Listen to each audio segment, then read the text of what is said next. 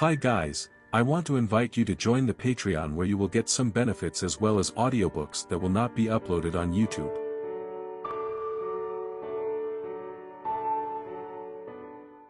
Chapter 1 Line up boys. For the last five years we have trained and trained and trained. Now is the time for you all to put this training in a trial of fire. The one talking was a clone in a set of armor. The armor had dark red and brown patterns on the chest and arms, with strips of it covering the middle section of the hand. However, the clone's most distinguishing feature was his helmet. It was covered with brown panting on top, and there were two stylized ox horns on the front. Although the armor was as shiny as the one any other clone was wearing, it gave off a strong and dignified vibe. Before he was 25 rows, each one with 20 clones. The clone took a step to the side and said. Now pay attention to General Di.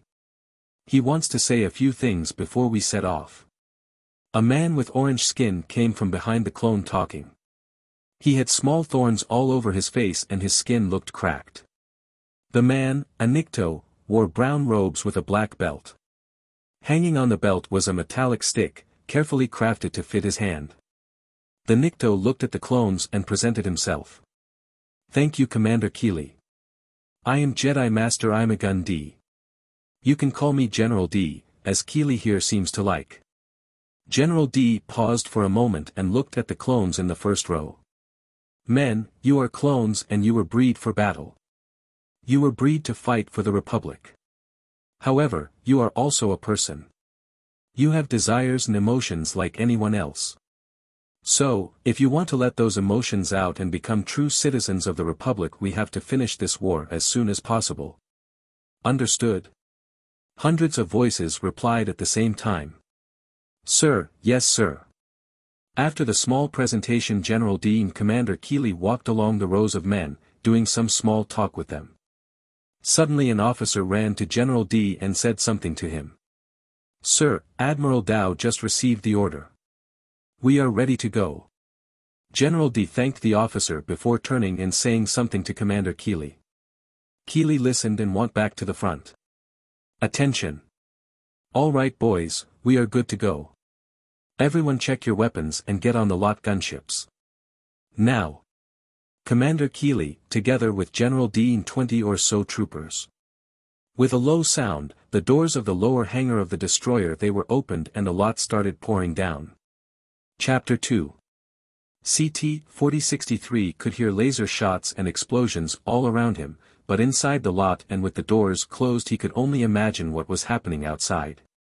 As for now the only thing he knew was for whose side he was fighting for.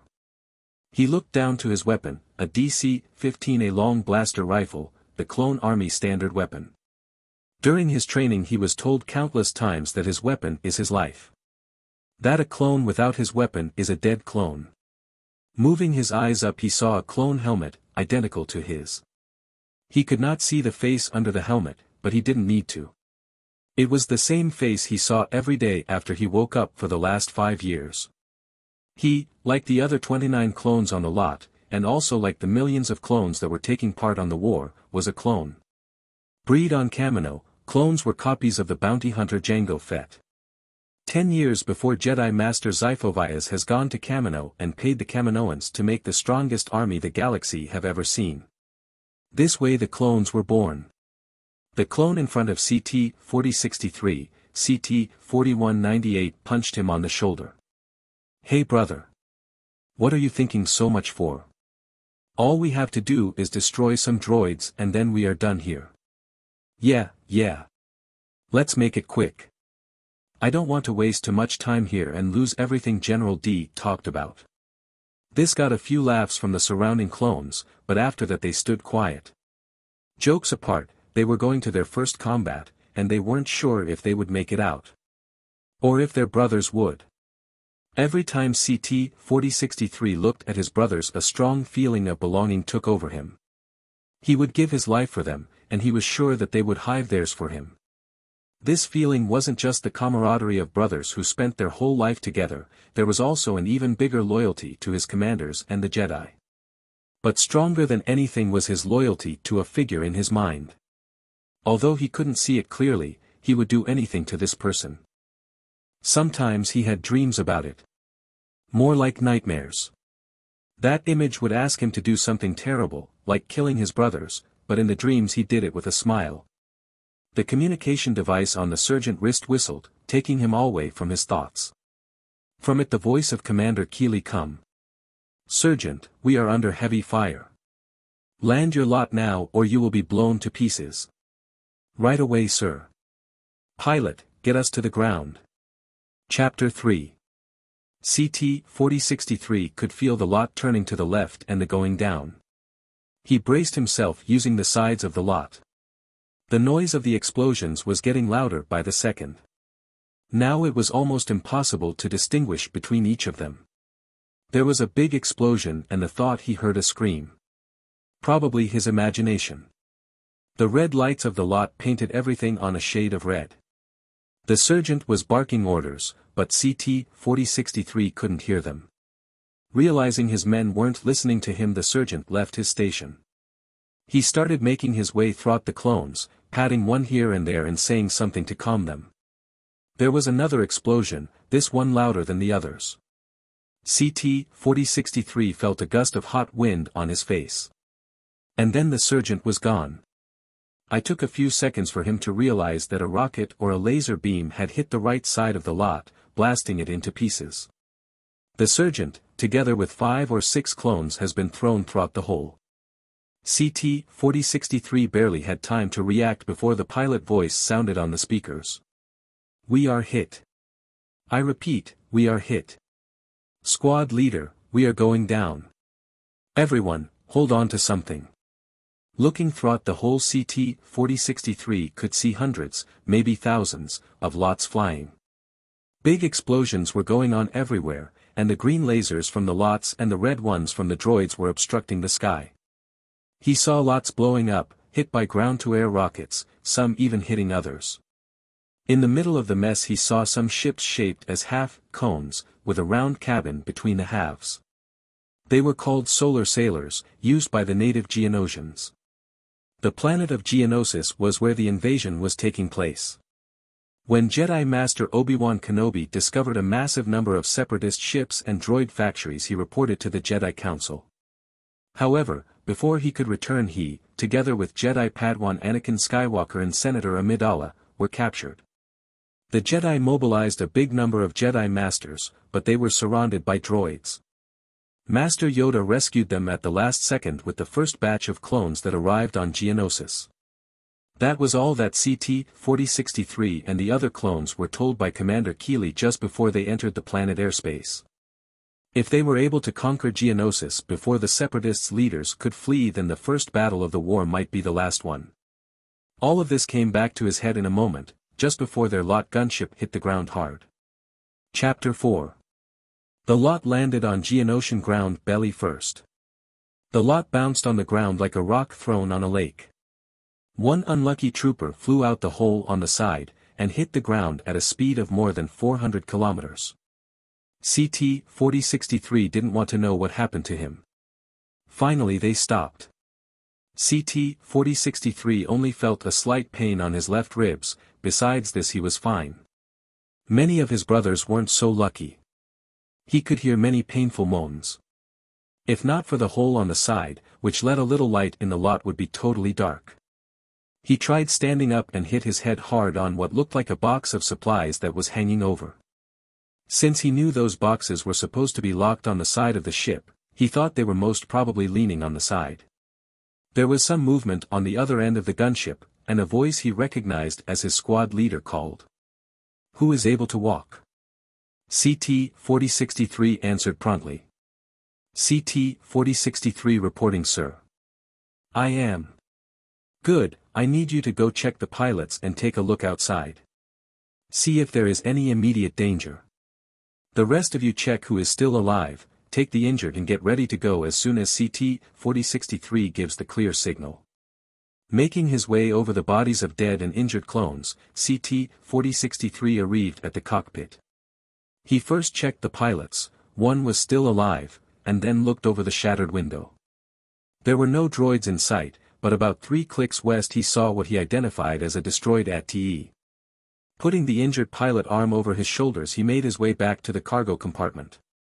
There were five or so troopers up and another seven leaning on the walls. CT-4099, the squad leader was giving orders. CT-4063 dropped the pilot with another clone and walked over to him. Sir, no droids in a 5 clicks radius, but 3 clicks west there is a burning AT-TE. It's too far away to see if there are any clones. Good job.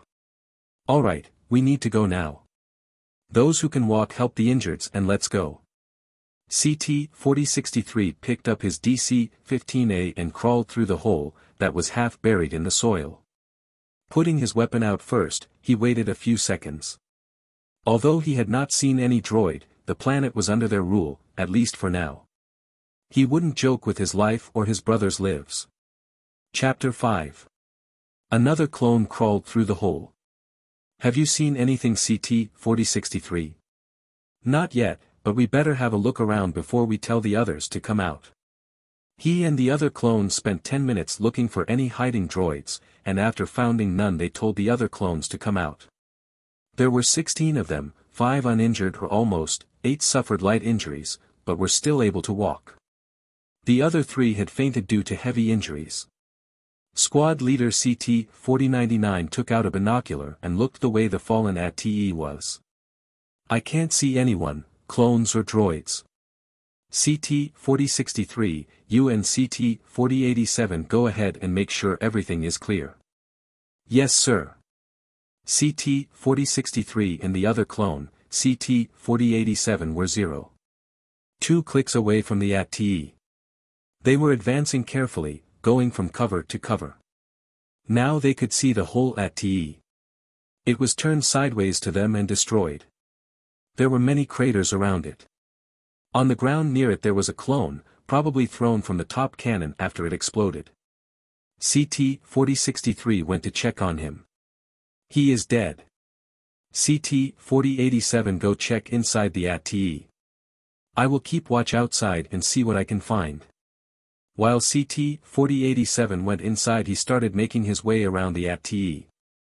Now he could see that at least six rockets shots have hit it, one of them directly hitting the top cannon and killing the poor clone.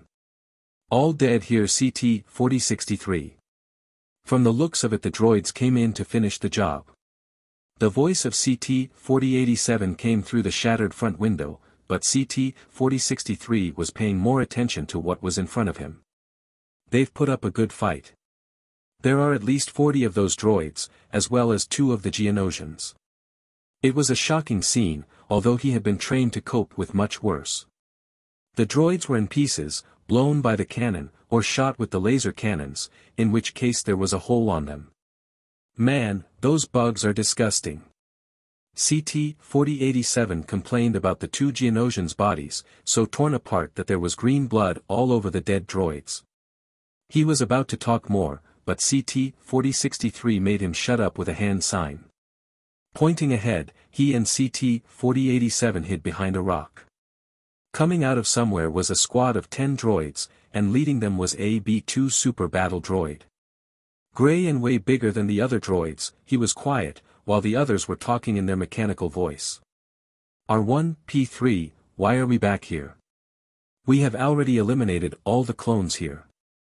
R1J4, the commander received an order to investigate a crashed Republic gunship. Finally the super battle droid spoke. Shut up you idiots. Ich ich. There are clones ahead. Prepare. Ich For battle. Chapter 6 CT-4063 and CT-4087 looked at each other.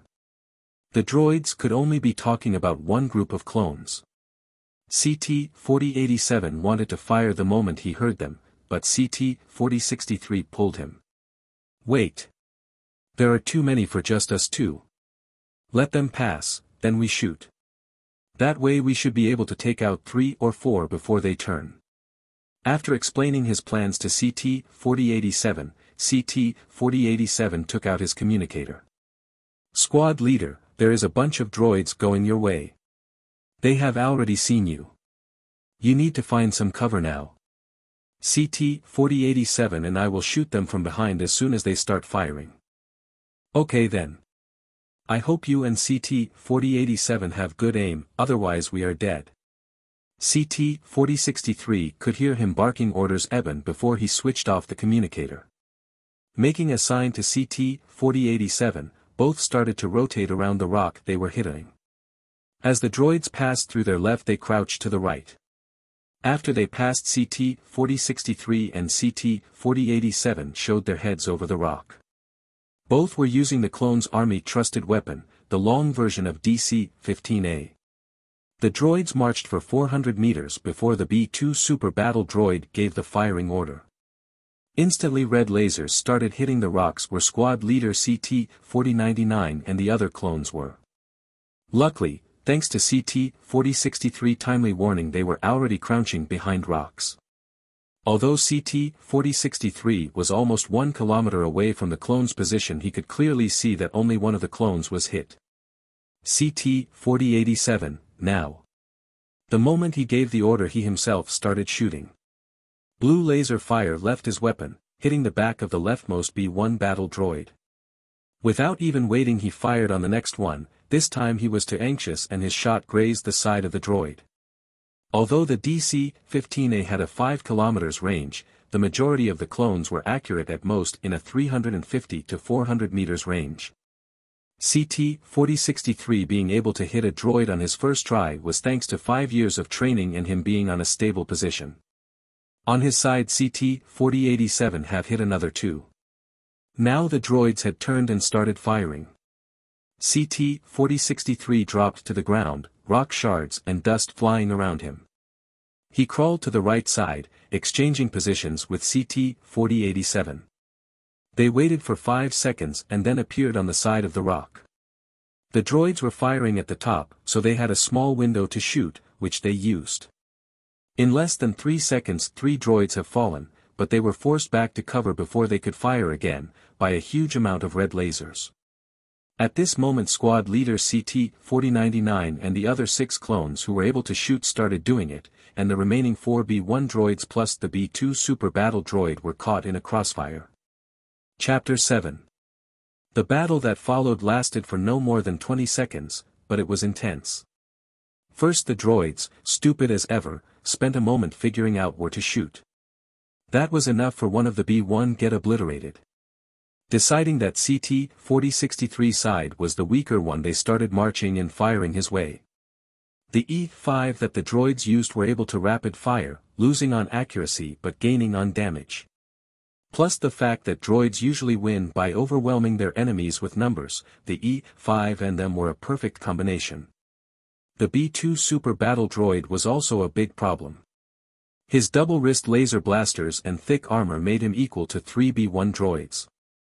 CT-4063 and CT-4087 were only able to stay hidden, but the squad leader was doing a good job, directing his men to pick the droids one by one. The lasers coming from the droids lessened considerably, and they judged safe to come out. The only droid left was the B-2 unit. CT-4087 took aim and fired, his shot hitting the target. Seeing this he came out of cover, his hands already up in commemoration.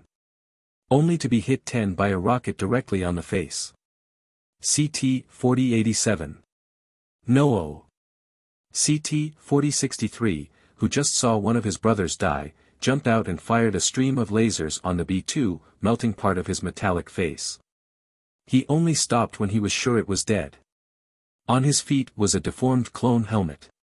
Squad leader CT-4099, who had seen everything consoled him.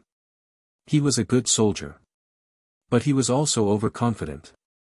Those wrist rockets are deadly even to the AT-TEs. Don't let his courage be in vain by dying here. Two hours later they finally saw the big battle. For the next few kilometers there were hundreds of clone and droids corpses. Fallen AT-TEs, LAATs, dwarf spider droids, Hailfire and AATs were everywhere. There were shells holes everywhere, and on the places where the hailfire volleys had hit the clone death toll was in the dozens. For any other person it would have been as terrifying as hell, but for the genetically modified clones it was normal, even though they haven't seen such a scene before. Even so, walking amid the cold corpses of their fallen brothers wasn't a good feeling. Thankfully there was a clone command center not too far away. Fourteen surviving clones, CT-4087 and a trooper by the number CT-4298 had died, made their way to there. The closer they got the louder it was. By the time they arrived they could already see the fight. The droids were on full retreat, but the clones were taking heavy casualties. Every second clones were falling. CT-4099 left his subordinates with a medic clone and ordered CT-4063 to go with him to the command platform. On the platform were two clone sergeants and one lieutenant. Squad leader CT-4099 and CT-4063 saluted. Squad leader CT-4099 reporting sir. The lieutenant glanced at him and turned back to the battle ahead. Good to see you CT-4099, but I need you to talk fast. We are in the middle of a war. You and your squad, together with another two squads should have been here long ago. We thought you were dead. What happened? Chapter 8 We were shot down as soon as we left the cruiser. After we crashed CT-4063 here found in AT-TE. We made our way there, but they were already dead. Unluckily for us, or for them, we found the droid squad who eliminated them. We eliminated them, but lost two men. The squad leader reported, and that took the lieutenant attention. You only lost two men to eliminate 10B1 and 1B2. That's impressive. CT 4099, there was a sergeant and two squad leaders in your LAAT. I assume they are dead. Yes. We lost the sergeant and 18 others, including one pilot. Honestly, if it wasn't for CT 4063 we would have lost more. The lieutenant looked at CT-4063 after hearing that. A clone killing a bunch of droids wasn't surprising, but being praised as the reason the others were alive as unusual. Seems like we have a good soldier here. CT-4063 right. As you have noticed we have a big battle going on. From what CT-4099 said you have some skills. Congratulations, you are now a squad leader. That really came as a surprise to CT-4063, but he was fast in thanking the lieutenant.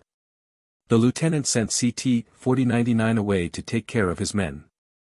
Next he turned to CT-4063. CT-4063, you will take command of Hell Squad. They lost their leader on the last push we did. Pick them up and go to the left flank. Lieutenant Thayer could use help there. Go now. Yes sir. Thank you sir. It was easy to find his new squad.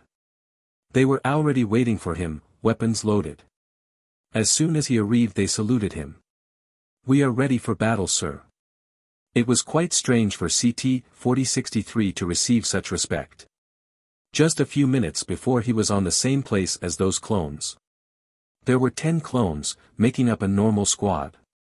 They stood tall, with their DC-15A leaning on their shoulder, helmets off, in the standard ready position. Their haircuts were different, some with short military style, others totally shaved. But their features were the same. I was impossible to look at them and think they were anything other than clones. CT-4063 took off his helmet. He thought it would be good that his men knew his face, even if it was the same as theirs. I would like to make a speech here, but Lieutenant Thayer is in trouble. I know you just lost your squad leader, but now is not the time to mourn. I want each of you to get at least five droid kills for him. The last one to do so cleans the weapons after the battle. Any questions? With a grin a clone numbered CT-2891 raised his hand. It is a competition then. Are you also participating sir? I sure am. Alright Hell Squad. It's time to eliminate some droids. Chapter 9 If one looked the battlefield from the air the first thing he would see was a mess of laser fire and explosions. The battle on the skies was as intense as the one on the ground. Many of the LAATs were shot down as soon as they left the cruisers. Geonosian solar sailors and separatist vulture droids were targeting the newly departed LAATs. That way they would be able to take out dozens of clones each time they hit one. Knowing that they couldn't let their fully boarded gunships fall as the droids pleased, all of the empty LAAT and Acclamator-class cruisers were focusing their laser fire and missiles on the nearest separatist fighters. Now, if the person looked through the sky battle, to the ground, they would see the same amount of laser fire and explosions, but this time there were also many small black dots, with a few larger ones mixed. Looking even closer one would notice that the black dots were divided. The two sides looked as if they were playing a game, one side running and the other chasing. The big dots were now all kinds of tanks, shooting, exploding and burning. Now, after another look the person would notice that the running dots were thousands of robots. With a red-brown camouflage, the B-1 droids would be almost inconspicuous on Geonosian ground if it wasn't for all the fire their E-5 were letting off. On the other hand, the chasing black dots were not black anymore. White armors marching forward, at least in this battlefield the clones were overpowering the droid army. Part of it was the surprise element the clones had. Droid leaders didn't know about them until they were attacked. However, even though the droids were on full retreat, their mechanic minds knew no fear, so every inch they fell backwards was paid on clone blood. Zooming in one last time one is able to see that in the back of the clones lines a new group, of about 300 fresh and well-rested clones was forming up. Those clones were separated in 30 smaller groups, of 11 each, one leader and 10 soldiers.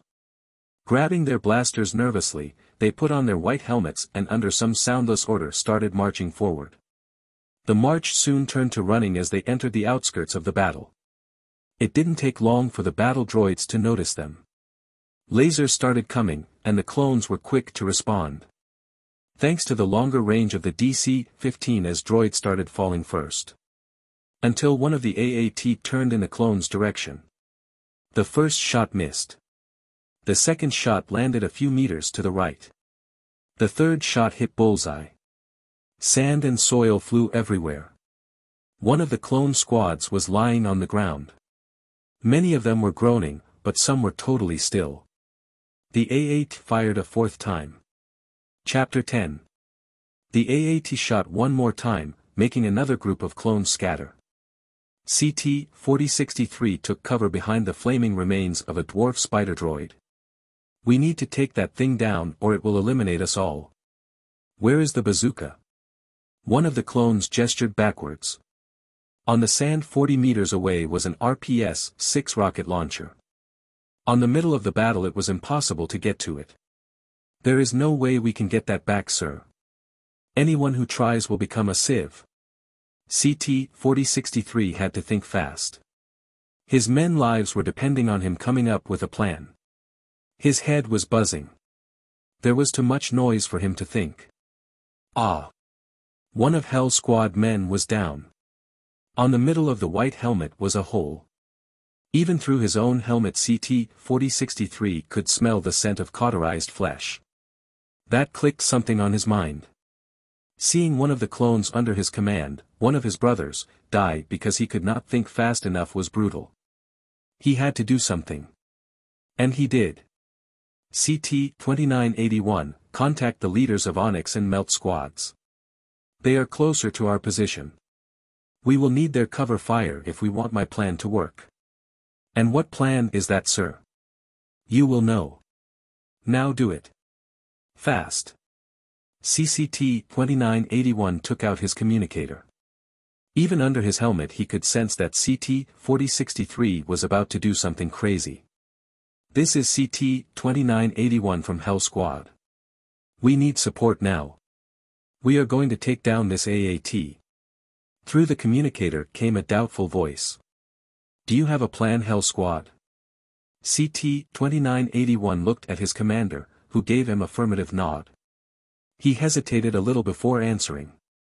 We do. But we need your help now. We are going. CT-4063 looked to the AAT. It was a hundred or so meters away, ahead of the droid's line. There were some B-1 battle droids and four B-2 super battle droids around it. He needed to clear those first if he wanted to be alive after his plan. While he was looking the AAT fired again, this time somewhere to his left and behind. From the screams it had gotten another hit. 15 meters to his right and about 12 to his left the members of Onyx and Melt squads arrived, not without losing one or two members. Their leaders noted at him and started in-ganging the droids. He looked around. Eight members of Hell Squad were there. They have lost two before even making it to their objective. That was not a good start. He beckoned to CT-2981. Start with the cover fire as soon as I go. Those droids need to be dead before I get to the AAT. Sir, what are you thinking? Let me go with you. Wait. CT-2981 couldn't even finish before CT-4063 jumped over the dead dwarf spider droid and started running to the AAT. Chapter 11 CT-4063 jumped over his cover and immediately started sprinting. Behind him CT-2981 stopped cursing his craziness and ordered the others to fire. Blue laser flashing by him, he himself firing, it didn't take long for the droids protecting the AAT to fall. The droid lines were too far to get accurate shots, so the only danger he was facing at the moment was the AAT. Not that it was little danger. The cannon of the AAT aimed at him. Through the black hole on the tip of the cannon barrel he could see a red glow building. He waited to the last second before making a sharp turn right and diving behind a boulder. Bam! On the place he was before there was now scorched earth. He had escaped this time, but now the AAT knew where he was. He had few seconds before it fired again, and this time he wouldn't be able to dodge. He sneaked a glance over the boulder. The cannon was aimed at him. To make things worse there was a droid squadron, about a hundred of them, coming to support it. Laser fire was pouring on the AAT, doing little to no damage to it. There was nothing his brothers could do to help him. He had two options now. Continue charging, maybe taking out the AAT and most probably dying. Or he could try to make his way back, and most probably die together with his brothers. Others might have chosen the second option, but not he. He was a clone, sacrificing his life for the greater good was his nature. If he could do that without endangering any of his brothers it was even better. So he charged. Firing like crazy he run the last 30 meters. Although he was zigzagging to dodge the shots, the AAT followed him like an insistent bug. But it was another bug saved his life. From one of the many natural towers on the battlefield a green halo flew.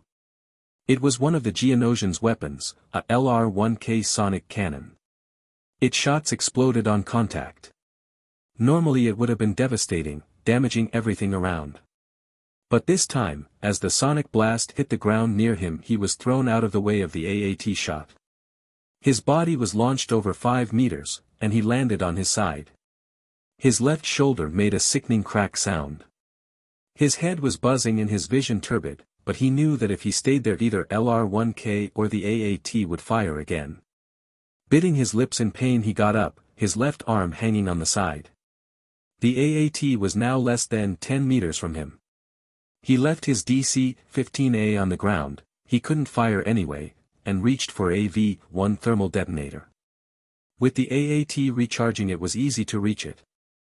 He jumped on the front of part of the AAT and stretched for the cannon barrel. With a soft click the thermal detonator was activated. He put it inside the barrel and let it roll down on its own. CT-4063 jumped from the AAT and run as far as possible while counting the seconds. 1. 2. 3. Bomb. Like the most fascinating of fireworks the AAT exploded from the inside. A heat wave passed by him. He had done what he needed to do. But he didn't have the time to celebrate, as the squadron of droids he had seen before was already in front of him. Their weapons clicked as they prepared to shoot. CT-4063 picked the nearest weapon, a Geonosian sonic blaster and aimed as well as he could with one broken arm. Chapter 12 CT-4063 was looking uptight to the droids. He squeezed the sonic blaster, although he probably wouldn't be able to pull the trigger before becoming a pile of carbonized clone. Suddenly an LAAT flew above them at neck-breaking speed. The LAAT fired all its missiles at the tower where the LR-1K was. The over 30 meters tall tower was instantly reduced to rubble. A cloud of dust rose, and CT-4063 couldn't see a thing. Somewhere above him the noise of the LAAT appeared again. He should have run at this moment, taking advantage of the distraction to run. But a feeling of calm washed over him, as if he couldn't be harmed at that moment. He only had that feeling once before, earlier that day, when Commander Keeli and General Di were talking. Up on the cloud of dust, where he thought the LAAT was, a glowing green stick lit up. He thought it was a strange action, as the glowing stick would become a beacon to where the droids could direct their fire. Until he heard the droid screaming. Jedi! There is a Jedi! All units, fire on him. Eliminate the Jedi scam. The green light, or rather, the lightsaber seemed to drop down from the LAAT, more than 20 meters above the ground. Droid screams sounded as the lightsaber danced in the middle of the dust. Where is he? Oh, found him. Ah. R1, W3, where are you? Arg. Don't panic. It's just a Jedi. If. Just. He. Stopped. So. I. Can. Shoot. Him. As the dust settled, all that was left from more than a hundred droids was scrap metal. The only droid left fired a few times before the green lightsaber trespassed him and ripped to the right, almost cutting it in two. As the droid fell a figure no more than one and a half meters stood on its place. The lightsaber disappeared with a buzz and the face of the figure was totally revealed. He had big pointed ears and a hard look on his face. The most eye-catching of all was the scar crossing from his forehead to his cheek, and over where his left eye should have been. The LAAT landed on the ground, and before long many more arrived. The clones on them swiftly made a defensive perimeter, making sure every droid on 300 meters was either dead or running. A lieutenant jumped of the latest arrived LAAT and went to the small Jedi, who started giving orders. Lieutenant, move your command center to here, and make sure that no droids are left behind us. I want a list with every high-value target near here and our casualties. I need to know how many men we can send without risking a counterattack. Hey! You trooper. Yes you. Where do you think you are putting those detonators? Distribute them. The Jedi was really rigid, making CT-4063 think that anyone under his command probably lived trying to avoid him. The lieutenant left the Jedi side and went in CT-4063 direction. I am Lieutenant Thayer. I saw what you did to that AAT trooper. Very bold. And very brave but I doubt that was your target. What are you doing here? Actually, my squad and another ten were sent here to give you support, but that AAT gave us quite a headache. In the end you saved us. It doesn't matter. You did a really good job. And you had it hard, I see. Later you go find someone to take a look at that arm of yours. But now prepare yourself. General Piell wishes to speak with you. That can be worse than fighting a thousand droids. Chapter 13 Talking with General Piell can be worse than fighting a thousand droids. Lieutenant Thayer patted CT-4063 on his good shoulder and walked away. CT-4063 made his way to where the Master Jedi was. The small Nick was still giving orders and butchering any distracted clone with his words. Lieutenant Thayer said you wanted to talk with me General.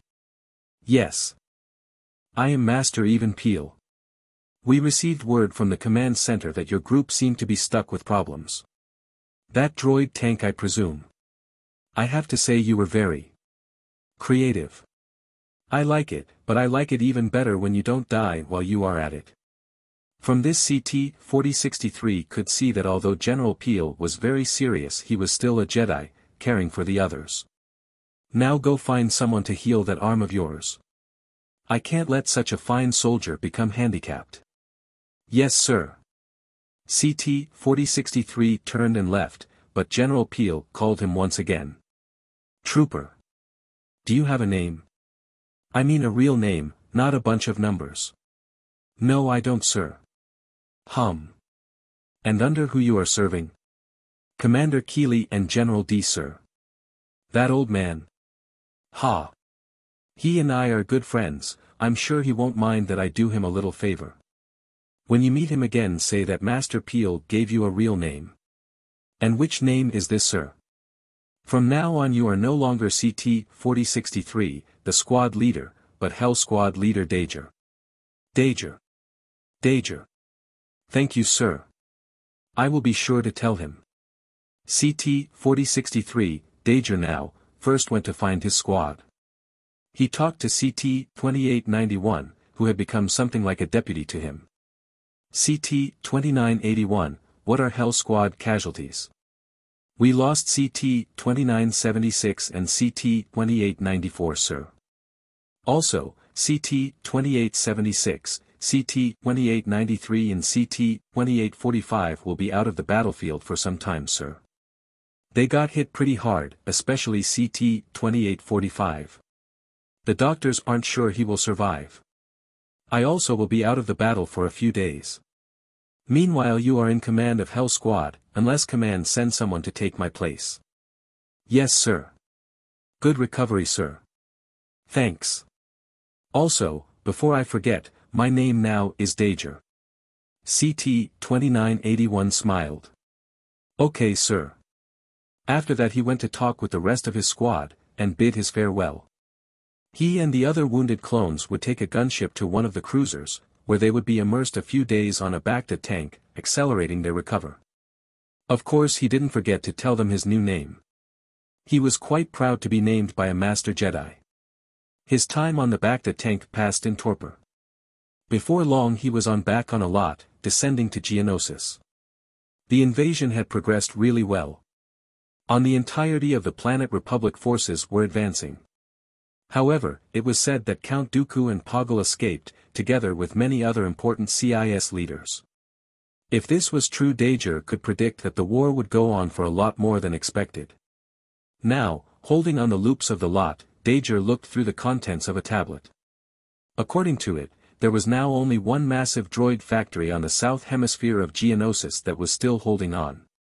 The clone army wasn't able to invade it because of the huge number of droids and narrow choke points. They also couldn't bomb it, because the chief of the factory, a Geonosian bug called Tharg sent a hologram of two captured Jedis. They were identified as Jin Altus and Depa Billaba. Hell Squad was part of a massive offense mounted to cover the operations of a so-called Delta Squad, that had already destroyed three droid factories with minimum casualties. Chapter 14 Dangerlot landed on the command center. There were dozens of thousands of clones joining this last attack. If they won this battle it would signify the capture of Geonosis and the first victory of the Grand Army of the Republic. The place they were attacking was gigantic. The factory occupied dozens of square kilometers, but the only place the clones could attack was the front gate. The whole factory was protected by an energy shield, so unless someone from inside took out the shield generator, it would be a massacre for the clone infantry to take it. An orbital strike would be able to easily, destroy the shield, but they could only fire after the Jedis were rescued. Dager was informed that he was to find the general in command of the attack, Jedi Master Mace Windu.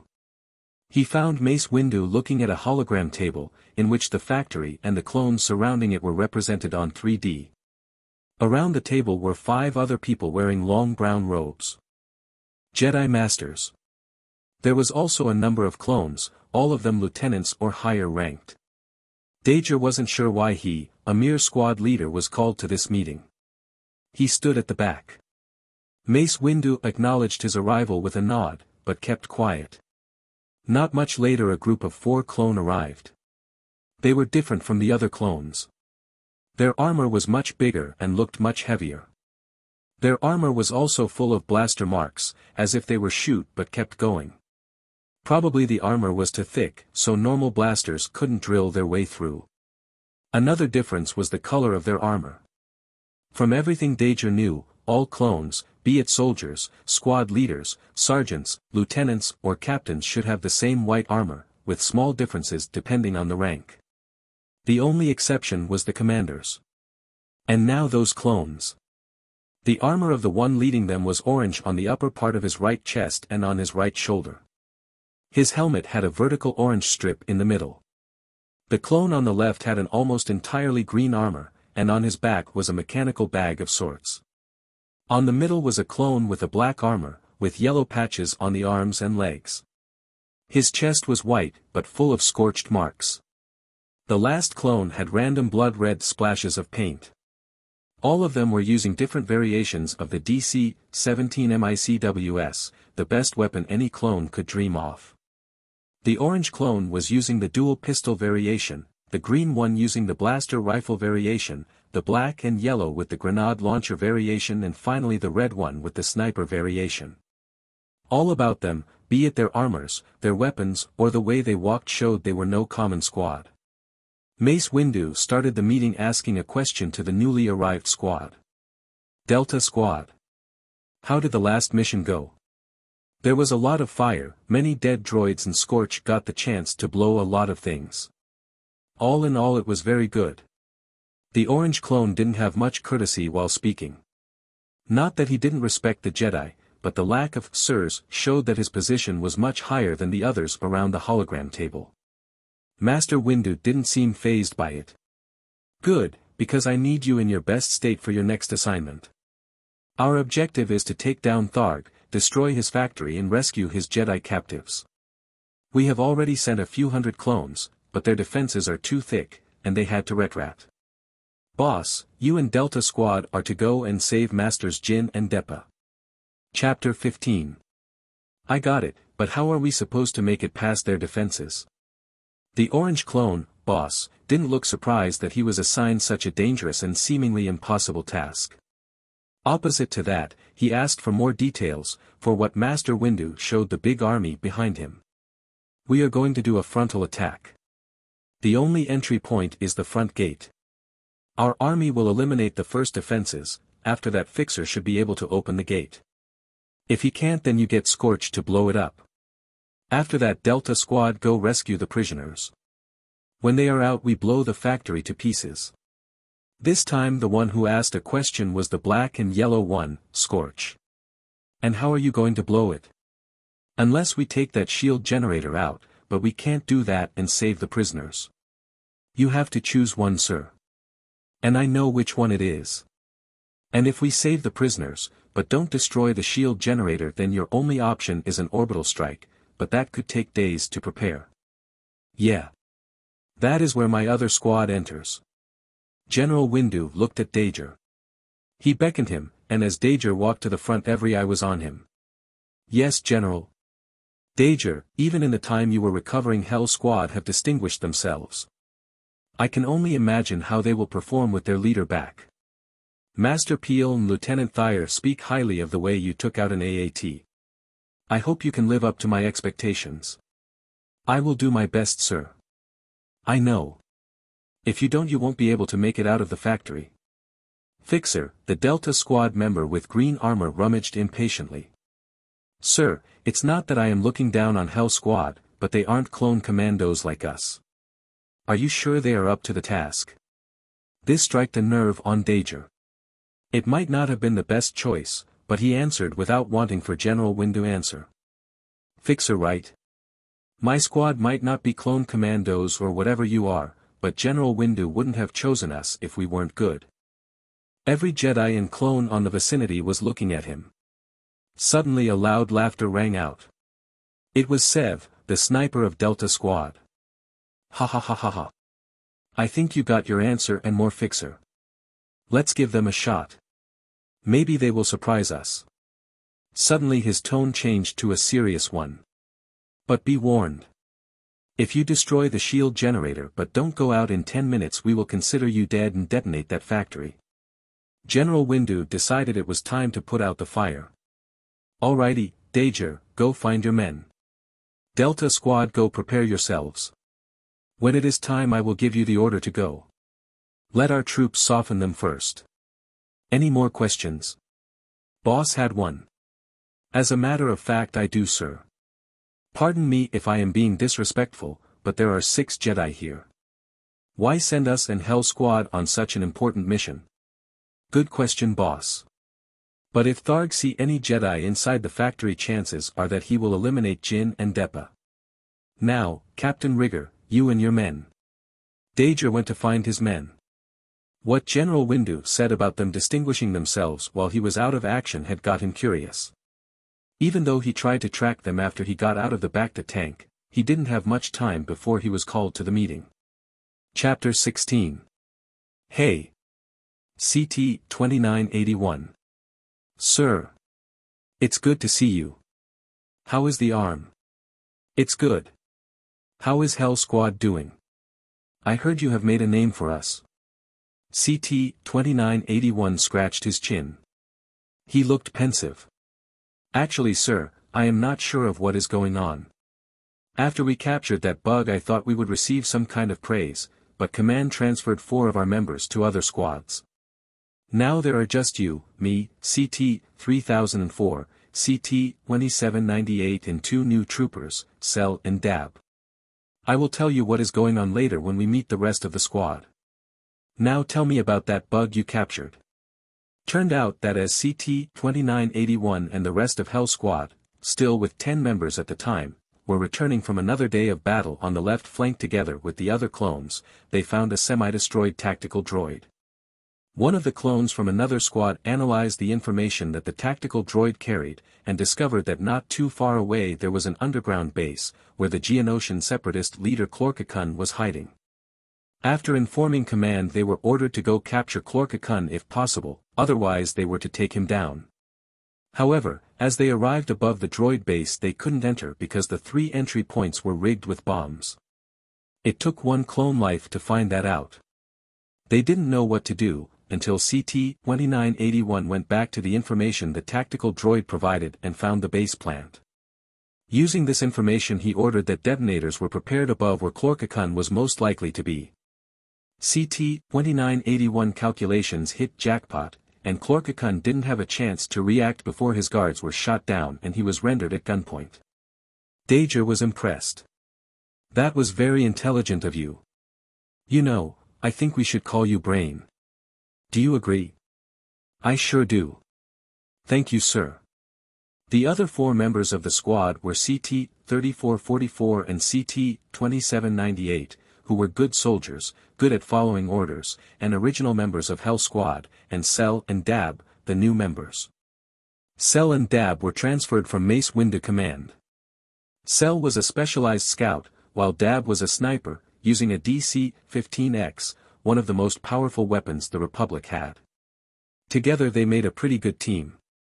It was Dager's job to take all of them and transform them in a flawless group, able to take part on all kinds of missions.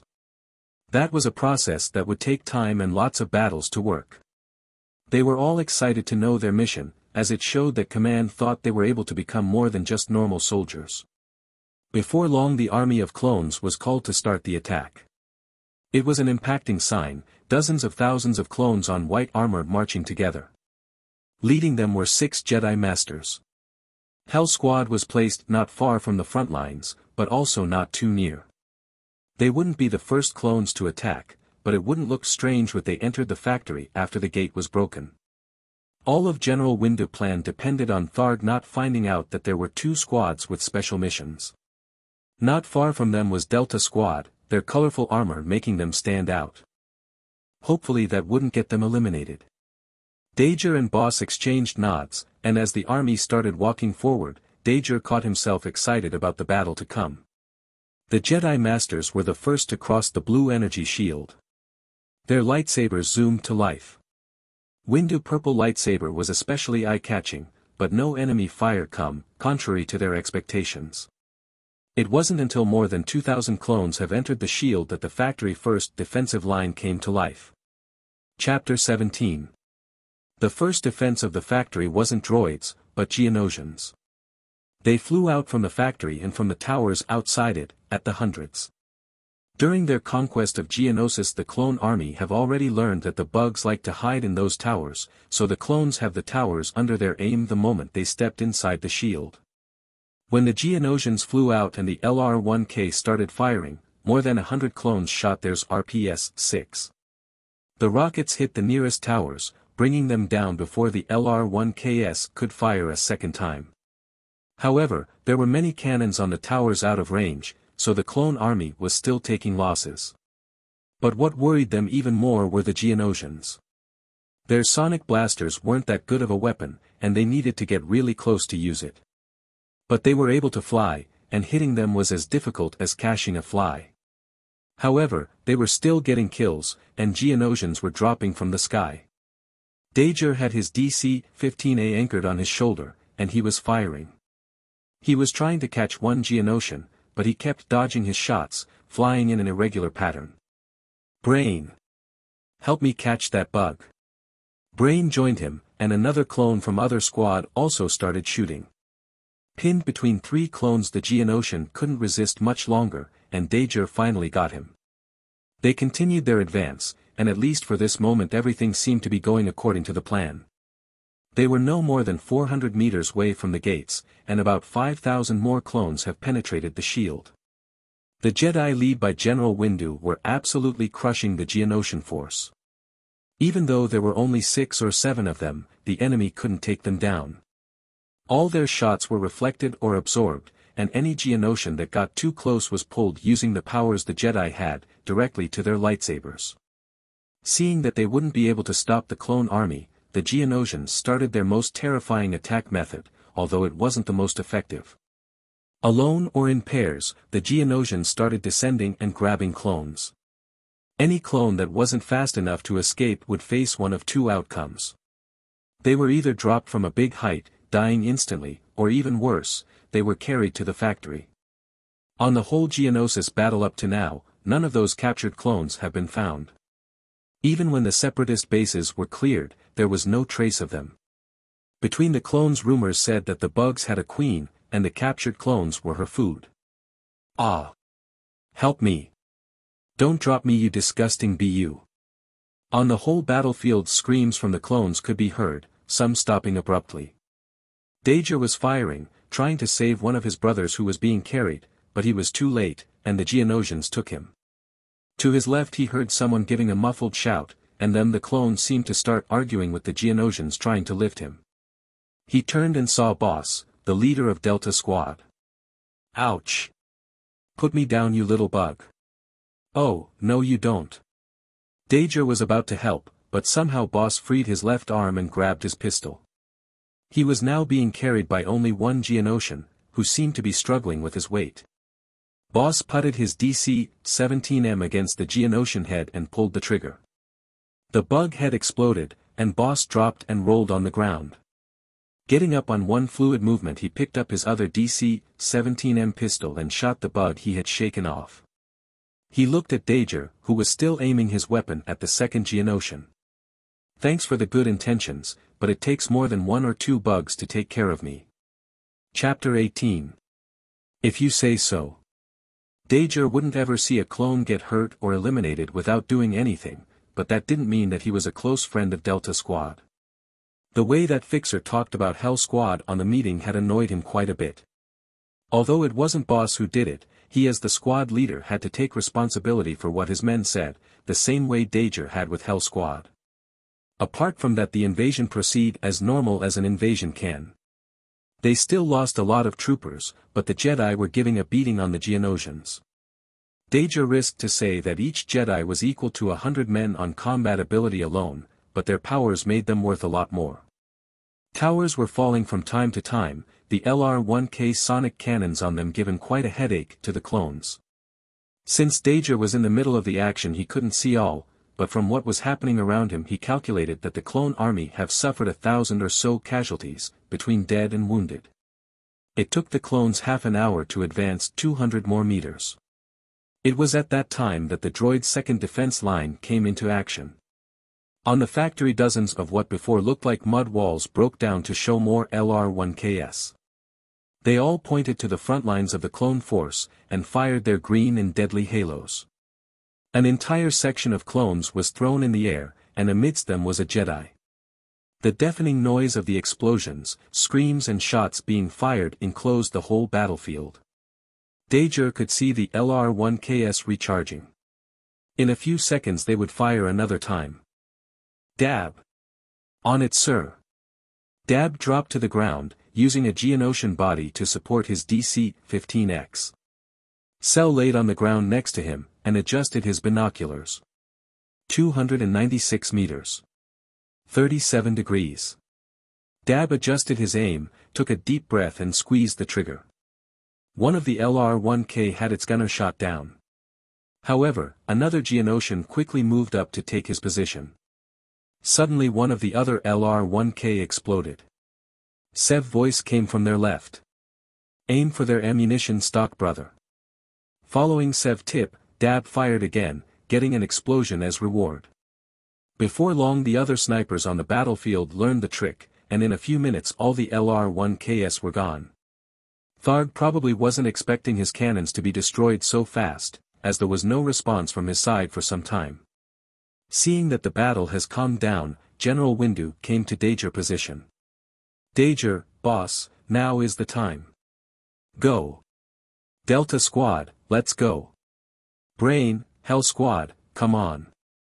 Both squads raced the last few hundred meters to the gate with almost no opposition. As soon as they got to the big gate Fixer went to the panel and started messing with it. Boss and the rest of his squad took position around Fixer, in case anyone tried to stop him. Dager ordered Hell Squad to do the same, but nothing came. Boss was starting to get impatient. Come on Fixer. It is taking too much time. It's not my fault. It will take time. Better let Scorch do it. Scorch you are up. Scorch and Fixer changed positions. From his backpack Scorch took out handful of thermal detonators. He placed them around a smaller door on the left gate. Everyone get away. Ha. Scorch made it sound like it would be a good explosion, but in reality it just made a muffled sound. The gate fell to the inside, revealing a group of surprised droids. Before they could react, Scorch, the closest to the gate, activated another detonator and throwed it in. Ha ha ha, now the fun begins. Chapter 19 Delta Squad entered the factory under the lead of Boss. Behind them was Hell Squad. The detonator that Scorch throwed have destroyed almost all the droids. The few who air left were dealt quickly. The factory corridors were almost entirely dark. The only light was from holes in the ceiling and walls. The walls had many carved entrances on them, that Dager deduced were the Geonosians' sleeping place. They kept walking until Boss ordered stop. He pointed at a hole on the floor. We are going down here. The Jedi prisoners should be at one of the dungeons. Hell Squad, if our information is right the shield generator should be somewhere in front. Good luck. Good luck to you too. Delta Squad members descended on the hole one by one. Now the only thing Hell Squad could do for them was wish good luck and take down the shield. Hell Squad moved on. The corridors were all the same, splitting left, right, up and down. Thanks to the map Delta Squad got who knows where, they didn't get lost. However, something was wrong, and the others knew that. CT-3444 was the first to speak. There is something wrong sir. There were hundreds of bugs out there, but since we got inside we haven't seen either them or the droids, beside those on the gate.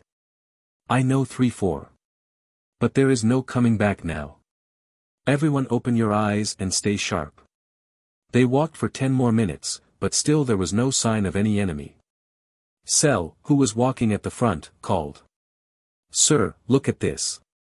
The shield generator room was supposed to be here, but instead there is a door. A metal door. A metal door on a Geonosian nest was weird to say the least. Dager sent CT-2798, who they have started calling Tech as he was good with mechanics. Tech, see if you can open that door. Everyone else, prepare for battle. We don't know what is behind this. There was nothing deadly behind the door, just corridors, this time modern ones, much like the ones on spaceships. Hell Squad looked at each other. The first to break the silence was Brain. Sir, is this what I think it is? Brain, contact General Windu. He needs to know what is in here. However, Brain wasn't able to make the call. All they could hear by the communicator was static. They are jamming our communications sir. Do you think they know we are here? I don't think so. Most probably they are doing that just in case that someone, like us, gets here. But that mean we will have to send someone back. Dab and 3-4, you go back. Tell General Windu about this. The rest of Hell Squad come with me. We still have to destroy the shield generator. Yes sir. Dab and 3-4 turned and went back the way they have come. Dager, Brain, Tech and Cell started making their way on the new corridor. There were many doors on the side, leading to rooms or more corridors. They stopped by a panel on the wall. Tech, see if you can get us the path to the shield generator room. I don't want to run aimless here. Who knows how many droids there are here. Dager words soon proved right, as the sound of metallic feet marching echoed. Silence. Cell, give me one of those droid poppers. You take another one. We have to take them quietly, otherwise a whole army will be on to us. Dager and Cell made their way to the turn the corridor made. The sound of the droid patrol got closer. Dager counted to three on his fingers and throwed the electromagnetic pulse grenade, EMP, on the middle of the unsuspecting droids. Cell did the same. Whoa. What is this? Auk. Chapter 20 Six deactivated B-1 droids were lying on the floor. Hell Squad have taken care of those quietly, but they might not be so lucky the next time, or maybe another patrol would find them. There were too many variables, so Hell Squad had to do their job fast. Got it sir. According to the plant the shield generator room is 12 floors above us. Tech had a hologram projecting from the panel. On the spherical image he pointed their position and the shield generator room. Also sir, their jammer is on the same floor. We can take care of it on the way. We have to take the first elevator we find. I only don't know how are we going to stay under cover. There must be thousands of droids. You are right. But they don't know that we are here yet. There is an entire clone army out there. If I were on command I would mobilize all of the droids and prepare for attack, even more if this really is what we think it is. Dager was right. They only encountered one more patrol during their way to the shield generator room. The droid poppers took care of them nicely. Problem only arrived when they got to their objective. Guarding the shield generator room were 6 B-2 super battle droids and 10 B-1 battle droids. Brain looked over the corner to them. We don't have that much EMP sir. The only way to get there is battle. But we have to make sure the Jedi are out before we do that. I suggest we deactivate their jammer, contact Delta Squad. When they are ready we blast those droids. That would work, but how do we get out before they are onto us? Maybe we won't sell. Now let's do as Brain said. Deactivating the jammer was easy. Tech just used two minutes to put it out, and another two to put their communicators back on motion. Dager contacted Boss. Boss. Do you hear me? I do Dager. What is it? We are almost out of the factory. Good. Did the rescue work? Yes. We have the Jedi, although they are pretty hurt. Okay. Boss, you probably already discovered, but this is no Geonosian factory. We are going to take out the shield, and the moment we do that Tharg will try to escape. When this thing go up we need the general to destroy it, otherwise Tharg is gone. What about Hell Squad? We will go to the lower hangar on floor 27. From there we will take a ship or something. I see. Good luck Hell Squad. Dager deactivated the communicator and turned to Hell Squad. Alright boyos, we are going to eliminate those droids, then we destroy the shield generator and last we run like there are a thousand droids on our tail. Because there will be. They split in two groups, Dager and Tech on the left, Brain and Cell on the right. On Dager signal Hell Squad opened fire. At such a close range there wasn't even need to aim. Seven of the B-1 droids on the front fell full of holes. Only then did the droids return fire. But they were out in the open protecting the door, while the clones used the junctions and doors as cover. Alarms started going off, but the last B-2 droid felt before any reinforcement arrived. Tech opened the door and they quickly entered, Cell and Brain stayed to guard the door. Dager pulled out a bunch of thermal detonators. They already know we are here Tech. Let's just blow this thing up and go. They put the detonators on the shield generator, but before they got out two rolling droids appeared on the end of the corridor. Cell screamed a warning. Destroyers. Chapter 21 The two droidekas or destroyers stopped rolling to reveal 1-meter droids. Their deflector shield came to life, blocking the shots that Cell and Brain had fired. Also, their twin blaster cannons started firing at amazing speeds. Oh! My leg! Before they could retreat Cell was shot in the leg. Brain saved his life by pushing him out of the way of the following lasers. However, they were now trapped inside the room. As soon as the destroyers appeared Dager and Tech had jumped out of the door frame. Laser shots were hitting the wall behind them and reflecting a little bit, almost catching them. Dager attention was now fixed over Cell and his injured leg. Brain was taking a look at it. I wish we hadn't sent 3-4 back. He had way more medic training than I did. But don't worry Cell, it's going to be okay. Then Brain looked at Dager and pointed to the door, where the destroyers were still pouring fire. We have to do something about them sir. If more droids arrive then we are doomed. I know. Luckily they are dumb. Can you hear it? They are approaching. Wait for them to pass through the door and stick your guns in their shield. The droid did exactly what Dager said they would. As the first destroyer crossed the door, before he could turn and fire, Dager put his weapon through the shield and blew his circuits.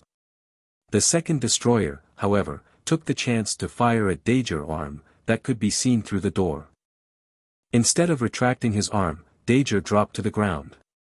As the destroyer turned down to shoot at him, Brain jumped through the door directly on the droid. The destroyer tried to shook him off, but Brain shot his head. Dager took the lead once again. Brain and Tech helped Cell. Come on. Tech already armed the detonators. We need to get to the hangar on floor 27. Meanwhile, in the factory command center. A Geonosian, Tharg, was talking to some droids and watching the battle outside on some screens when suddenly the alarms went off. What? Kikui. Happened? Shots were fired on level 42 sir. It appears a group of clones have infiltrated our defenses. I have already sent two droideka units to take care of it, and another two patrols who were near are going too. Quickly, check the Kiki. Jedi. Sir, the Jedi are gone. Somehow the clones have hacked our cameras and put it on a loop. I am sorry sir. Tharg went mad, but at this moment another droid, who was working on some panels, called him. Sir. The shield is down. The clone army is beginning their bombing. The factory shook. Some droids and Geonosians on the command center fell. Tharg fell on his chair and started screaming orders in Geonosian translated for your better understanding. Launch the ship. Take off now. Outside the factory, front lines of the clone army. General Windu was talking to 3-4 and Dab. Are you saying that there is a droid ship buried underneath the factory? We have. Sir. Delta Squad is getting out of the factory. General Windu looked at the gate. There were six people leaving the factory. Four of them were Delta Squad members, and the other two were being carried. However, at this moment the gates of the factory totally opened. From it a droid army started marching. There were B-1 and B-2 droids at the thousands, and destroyers and AATs were also following them. Windu ordered all his troops to fire, but once again he was surprised. First the shield was gone and the ground shook. Debris started falling from the factory. Then it was the towers falling as an enormous spherical spaceship started getting out of the ground. A battle sphere. That's not good. Everyone focus fire on that thing. Chapter 22 The battle sphere destroyed the whole factory. The debris that were falling smashed the droid army getting out of the factory. It seemed that those droids were just eye attack, meant to distract the clones. However, Thanks to Hell Squad actions of deactivating the shield, Tharg have destroyed almost all of his own troops. General Windu gave the fire order. AT-TEs, LAATs and SPHA-Ts, focus all your fire on this battlesphere. Lasers, missiles and cannon shots were hitting the battlesphere repeatedly. Explosions were going of on it, and pieces of its exterior shell were falling. It was clear it wouldn't be able to make it. General Windu turned to Dab. Where is the rest of Hell Squad? We. Don't know sir. The last time we talked with Leader Dager he was about to enter the ship to find the shield generator. Then may the force be with them. Dager braced himself on the sides of the corridor. Cell, who was hurt, was asking them to leave. I am only delaying you all sir. Leave me and go. You don't give orders here trooper. Either we all get out or none of us do. He is right Cell. All we have to do is find a ship, hijack it and get out. Nice and easy. You know brain, this is not helping. It almost make leave Cell behind a good opti. Careful. Droids. One of the patrols sent after them have caught up and started shooting. Thanks to Dager warning they were able to dodge the first shots. They responded to fire but this time the ones caught in the open were them. Dager took out his last droid popper. Tech. At the same time. 1. 2. 3. Now. Their grenades hit the middle of the droid patrol, and the electric currents they let out deactivated four or five droids. However, there were still ten more, including three B-2 super battle droids. Hell Squad was out of options. With the droids outnumbering them it was just a matter of time before someone died. Dager fired his DC-15A and hit one of the droids on the head, severing it from his body. It was at this moment that one of the missiles the Republic Army was firing hit the battlesphere, opening a hole on it. The vacuum sucked everything, including the unprepared droids. Dager grabbed the control panel with everything he could muster. Tech couldn't grab anything, and was sent flying in the whole direction. Letting one of his hands go, Dager grabbed Tech arm, barely catching him. Brain and Cell have secured themselves onto some protuberances on the sides of the corridor. After Tech had grabbed on something, Dager climbed up the control panel. The droid ship had energy walls that could be activated for situations like this. After the situation was solved the clones sat on the floor for a little rest. Uff, that was close. Thank you for catching me sir. The clone group couldn't rest much however, as they had to get to the hangar. Fortunately, this time they didn't encounter any more droids. Not alive ones at least. There were droids that got crushed by something, droids that hit the wall too hard and broke and also there were many more holes covered by energy shields. They got to the hangar area without any more problems, but when they got there they found at least 30 droids guarding the ships. Tech pointed to the nearest ship, a maxillipede shuttle. That is our best option. The droids are scattered. If we can make to that ship before they group up we got some chance. Everybody check your weapons. I am the best shooter, so you too carry cell. Everyone ready? Go. Dager fired at the two droids guarding the door from where they came, catching them off guard. Then he, Cell, Brain and Tech started running the fastest they could without leaving Cell behind. Chapter 23 Since he wasn't carrying anyone Dager was the first on to arrive at the shuttle. By the time he arrived the droids on the hangar were already coming his way, and the nearest ones were firing. Dager secured the shuttle entrance just enough for the other three to arrive, and then closed the door. Lasers hit the shuttle, and the attack from the clone army outside was making everything shake. Dager took Cell from Tech Arms and ordered him to go pilot the shuttle. We need to go. Get us out of here Tech. On it. Tech went to the cockpit, but he didn't have time to do anything as the floor tilted sideways. Boxes, ships and droids slipped on the hangar. The Maxillipede shuttle they were taking was no exception. Dager knew that the clone army have destroyed one of the stabilizers of the battlesphere. It was going down. And when it did everything and everyone inside it would be utterly destroyed. But Tech didn't plan on waiting to die. Somehow he turned on the shuttle, and made it to the hangar door. Not without hitting quite a few things, and droids, on the way. As they made it out, Dager looked behind them to the battlesphere. It was crashing down quickly then it went up. Escape pods and other ships were flying out of it, but Dager could tell that the majority of the droids would die.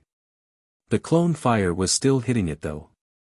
Dager hoped that no clone would fire at them thinking they were enemies.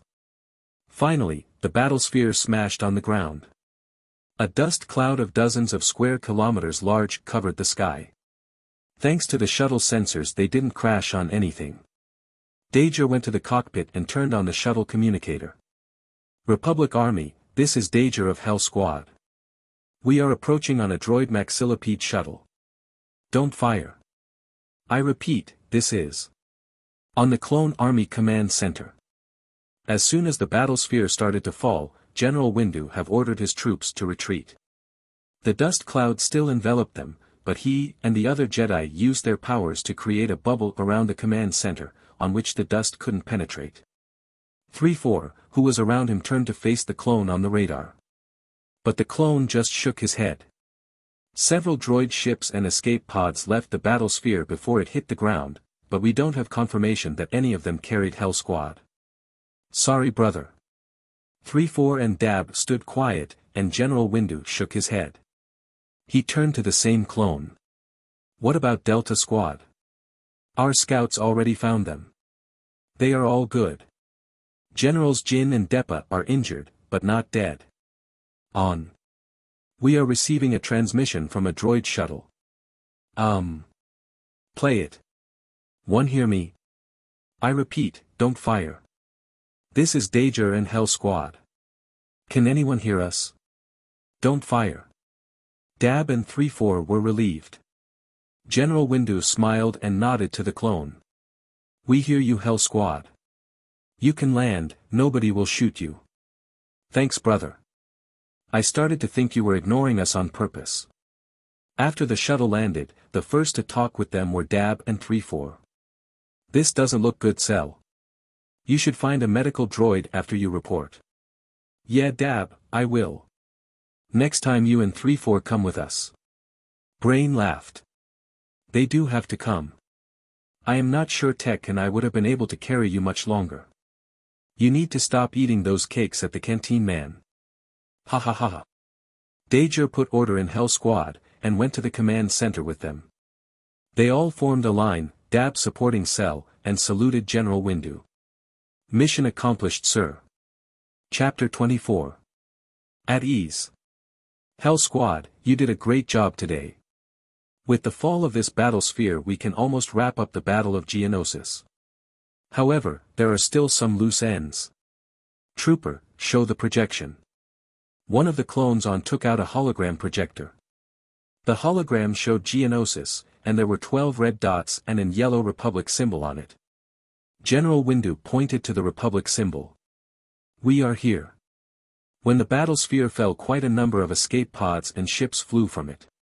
Some were destroyed and the majority of them landed close, so our troops have already searched and destroyed the droids on them. He paused and looked up. The clones looked back, already understanding what he wanted. However, we don't have anyone near those 12 areas. We can't risk Tharg escaping and started some kind of rebellion.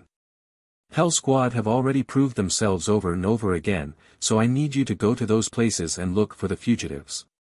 Just give us the time to drop Cell with a medical droid and we are ready to go sir. I know you have been through all of this recently, but now that the Clone Wars have begun the Separatists have come out of hiding and dominated almost 300 star systems.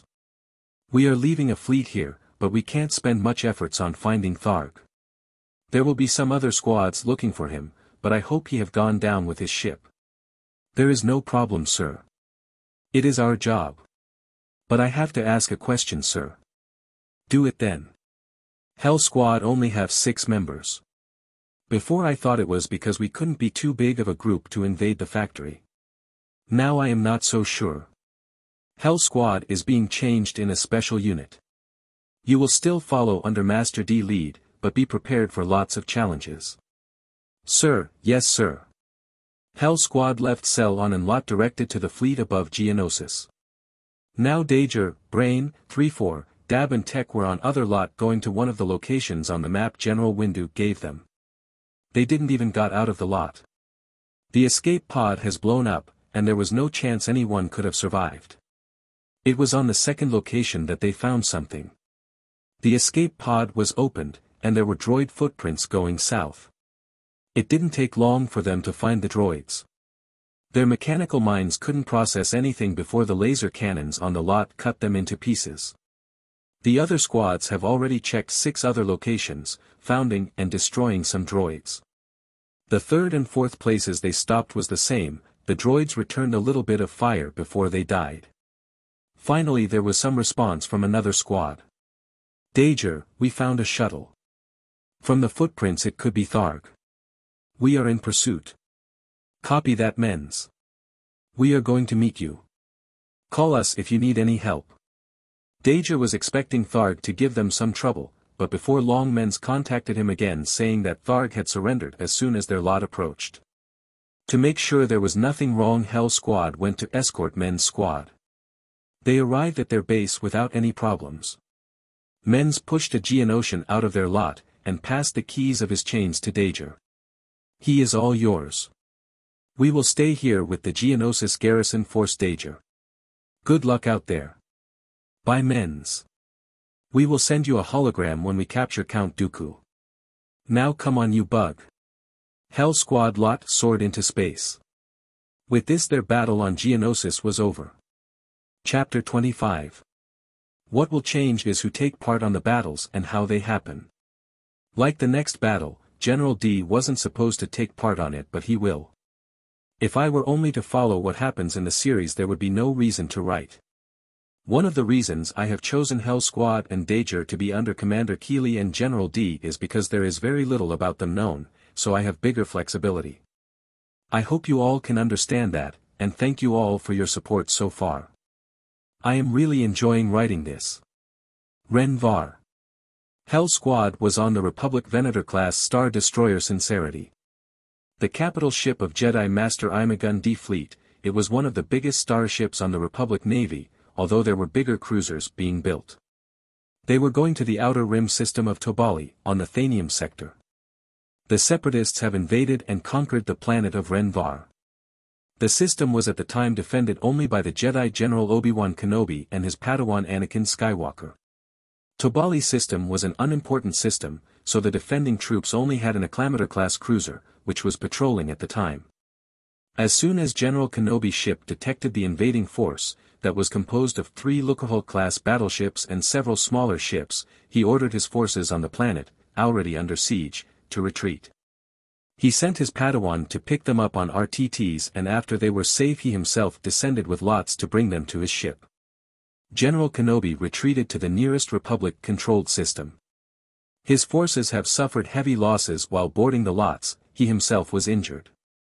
After that, he could only report to the Galaxy Senate and the Jedi Council that the system had been lost.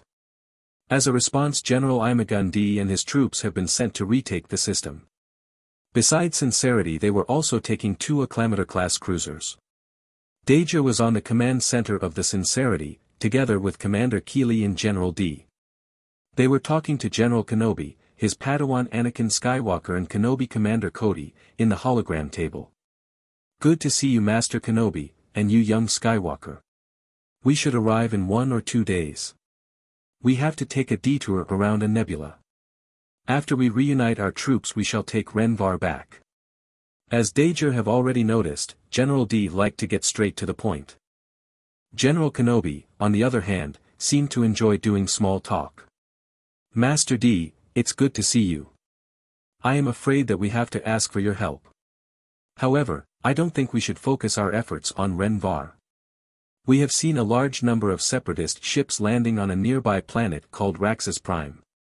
We think their attack on Renvar was just so our base there couldn't keep an eye on them. Hum. I think I have heard of Raxus Prime somewhere. There is more than what we can see to this separatist invasion. I agree. I and my Padawan will go to Raxus Prime see if we can discover what is going on. Don't worry, we won't make a move before you arrive. Then I shall see you soon Master Kenobi. I am going to consult our records and see if I can find out about Raxus Prime. General Di closed the transmission and turned to Dager and Commander Keeli. Keeli, go check our troops, I want the 303rd ready to anything. We are entering enemy territory. Dager, I have never seen you in actual combat, but if Master Windu transformed Hell Squad on a special unit you should be good. I looked at your records and you received just the normal training. I want you to follow Commander Keeli until we disembark. See what you can learn. Dismissed.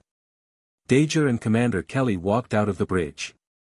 Keeli seemed very interested on Hell Squad stories, according to him he would be able to learn how to best deploy them. So, Dager. Tell me more about Hell Squad operations. General Di and I found quite strange when he asked for one of our squads. You lost a lot of fun out here. I guarantee that we had more than enough fun on the factory sir. From what I have heard the separatists couldn't even broke through our blockade on Geonosis. Yeah. They tried to counterattack. I say it is stupidity of them. Almost all of our army and navy was there. They weren't expecting us. Now they are. We have to be more careful. Come on, enough about us, tell me about Hell Squad. Well, Brain is. Chapter 26 Dager was looking to the windows. Continuous white and light blue stripes of light were passing outside. They were on light speed, going to Raxus Prime. Dager was on the Thames, how clones called the canteen, with Hell Squad. He have accompanied Commander Keeli for over three hours, learning how a commander should, well, command. Although it was little time, he have learned much, including the experiences that Keeli had when he himself was being trained. Now, Cell, recovering from his leg injury was describing to 3-4 and Dab how he got hurt, but they weren't buying it. And I was like, destroyers. And everyone jumped out of the way. If I wasn't so close I would have been able to destroy those clankers before they could even shoot. Yeah, yeah. All I remember was he crying for my help. Brain, save me please. Ha ha ha ha. Ha ha ha ha ha. At that moment Commander Keeli entered the mess. One of the clones near the entrance saw him, got up and said. Commander on sight. Every clone stopped talking, got up, and stood upright. Some, as Cell, struggled a little from their injuries before they got up. At ease. Dager, General Di wants you on the bridge. Everyone else, keep eating. Dager was surprised, as it hadn't passed much time since he left the bridge.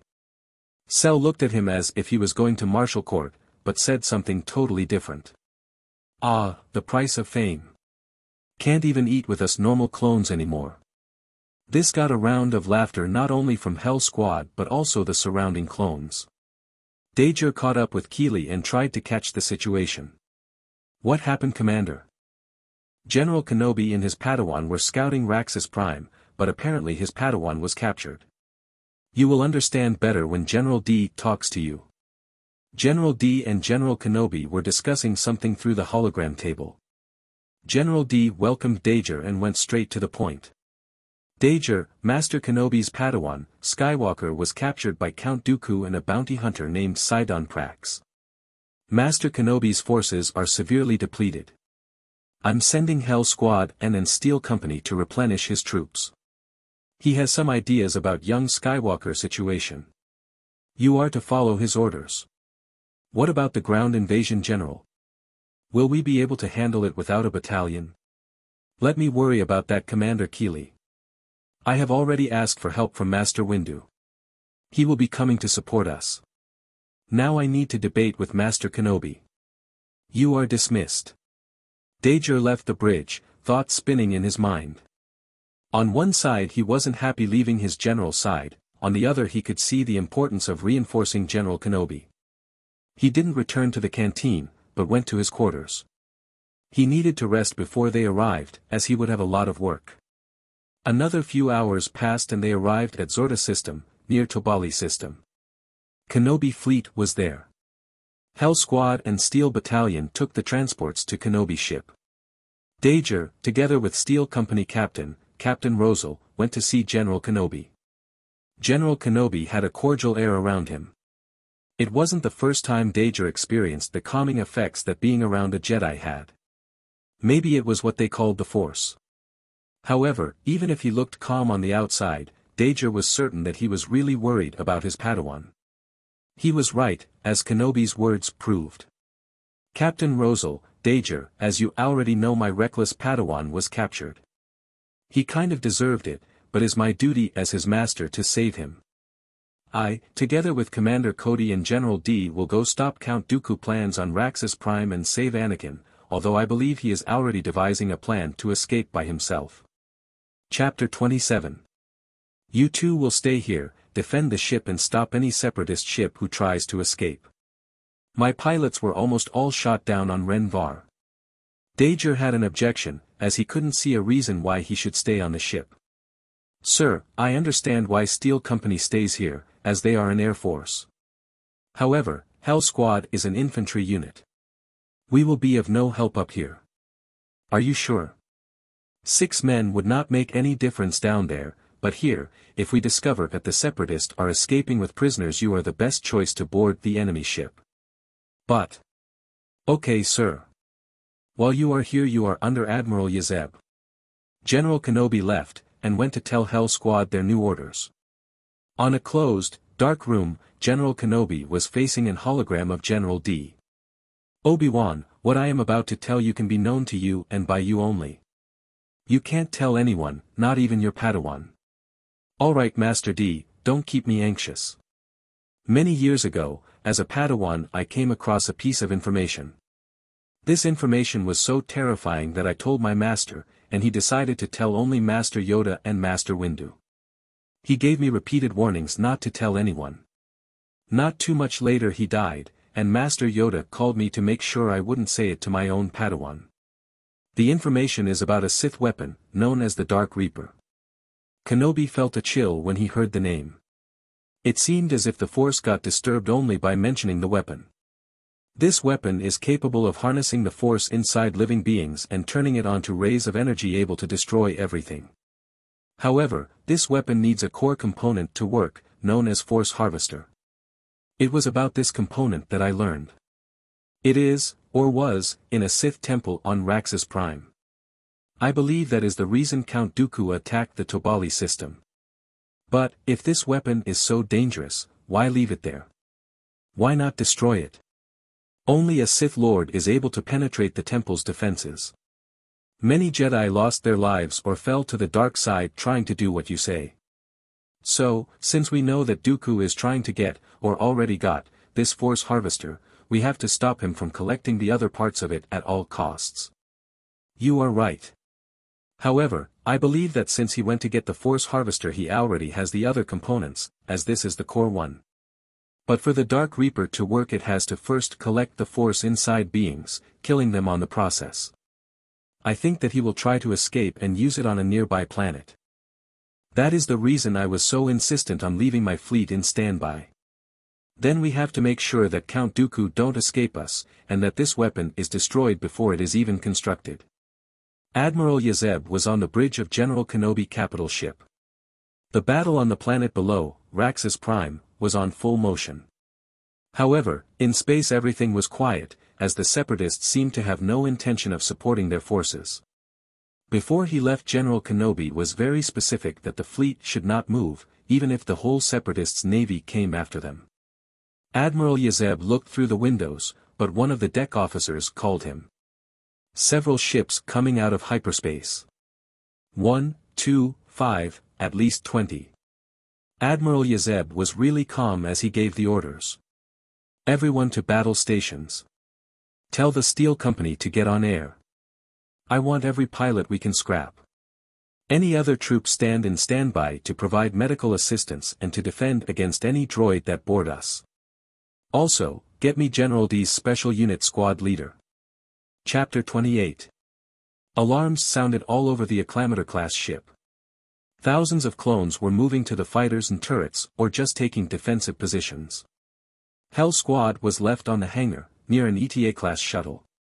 If any ship suspected of taking prisoners was detected they were the boarding crew. Dager was walking fast towards the bridge.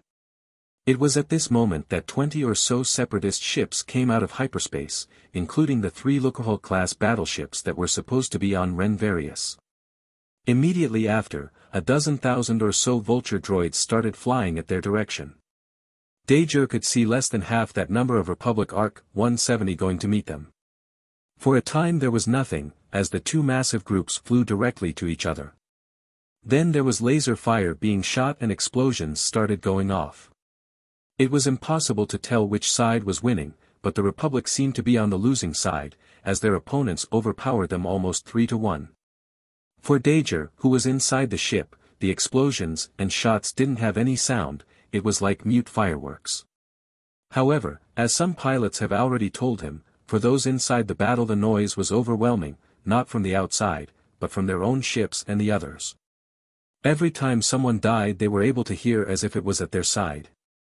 Dager shook his head and took his eyes out of the battle. He had orders to obey, and he needed to get back to Hell Squad as soon as he has finished his talk with Admiral Yazeb. Yazeb was up in the bridge giving orders to everyone. One of the Republic Acclamator-class cruisers was damaged, and he had to coordination with the ship's commander to evacuate everyone possible. Admiral, sir. Dager, General Kenobi contacted us from the surface. Count Dooku Bounty Hunter, Sidon Prax have escaped in a shuttle. He is taking General Skywalker and another prisoner with him. Your mission is to board them and retake the prisoners. He also said that there is a special cargo. If possible take it with you. Yes sir. Dager made his way back to the hangar. His men have already been warned, and were waiting inside the ship.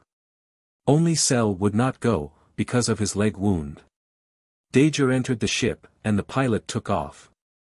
They were heading to a hexagonal ship that Dager didn't recognize. The ship was flying from the planet below, and it was gaining speed.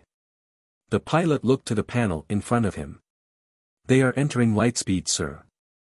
We are not gonna make it. Go as fast as you can. We have to try. The ETA accelerated, and for a moment it seemed as they would be able to catch up and interrupt the lightspeed jump. But a group of four vulture droids came into their sight and attacked them. The pilot took evasive maneuvers, and Sidon Prax's ship disappeared, taking the prisoners and whatever General Kenobi wanted. Dang! We need somebody on the guns. Those vulture droids are coming for another round. Dager went to the top laser turret, and sent Dab to the back turret. The vulture droids were on their tail. Luckily Dab wasn't good only with rifles, any weapon looked alive on his hands. One of the vulture droids exploded. Dager swinged his turret around, aiming for the vulture droid on the back of the group. He spawned fire, and the droid was sent spinning on the void. The pilot started making back for the cruiser, and as they got close the turbo lasers on it sent the remaining two vulture droids away.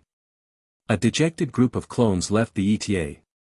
With the escape of the hexagonal ship, the droid forces on Raxus Prime quickly retreated. The ships on space also left.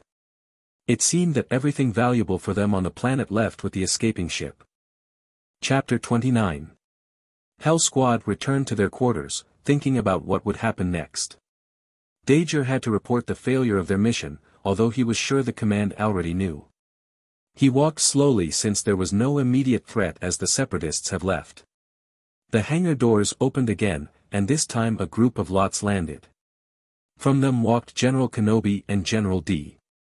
Dager stood waiting as the wounded were taken to the medical center. After that was over he went to talk to the Jedi. They escaped generals. Hell Squad have failed. Don't worry, there wasn't much you could do on a space battle. Go back to your quarters Dager. I will contact you when we find them. General Kenobi didn't seem too worried about the kidnapping of his Padawan. General Di also wasn't angry, however he looked pensive. For the next few days it was quiet. The clones entered on a kind of routine similar to the one they had on Kamino. They woke up, went to the mess for breakfast and after that went to training. After lunch they were free, unless they were sorted to guard duty. Each clone went his own way, and the commanders went to a small briefing before going back to what they were doing. Dager already passed his daily briefing, and was playing some kind of card game with Brain and Tech when his comlink bipped. He told the other two to keep playing, and went outside the room. At some moment they have entered hyperspace, and Dager reckoned that this had something to do with the message he was receiving. The voice of Captain Rosal passed through the comlink. Dager, we have found General Skywalker. Come to the bridge for briefing. On the bridge were Admiral Yazeb, Captain Rosal, Commander Cody and General Kenobi. Not much later another clone captain, under Commander Cody arrived. Flip. General, Commander. The captain, Flip, nodded to Dager and Rosal. Commander Cody started the meeting. We received a signal from General Skywalker. According to it, he is on Alaris Prime, a moon on the Kashyyyk system. It is a colonized moon, inhabited by a group of Wookiees. General Kenobi took over. The rest of our fleet have to defend the system at least until Master Windu arrives with his fleet. We are going to Alaris Prime and we will rescue my Padawan, but don't expect reinforcements. Yes General. They spent the next two hours making the battle plans. When they arrived there was no separatist blockade. The green moon under them looked peaceful. However, when the LAATs landed they saw that things weren't that calm. They have landed near the place from where they received the signal. It was droid base, however it was very damaged. There was a hole on the wall, buildings were in flames and half fallen, and there were dead droids everywhere. Well, it looks like my Padawan passed here. Cody, keep going this direction, and be careful of the droids. What about you General? I am going to take a look in front. General Kenobi took a speeder and went looking for his Padawan. Before long the clone forces encountered more dead droids, some cut with a lightsaber and the cuts were still glowing. Cody analyzed them and ordered all troops to stay sharp. Come on lads, careful. There are still droids here. They advanced carefully, but when they finally found droids they still took losses. It was another droid base, also with a hole on the wall, but this time not all the droids were dead. Two or three dozens of droids on the walls started shooting at them, killing a ten or so clones. Thanks to the dense vegetation they weren't able to get many clear shots, and the clones had plenty of cover. Chapter 30 Dager advanced through the trees. The droid fire was concentrated on the middle of the clone positions. One clone fell on Dager right. He leaned to the side and shot his DC-15A at one of the droids, getting the eliminate. This, however, attracted the attention of the other droids. Laser fire hit the tree he was hidden behind, forcing him to abandon it for other one, as it started to fell. Fortunately, the droids were soon distracted by other clones, giving him the chance to fire again, killing another droid. This way they advanced, and Dager got the members of Hell Squad to stay together with him. There was a 30 meters long clear area between the droid base and the trees. Dager turned to Commander Cody and asked for cover fire. A barrage of lasers hit the droid defenses, forcing them to stay quiet. Hell Squad took the chance to run, and arrived safely at the base of the walls. They run sticking to the wall to the hole on it. The droids guarding it were among the first that the clones have taken down, so they entered the base undetected. Dab, Cell and Tech, take the right side. Go up the ramp and fire as soon as you have a clear shot. Brain, 3-4, we will do the same on the left. Also, Dab, why don't you take the chance to test your new toy? Dab chuckled. With pleasure sir. The two groups went separate ways. Dager went up the left ramp, and looked. There were about 12 droids, and from there he could also see the right side.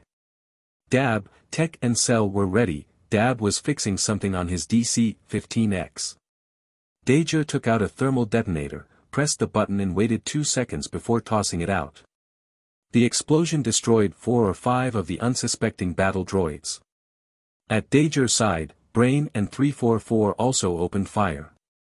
Bang! A big explosion shook the air. Although they were in the middle of a combat, Dager could not help but turn and look. Dab has fired his weapon, and about seven droids were dead, and another three or four have been thrown to the ground. Dab was an weapon expert, and on the few days they didn't have nothing to do on the ship he have made some modifications on his DC-15X. He installed some sort of charging component on it, so when he activated it, his shot would become explosive rounds.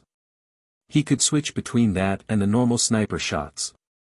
Of course this also had his downside, as he had to wait a long time to fire again, and lost some range. For that reason he started carrying with him a DC-15S. Dager started firing again, and some of the droid laser fire hit the ground next to him. However, the droids were surprised, and were also getting fired from the clones on the forest. As one of the droids turned to fire at Dager Group his head was shot off by someone outside. This distracted the droids once again, as their dumb AI couldn't decide what to do. The clones have already discovered that taking out the droid commander was the same as cutting their brain off. Without someone giving orders they would shoot the person that was shooting them, not the ones close to them. The clone forces only took about 20 or 30 casualties to take the droid base, which was pretty good. If there wasn't a hole in the walls for Hell Squad to enter, the death toll would have been much bigger. They encountered another two droid bases on the way, all of them semi-destroyed. Only after them did they find General Kenobi. He was spying on a Wookiee village, where combat seemed to be going on. Chapter 31 Cody, good of you to join me. From the big battle down there I deduce my Padawan is here. Are the men ready? Always sir. Then let's attack. Commander Cody got the clones prepared, and under General Kenobi lead they attacked. There were about two to three hundred droids assaulting the village. The village only had about 30 or so Wookiees defending it, so the droids were getting an easy win. However, being attacked from behind by about the same amount as they had, the droids were soon being wiped out. The backlands of the droids were totally destroyed, but for those droids who have already entered the village, the clones were forced to go to close combat. General Kenobi was the first to enter the village, his lightsaber cutting the droids in pieces. Dager and Cody were just after him. Dager walked alongside the Wookiees' huts, paying attention to any movement that could be a droid. Hell Squad was behind him, and they started cleaning the village of any droids. A group of three droids was assaulting one of the clone huts, but as soon as the first entered in it he was thrown back by a green flash. A Wookiee carrying some kind of crossbow blaster came out. Before he shot again Dager, Tech and 3-4 had already got the two remaining droids. The Wookiee looked at them, and a smaller version of him, presumably his daughter or son, run out of the house and hugged his leg. Warg. Dager nodded at the Wookiee and Cell said lightly. You are welcomed. I guess. Their advance didn't stop because of it, and before long they arrived at the center of the village. There, General Kenobi's Padawan and 20 Wookiees have built some kind of last-stance defense. Thankfully the clone army arrived, and General Kenobi himself was the first to enter the battle, cutting down droids left and right. Hell Squad took cover on the corners of the huts, and picked the droids one by one. The village was soon clean, and Dager, Commander Cody, General Kenobi, General Skywalker and the village chief entered a hut to talk. The Wookiee, a tall creature, totally covered in fur, and with many animal bones hanging on his locks, was the fist to talk. Warg. Arg. Anakin, I believe you do speak Wookiee right. Can you translate what he is saying please? Yes master. He is thanking us for our help, and saying that we are welcome to stay if we want. I am sorry chief, but we can't stay here. I am sure more droids are coming. We would only put you in more danger if we stayed. Warg. Warg, Warg Erg. He said, don't worry, there are no more droids on this planet, only a small group in the forest to the south. General Kenobi tensed up. Commander Cody and General Skywalker saw it too. General Skywalker asked what was wrong, but his master ignored him and turned to the Wookiee. What did you say? We need to get everyone out of the village now. Anakin, Cody, I want every troop and every Wookiee on the LAATs as soon as possible. Worf. Aarg. He is asking why. At this moment another Wookiee entered the hut and started discussing with the chief. Wyerf. Arg arg. Werg arg. What is he saying Anakin? That there is an enormous black aura coming from the south, and that everything that touches it dies. And many more words I have never heard. They all got outside the hut, and saw the black aura the Wookiee was talking about. A giant black bubble was expanding, and Dager saw with his own eyes as birds and other flying creatures that touched it fell to the ground instantly. Trees turned black and fell, and animals were running away. Kenobi turned and screamed. Everyone run. To the LAATs now. Chapter 32 The clone army was instantly thrown in disarray. Wookiees were roaring, but the chief quickly got them to move. Many of the Wookiees seemed unhappy, but the scene of everything dying as the black bubble passed convinced them. The delay, however, was enough for the bubble reach the outskirts of the village. The clone army, trained to follow orders, was already a few hundred meters away. However, the Wookiees took a lot more time to run, and this cost them a lot. One of the Wookiee families who took the most to leave was encompassed by the black bubble. They screamed and fell to the ground. Their bodies started withering away. The Wookiees cried. Dager was running at full speed, Hell Squad and the rest of the clone army too. The bubble caught up with some more Wookiees, but they finally saw the LAATs which were flying towards them. Dager switched his comlink on to talk to the pilots. Don't land. Just get ready to pick us up. The LAATs hovered above the ground, and the clones started to climb in. Commander Cody and the Jedis stayed just outside the LAATs, helping the wounded and the Wookiee children. However, as the black bubble approached they were forced to get on the gunships. Dager looked at the elderly Wookiees and the injured clones who didn't make to the gunships yet, and closed his eyes. Without opening them he ordered the pilots. Go. Now. The LAAT flew as the black bubble engulfed those left behind. A track of death and destruction was left on its path. The gunships flew as fast as their engines permitted, but two of them who took too long to depart were still caught by the bubble. The gunships were still working, but with their pilots dead they fell to the ground with explosions. Dager talked in his comlink. General, with all due respect, but what was that? We just lost over 50 clones and another 20 Wookiees. This isn't something we have to worry about right now Dager. We have to make sure that this thing does not get to separatist hands. On General Kenobi capital ship. Commander Cody, Dager, General Kenobi, General Di and Commander Keeli were discussing.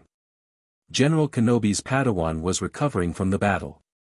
Commander Keeli was giving them their intel on the separatist movement. Generals, our intelligence report that whatever generated that black thing you all confronted was taken by the separatists back to Renvar. Then all our forces shall move there too. Master Kenobi, do you agree? We can't let them use it again. Cody, prepare every clone. Defeat is not an option. Dager, you are returning with me and Keeli. I am sure we can find something for Hell Squad to do. The fleet of Mace Windu have arrived, and the three Jedi generals started a joint attack. The separatist blockade didn't last long before several gunships, starfighters and two Acclamator-class cruisers broke through it. The clones braved through the anti-aircraft fire and landed on the barren planet. Many clones were taken down by the droids on the ground, but their sheer numbers won them a foothold. Hell Squad was amongst the first to get out of the LAATs. Their cohesion as a special unit showed up as they took out droid after droid. Their primary targets were the E-Web, on which Dab used his charged shot to make sure the droids wouldn't be able to use them again. There wasn't much cover on the barren land, and Hell Squad used the droid barricades they have just took out to their own defense. Suddenly the battlefield stopped. Droids and clones alike stopped firing and looked at the sky. On the green sky one Republic cruiser was on fire as it entered the atmosphere and crashed down on some distant mountains. Chapter 33 Dager was one of the first to recover from the incredible and at the same time depressing sight. Keep going. Destroy those clankers. The clones resumed their shooting, but witnessing one of their ships being shot down obviously affected their morale. Seeing this General Di jumped out of his LAAT and went to the front lines, hacking at the droids. With their commander leading them the clones finally awakened their fighting spirit, and took out the droid outpost. General Di went to Dager. We can't stop now. Don't worry about the cruiser, Obi-Wan is already on his way. There is a sensor station that we need to take out. It is the station coordinating all the droid units. Let's move out. The clones embarked on AT-TEs or went by foot, fighting every step of the way. As a planetary-wide invasion, although a small one, there were at least a hundred thousand clones taking part on it. As they fought the losses amounted, but they kept going. Dager thought that General Di and Commander Keeli were a sight to behold. They were fighting side by side, the Jedi deflecting lasers and cutting through droids and turrets alike, while the clone commander used his two DC-17 pistols to crush the droids. The barren land slowly turned to snowy hills and mountains as they got closer and closer to the sensor station. Taking the station, however, wasn't going to be an easy feat. On the rocky walls on which the station was built there were four particle cannon turrets. Those turrets were able to destroy even the AT-TEs the Republic brought. To make things worse there were only two paths to the sensor station. The first was through the mountain and under the fire of all the droid defenses, and entering through the main gate. The second was a sewer path, on which a couple of droids would be able to hold against a force 20 times their own. Of course Hell Squad was taking the sewer route. But they wouldn't be alone, as General Di was going with them. They would take a small force of a hundred clones and their mission was to clear a path to the interior of the sensor station. If they were able to do that a major force would then enter after them. Commander Keeli would be left to command the main force over the main path. They had 15 AT-TEs and a huge amount of clones, but they would still suffer severe losses if they didn't take the turrets out. The sewers smelled surprisingly normal, most probably because the droids didn't have an use for them. However, their defenses were quite good. The sewer was only big enough for three clones to pass side by side, and it was full of droid barricades and E-web turrets. Dager was sure that if it wasn't for General Di fighting at the front they could have lost thousands and still not take the sewers. But that wasn't the case. The narrowness of the sewer was actually helping them, as General Di didn't have to worry about side attacks and could deflect almost all lasers. The clones didn't do almost anything as they went through the sewers. Dager checked on the situation outside, and it did seem much rougher. Dager. Tell the general we are making progress, albeit slow. We already lost 4 AT-TEs to those particle cannon turrets. But we will make it. Those clankers don't have what it takes to stop us. But it would be good if you could catch the from behind. Keeli out. Dager went to General Di and repeated what Commander Keeli said. The Jedi flashed him the first smile Dager ever seen he gave and yelled. Alright 303. Let's get them. Chapter 34. Go, go, go. The clones broke through the end of the sewers, and a good number of barricades was waiting for them. During the weeks he battled in Geonosis and on Alaris Prime Dager's senses have sharpened, and his battle abilities have become much better. So has his aim. Dager exited the sewers and immediately dropped to the ground. A volley of laser fire flew over him. Some clones who weren't as fast as him fell, their armor melted and the flesh beneath it carbonized. Dager quickly aimed and shot three times. Three droids fell. Besides himself through a thermal detonator. The metallic ball landed near an E-web turret. Eat this clankers. Clones started pouring out of the sewers and spreading out. They fell one after another, some hurt and some dead. However their sacrifice wasn't in vain as their brothers pushed the droids back more and more. They were now inside the building the end of the sewers was on an open area, and this gave the droids less maneuverability. General Di went to Dager's side, still waving his blue lightsaber. Dager. I am taking some men to the control room. You take the rest Anne and go to the main path. Open the gate and catch the droids from behind. Yes General. General Di took a group of 20 clones and turned left on the next junction. Dager, now commanding the rest of the clones, went on a straight path, sending small groups when they faced a junction to make sure they wouldn't be flanked. The sensor station wasn't that big, so it didn't take long for them to arrive at the gate control room. The problem was that there was a few hundreds of droids between them. Dager didn't have any other option besides ordering a frontal attack. He positioned his DC-15A and changed it to automatic fire mode. Blue laser absolutely crushed the nearest droids as more than a hundred clones fired. Red laser was returned, and clones started to fall. Dager would pop out every now and then, killing one or two droids each time, however the battle was entering on a stalemate. It was at this moment that one clone went up to him. I have an idea, but I need your support. What is it trooper? If I have one or two clones help me, I can get. Dager approved the idea, sending a group of clones to help. The battle extended for a few more minutes before the clone returned. He was carrying, with the help of two other clones, one of the E-webs, now out of its tripod.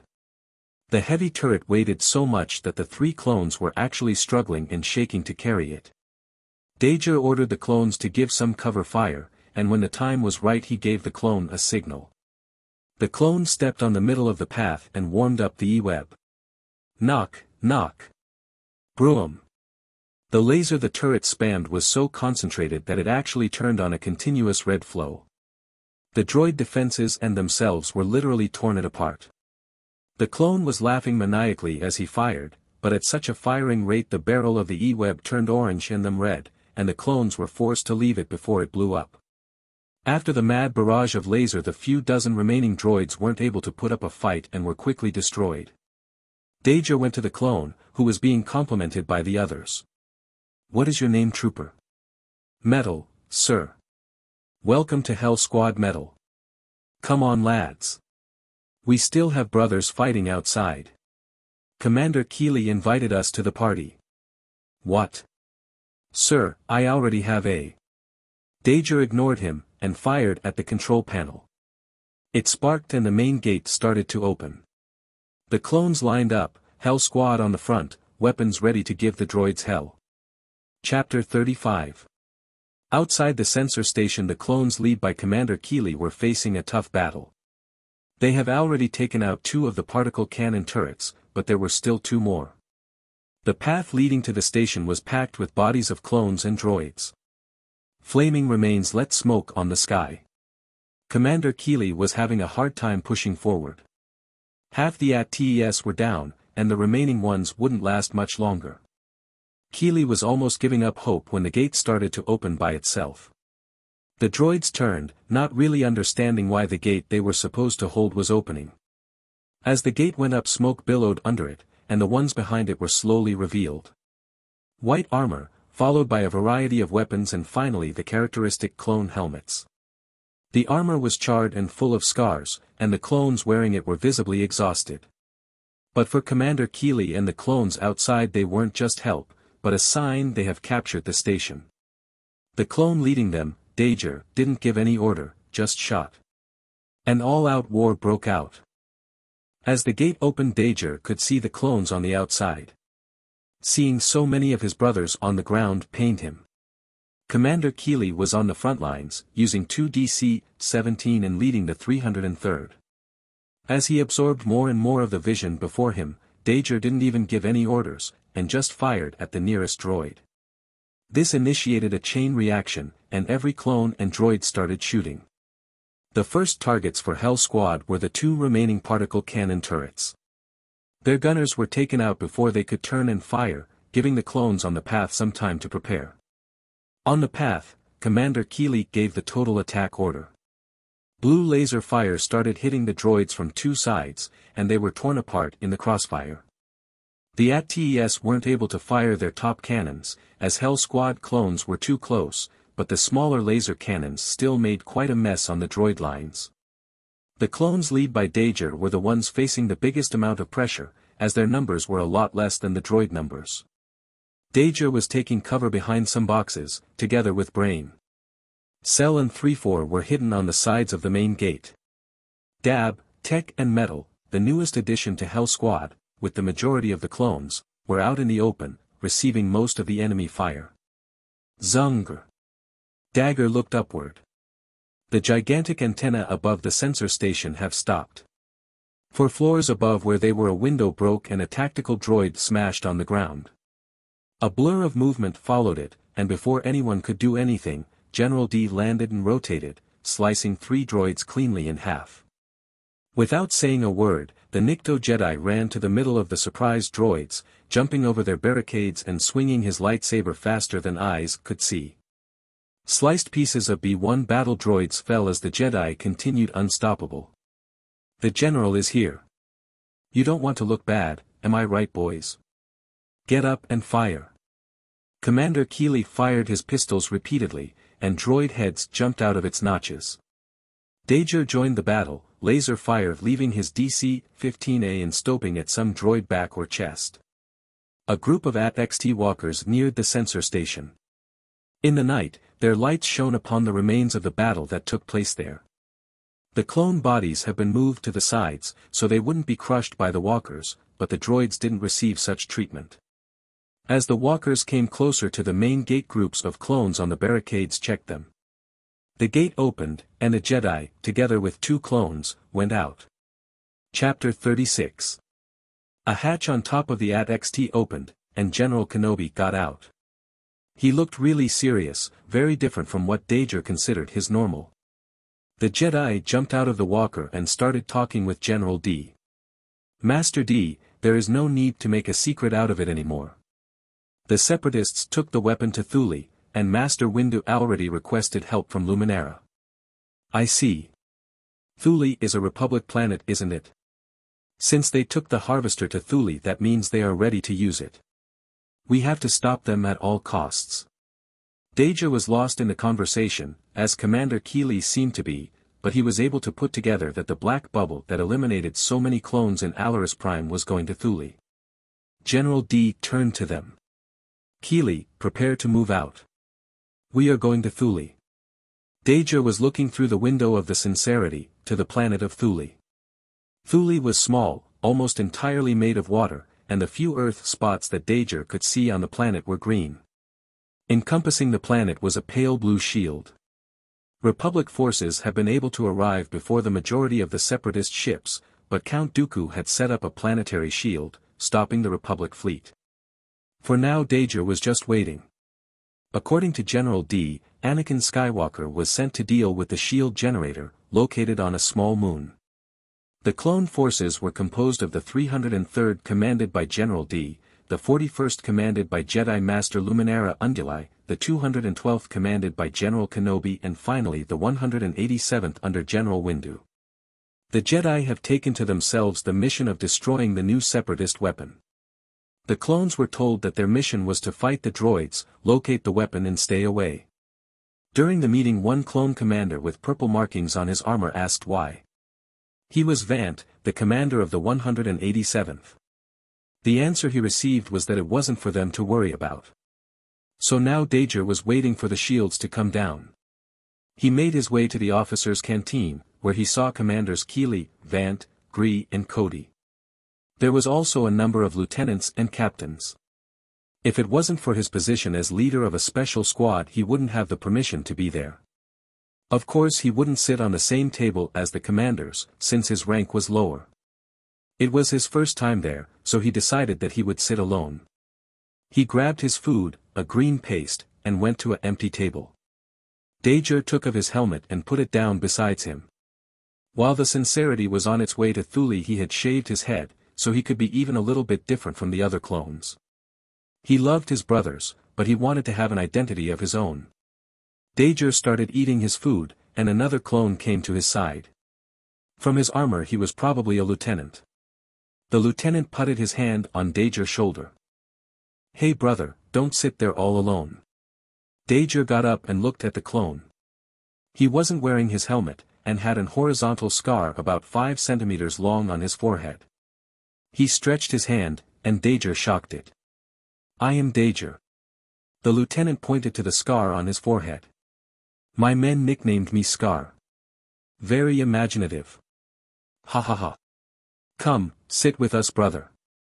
Scar lead Dager to a table where two more lieutenants and one captain were sitting. Scar presented them. Dager, those two are Lieutenants Guard and Fonder. They are from the 303rd, as are you, I believe. The captain here is Cedar, and he is, as am I, from the 41st. Chapter 37 Dager greeted each of the clones. It appeared that most of them had the same idea as Dager, since, with the exception of Guard, all of them had different haircuts and tattoos. Fonder, one of the lieutenants of the 303rd looked at Dager and said with a surprised voice. I don't believe you are a lieutenant. How did you got into the officer's canteen? I am just asking, don't be mad at me. Since you are here you must have authorization. Actually I am not sure what my rank is now. However, I have been given the same privileges as officers. Let me present myself. I am Dager, leader of a special unit called Hell Squad. Scar and Cedar didn't have any reaction when he told his name, but as members of the 303rd, Fonder and Guard had obviously heard of him.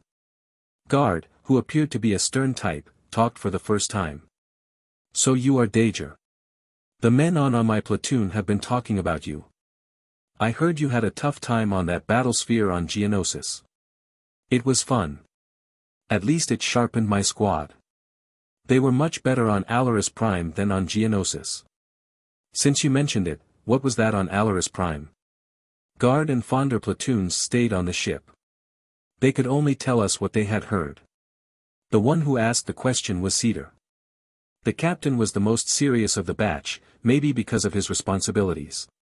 Dager frowned when he asked about what the Jedi called Harvester. It was disturbing. On this month or so of war I have seen many men die. But not the way it happened on Alaris Prime. Everyone that touched that thing simply fell and died. It was as if everything inside them was sucked away, and only skin remained. I'm sorry. Dager, do you already know what is your mission when we disembark? Not yet Captain. Hell Squad will follow the 303rd and act according to the situation. Dager talked to the clones a little more, then went to Hell Squad quarters. All of Hell Squad was there at the moment, which was a surprise, as the clones usually eat at this time, Hell Squad was no exception. Brain and Tech were playing some game on a hologram table. Dab was cleaning his DC-15X, and Cell was sleeping. 3-4 and Metal were discussing something on one of the corners. Metal seemed to have accepted his transfer to Hell Squad, although he complained quite a bit. When Dager stepped inside the room they all stopped what they were doing and saluted him. He dispensed them, told them to get back to what they were doing and went to sleep himself. When Dager woke up the shield was still on. Now there was only Metal on the room with him, playing with his weapon. Dager sat on his bed and called him. Metal.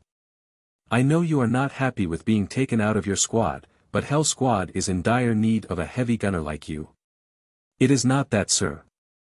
I don't care with being transferred. I was surprised at most. It is just that. Uff. All my old squad members are dead. Some died on Alaris Prime, and others on Renvar. In the end only I survived. I am sorry to hear that.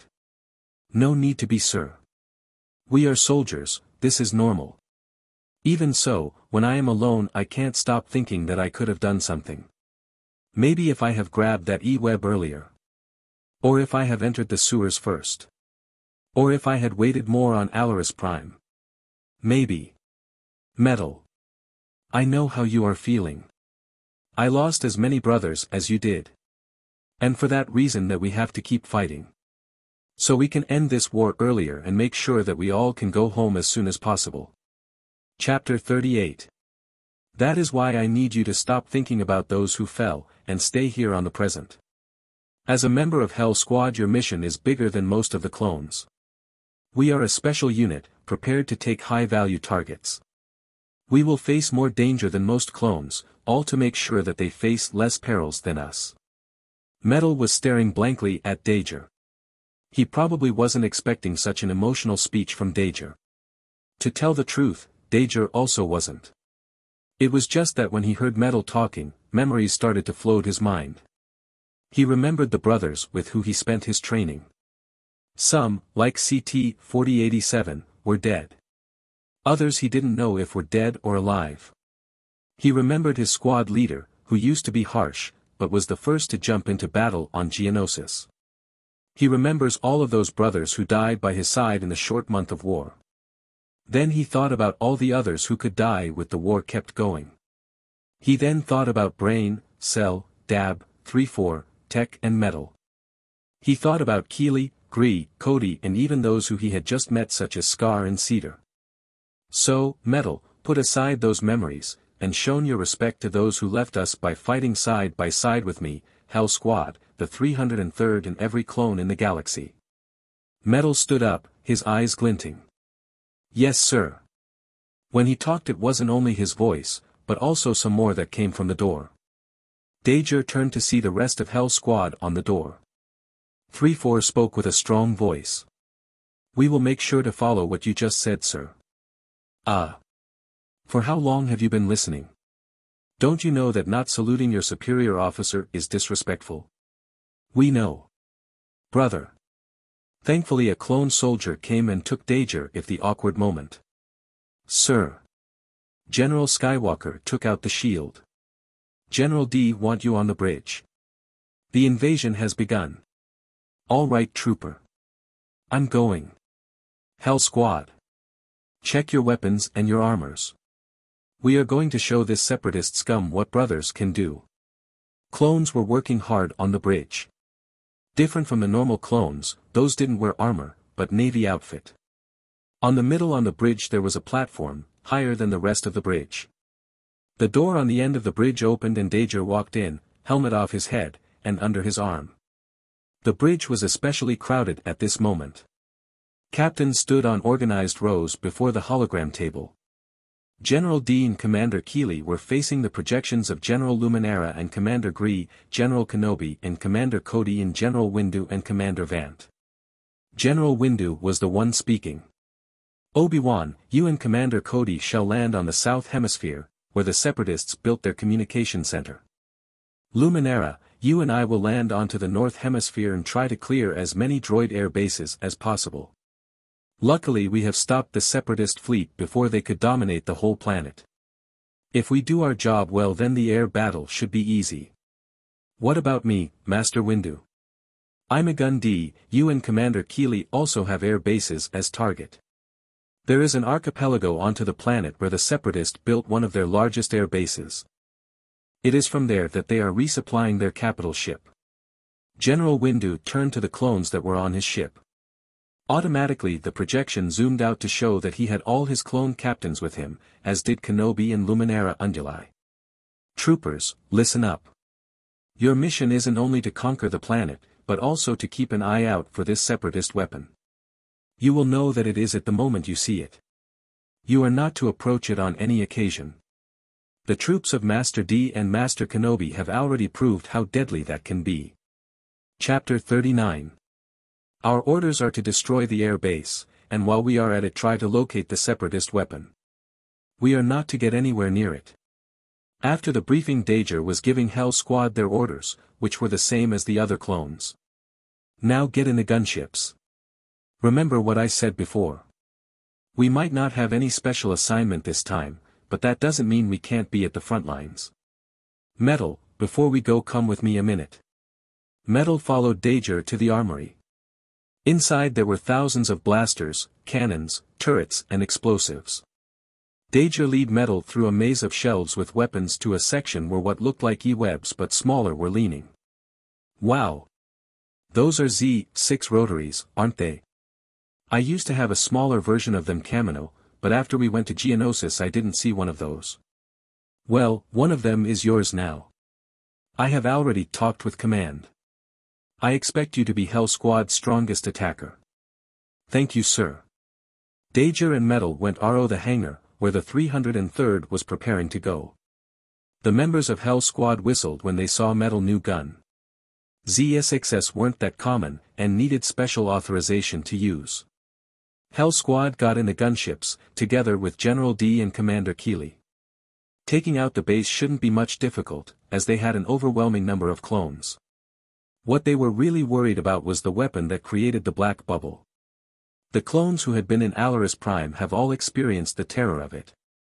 Even those who weren't have heard of it by other clones. The pilot of the LAAT directed the gunship to a group of islands. There was no anti-aircraft fire, and the sides of the gunship were open. Dager looked outside and saw the LAATs diverting in three different directions. The 303rd LAATs lowered their altitude, and soon the droid air base was on site. A stream of black dots left the air base, and the pilot warned them. Vultures incoming. Closing the doors. The doors slid to the sides, covering the sides. Red lights turned on. Dager was now used to it, and the sounds that the battle outside made didn't make him uncomfortable as the first time. He walked on the gunship, going to the cockpit, and at the same time talking with the soldiers.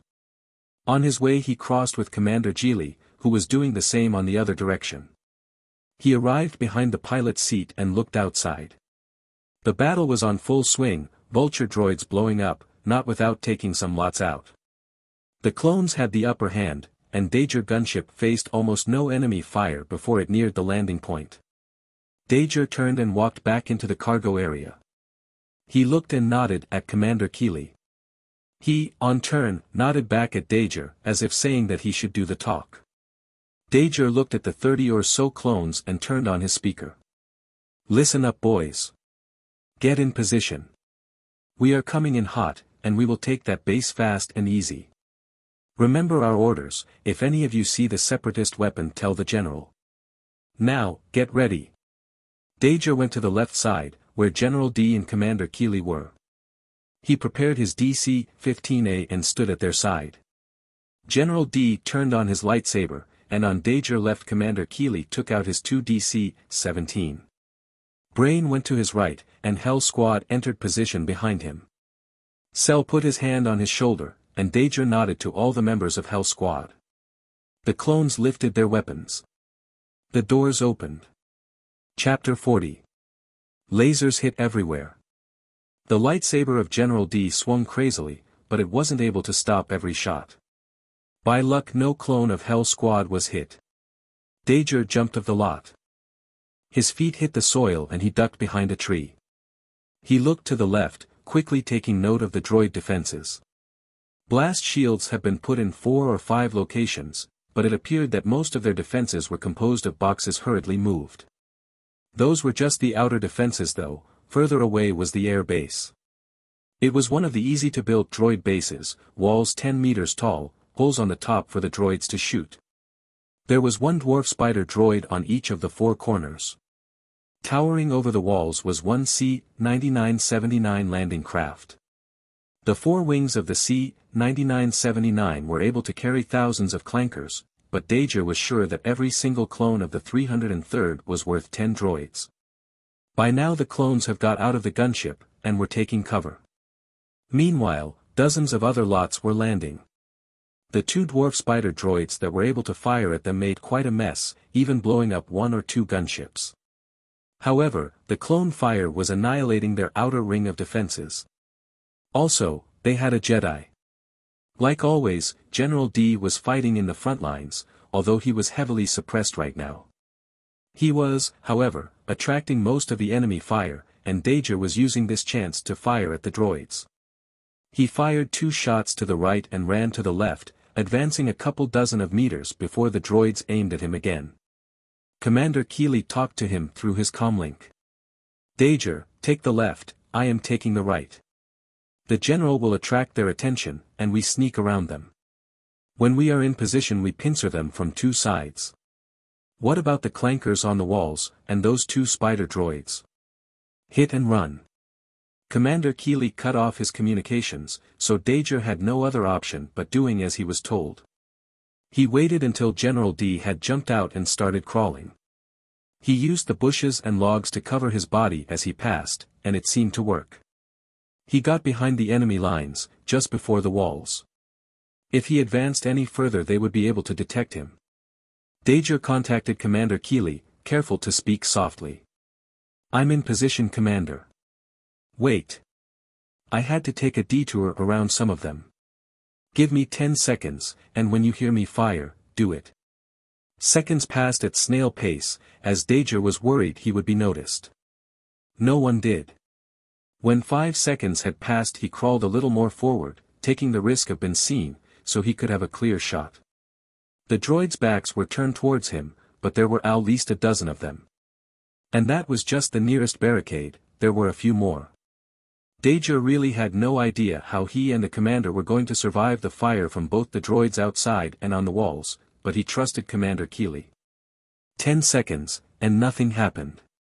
Dager griped the hilt of his DC-15A, his finger slightly pressing the trigger. Eleven seconds. Twelve. 13. Bang, bang. Two droids on the other side of the barricade lost their heads. Dager fired, aiming for a target a bit easier to hit, their bodies. One, two, three droids went down on his side, and two more on the other. Six remained. Dager rolled to the side, dodging the laser fire from the droids. He fired two more times, getting one droid, but missing the other one. Commander Keeli ran out of his position, firing his DC-17, destroying almost all the droids. Dager got up and fired his DC-15A, his shots and Commander Keeli ones hitting the last droids at the same time. Everything took less than 15 seconds. Chapter 41 The droids on the walls finally started shooting at them. It was at this moment that Commander Keeli said something that made Dager think he was crazy, and he himself even more by following it. Run to the walls. What? However, he ran. Possibility the stupid idea of his short life, as he was now stuck between a solid and tall wall and dozens of E5s. And then Commander Keeli threw one of his DC-17s to him. Use the hooks. Light struck Dager mind. The idea was at the same time ingenious and crazy, but it could work. Actually, Dager felt it would work. Commander Keeli aimed his weapon to one of the holes in the wall from which droids were shooting. The he clicked some button and a metal cable, with a X-shaped head penetrated the thinner metal pieces that made the border of the hole. Using both his arms, Commander Keeli started climbing his way up. Dager found the hook button on the DC-17 and fired it, the recoil stronger than he thought, making his aim go up a little. The cable went directly through the window, and hit something inside. Dager pulled it to make sure it was strong enough to take on his weight. The cable dragged something for a little, and then tensed up. Dager ignored his uneasiness and started climbing. The droids on the outside had turned and fired at him and Commander Keeli, and lasers hit around him, one even grazing his shoulder, leaving a dark mark on it, but not hurting him. Slightly above him, Commander Keeli had reached the holes, and pulled himself inside. Immediately laser fire was heard, and somehow 1B1 droid was thrown out. Dager reached the hole, and mimicking Commander Keeli, held onto the sides, detached the cable, and pulled himself. On the walls there was actually only a metal floor, going all around the base, with stairs here and there. It was only a couple meters wide, so two careless steps could lead to a 10 meters fall. From above, Dager could see the ground level of the air base, on which were a few vulture droids and, of course, the C-9979. And there were also droids, many of them. On the top, where Dager and Commander Keeli were, droids were divided into groups of five, one group on each hole. Dager had hit one of those droids with the cable, and the hook trespassed his front and appeared on his back. Maybe because of the loud noise outside, only the nearest droids have noticed them, giving the chance for them to clear up the droids on their side. Dager used the DC-17, faster and better for close distances, and shot the droids point blank. Commander Keeli was doing the same, and when his ammo was over he used the butt of his DC-17 to back punch one of the droids, sending him tumbling backwards, and getting on the way of the others. He picked up one of the droids E-5, and knelt down, turning and firing to the other side. Dager was a bit more violent and the ammunition of his DC-17 was over. He dropped it and picked up his DC-15A, which he had put on his back to climb, grabbed it by the barrel, and swung it like a club. The unlucky droid he had chosen was sent flying, out of the wall and onto the ground one level below.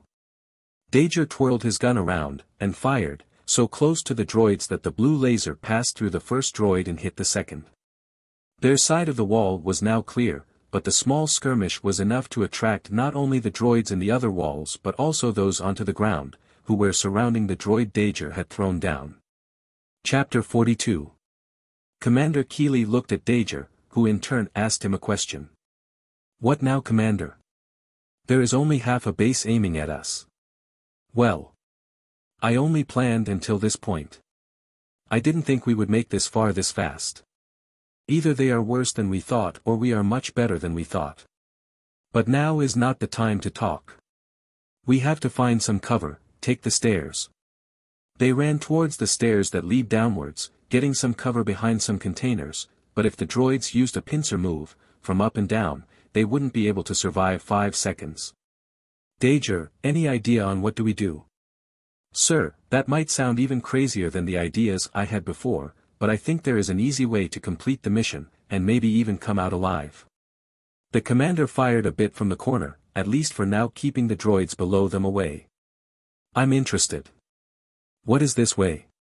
Dager knelt down and aimed upwards, taking down a few brave, and dumb, droids who tried to charge them. You see those red barrels over there? If I ain't wrong they should be Tibanna gas. See that they are connected to those vultures. If we blow the barrels then we start a chain reaction. Yeah, and probably we will go to hell with it. Are you up to it commander? Any doubt? When I count three. One. Two. Three. They got out from behind the containers and fired. The big barrels were an easy target for experienced shooters like them. At first there was no reaction, even when the lasers hit. However, after a few shots hit the same place, the barrels finally exploded. A wave of heat passed by, throwing them onto the ground. The Tibanna gas burned green, and as the fire ignited the gas inside the hoses, green flowers of fire were formed. When it finally got to vulture droids, shrapnel flew everywhere, dismembering the droids near. By now no droid was paying attention to Dager and Keeli, neither they were able to. Fire started to spread through the whole base, and firefighter droids were trying to put it out, without success. Oh ho! Commander, I think we might have a slight problem. The fire had made its way up the C-9979, and even if it didn't blow, even if it just fell it would be disastrous. Dager, let's go back the way we came. Up, now. They run up the stairs, and found themselves back into the top of the walls. The droids were too worried about the already out-of-control fire to go after them, so they faced no impediments.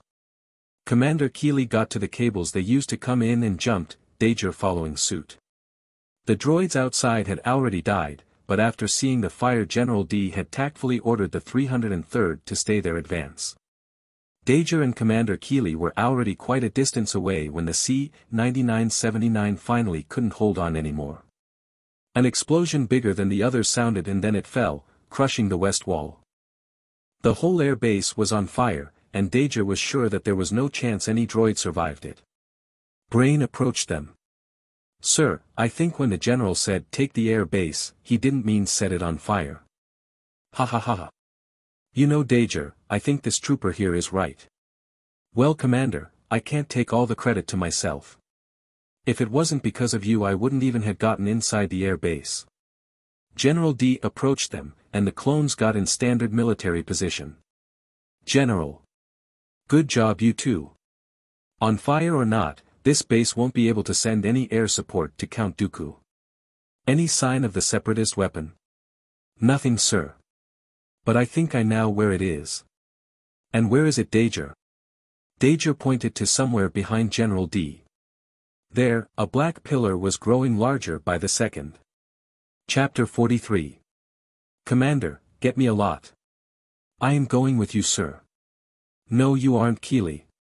Jedis might be able to survive this thing, but clones don't stand a chance. Search the base, what is left of it. Make sure there are no separatists left. Soon a LAAT arrived, and General Di embarked on it, going to the still growing pillar of black. The clones made a perimeter around the air base, and groups started searching for anything that could be salvaged. Hell Squad had long passed their time of guard duty, and, for the envy of all 303rd, were chilling while they did the heavy work. Dager was talking to Commander Keeli, both of them looking uncomfortably to the black pillar. Commander, it is in the south. Maybe we should contact Commander Cody, and see if he has any information. Already did it Dager. He said that General Kenobi ordered them to retreat as soon as the Separatist activated the weapon. But. Have you noticed it is different from last time? It isn't a bubble anymore. I hope that is good. Coming from the Separatist I doubt it can be any good. Tech interrupted them to show that something had changed. The black pillar had dimmed, and it was slowly disappearing. The moment it totally disappeared a mushroom cloud took its place. Commander Keeli activated his comlink, trying to get in contact with General Di. General. Can you hear me General? Keeli. Is everything alright General? That appears to be one big explosion. It was. The harvester was destroyed, together with the rest of the weapon. Quite surprisingly, it wasn't any Jedi Master, but young Skywalker who did it. I think we should expect to work with him in the future, as he seems to be about to take the challenges to become a Jedi Master. General Di interrupted himself, and gave a dry laugh. I am getting off track. What matters is that our campaign on Thule is over, and the galaxy will never see such a terrifying weapon once again. Unfortunately Count Dooku escaped, although his bounty hunter perished. So, what do we do now sir? Be ready to leave, and wait for new orders. I am going to the sincerity directly, there are still some matters I need to discuss with Master Windu. Meanwhile we are going to come get you. We are waiting sir. After the call was over Commander Keeli turned to Dager, who was listening. Let's go, this war is not over yet. Later, on the sincerity. General Di passed a memorial to Commander Keeli, who later passed it to Dager. On it was written the next assignment of the 303rd. Dager looked at General Di, and couldn't help but ask. General, are we being assigned to guard duty? Why? The 303rd had stellar results, and so far we haven't lost one battle. Which is why we are receiving such a task Dager. You, as a clone, should understand it better than anyone. Take Keeli as example, I am sure he is as unhappy as you, but he didn't complain. You know why Dager? Dager was in silence, extremely surprised. He hadn't expected that a complaint he made lightly would result in such a scolding. I'm sorry sir. The Jedi continued as if he had not heard what Dager answered. He didn't complain because he know his position as a soldier, and more than that, he knows how important that planet is not only for the Republic, but also for the clones. The sincerity shook lightly, and they entered hyperspace. General Di turned to the front of the ship, showing his back to Dager and Commander Keeli. Prepare yourselves gentlemen. You are going home. You are going to Kamino. Chapter 44 Two days later the Sincerity landed on a platform next to Tipoca City, on Kamino. As always, it was raining, the only weather that the planet had. Dark green water made up for the entire planet, except its core, which was dozens of thousands meters deep. The access ramp on the back of the Sincerity got down, and the 303rd Attack Legion started to march out neatly. After all the soldiers got out, it was the AT-TEs and AT-XTS turn. They were directed by the Kamino security team, a specialized legion, to their quarters. Not even the rain could make Hell Squad feel down. No matter how disappointed they were for being taken out of the front lines, returning to their home planet was still an amazing sensation. Dager was approached by one of the Kamino troopers, recognizable by his gray shoulder armor. Hell Squad. That is us. Follow me. You were allocated somewhere else. Hell Squad left formation, and under the clone lead went to a separate platform. The clone explained that this platform was reserved to special units, such as Hell Squad. After they arrived at the door, the Kamino trooper took off his helmet and looked at them expectantly. Sir, if you don't mind me asking, but how is the battlefield like? Dager could understand why the clone would ask that. The Kamino security team received some of the best training of the clone army, but unless Kamino was attacked they would never use it. It is at the same time horrible and impressive. However, no clone who ever fought would wish that for a brother. The clone looked like he wanted to ask something else, but in the end he didn't, and just saluted Hell Squad before he left. Keck watched as he left. Well sir, you did a good job scaring this one. Brain intervened. That is good. If he ever have to fight then he might survive more than the others. 3-4 gave Brain a light punch. Enough of this guys. We just got back home and you are already talking about those gloomy things. Ignoring his bickering squad, Dager entered their facilities. It was a long hall, with doors on both sides, most of them unmarked. Only two had something written in the panels, the first one being, Hell Squad, and the second, Deep Squad. As Hell Squad was moving in, the door of Deep Squad room opened, and a clone wearing blue clothes, not armor, walked out. He seemed surprised, but then stuck his head inside the room from which he came and said something. After doing that he extended his hand, and shook it with everyone of Hell Squad before introducing himself. Hello brothers. Shock, Deep Squad. I am Danger, Hell Squad leader. Those are Brain, Tech, 3-4, Cell, Dab and Metal. More clones wearing the same blue clothes walked out, a total of ten. One of them, who had long hair, unusual in clones, walked forward. Welcome home Hell Squad. My name is Broody, and I am the leader of Deep Squad. Always good to meet a brother. Which legion are you under? We serve General Shaak Ti, here on Kamino. That doesn't mean, though, that we don't know how to fight. Danger easily detected the need for recognition on Broody voice. Maybe because they haven't actually gone to battles, but they seemed afraid that the other clones would think they were cowards. Danger suspected that every clone of the Kamino security team felt the same. It was a pleasure to meet you Deep Squad, but now we have to organize ourselves. It won't be long before we receive our tasks. If you need help or maybe a guide, feel free to ask. As Hell Squad members organized their few possessions, weapons and armor, Danger went outside. The Sincerity was refueling and preparing to go to orbit, where it would stay until they were called to battle again. Danger checked on Hell Squad, and seeing that some of them had already drifted into sleep, he decided to go to the mess alone. Chapter 45 On the glass corridors of Tipoca City a clone with a shaved head was walking. His once clean white armor was now dusty and scarred. When he passed by other clones they would greet him, and on one occasion, when he passed by a group of teenager clone cadets they looked up impressed. Dager was immersed on his own thoughts as he walked to the canteen. Little more than a month had passed since he himself was a cadet walking on the same halls, but his mentality had changed a lot. Due to him being so absorbed on his thoughts he didn't see a figure coming straight towards him. They crashed on each other, Danger only slightly shaking, but the figure dropped to the ground. Danger looked at him, surprised that he found a familiar face so soon. 99. I am so sorry. CT 4063. It is. Cough, cough. It is good to see you. How are you doing? My name is Danger now, and I'm fine 99. I am even better now that we are home. Any big changes here on the last month? Yes, yes. A lot actually. Cough. Erm. One Jedi, Shaak Ti came to hear. She has taken over the clone production control, but she is not bad. Not bad at all. She treats the clones much better than those bounty hunters that train the cadets. Bounty hunters? Yeah. Two of them, Bric and El-Les. They are good trainers, and they do a good job. Cough, cough.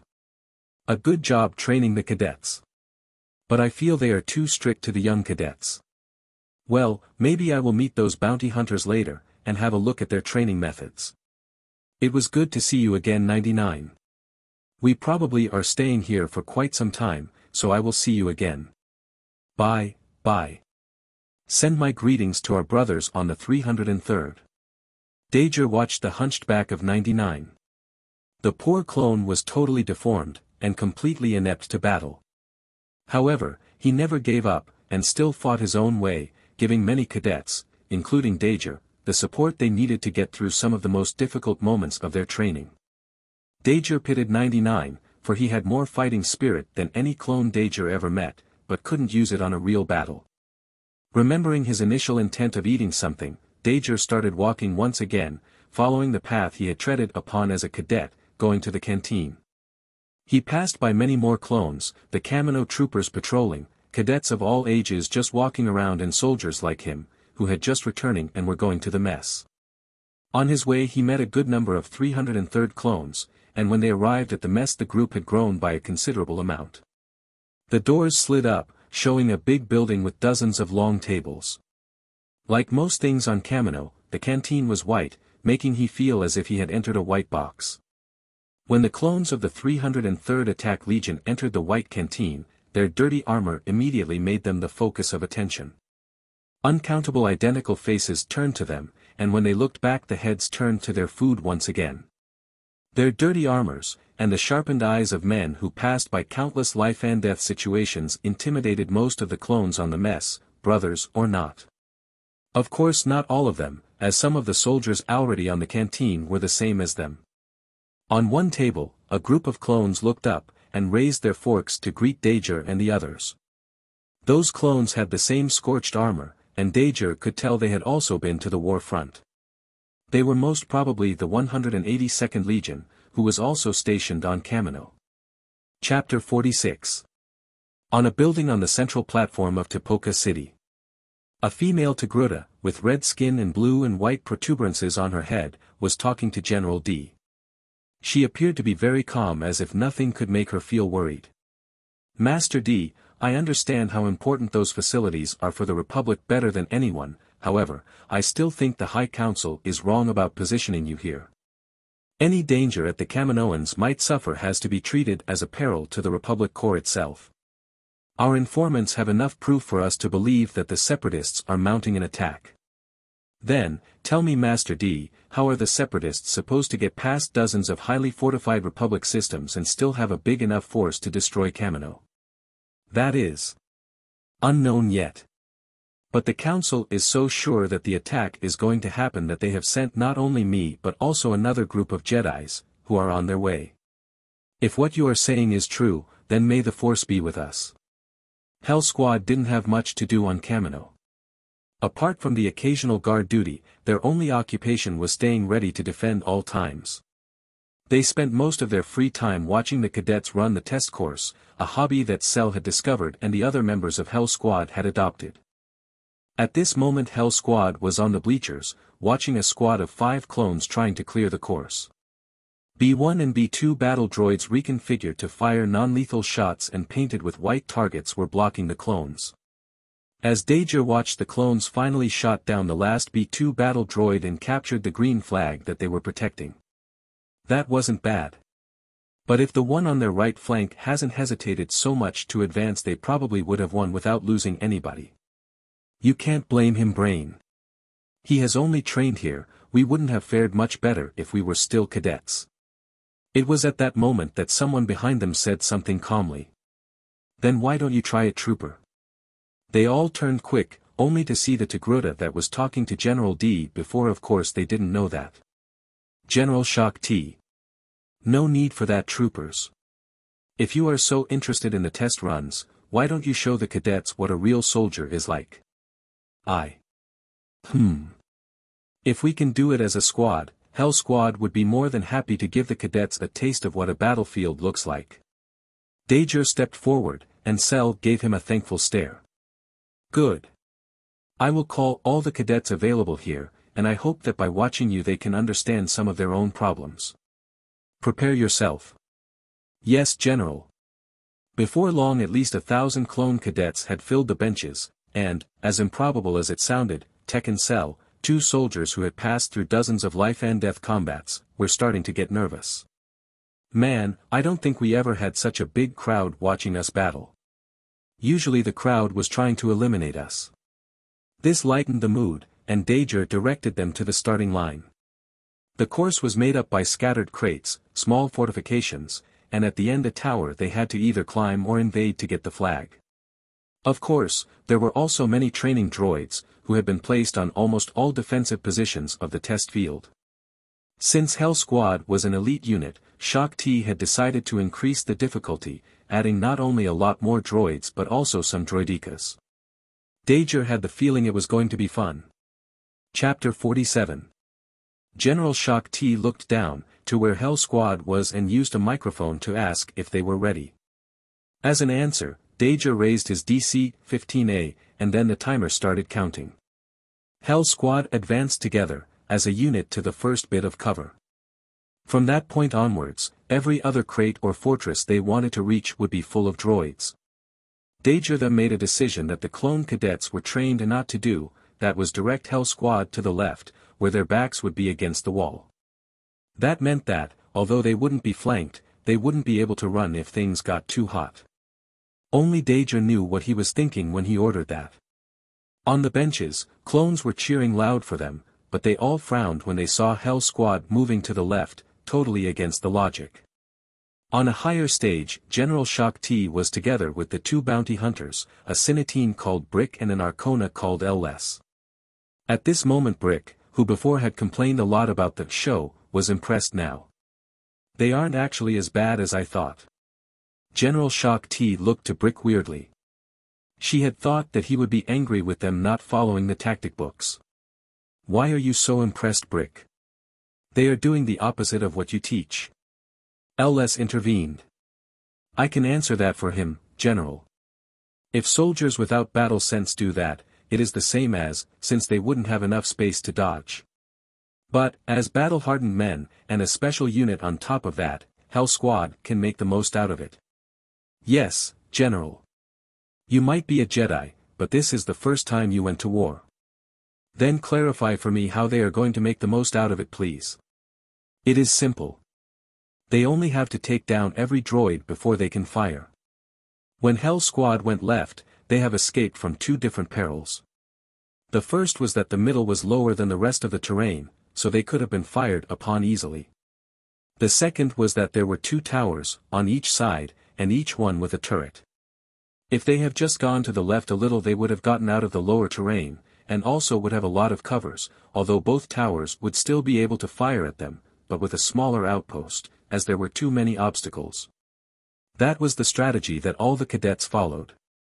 However, Dager had moved Hell Squad to the extreme left, out of range from the right tower, but with little to none cover. And directly in front of the left tower. The cadets sucked a deep breath, thinking that Hell Squad was about to be annihilated, but the members of Hell Squad itself did not even look at the tower and concentrated on cleaning the droids on the ground. Only when the turret had already turned to them that Dab aimed at it and fired two shots, taking out both droids on it and eliminating the threat easily. Dager switched from crate to crate, taking shots when he could. On a small space like that his accuracy reached its peak, and every shot took out of one droid. At this time he saw a big movement from the droids on the right. It appeared that they had decided that since Hell Squad wouldn't come to them, they would come for Hell Squad.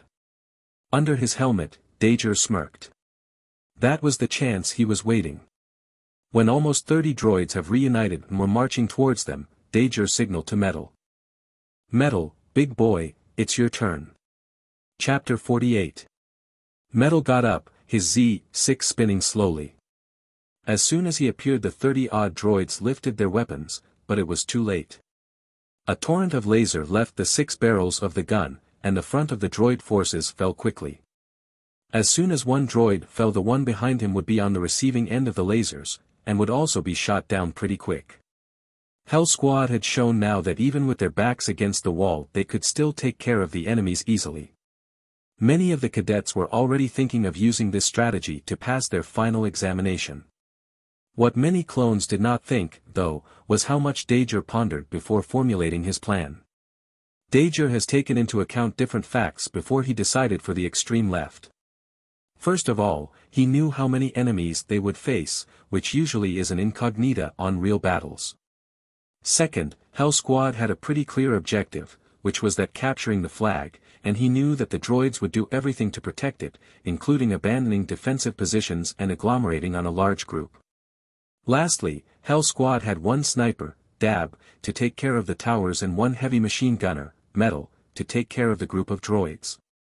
Those were members that normal squads didn't have, so any of the cadets who tried the same strategy would be obliterated.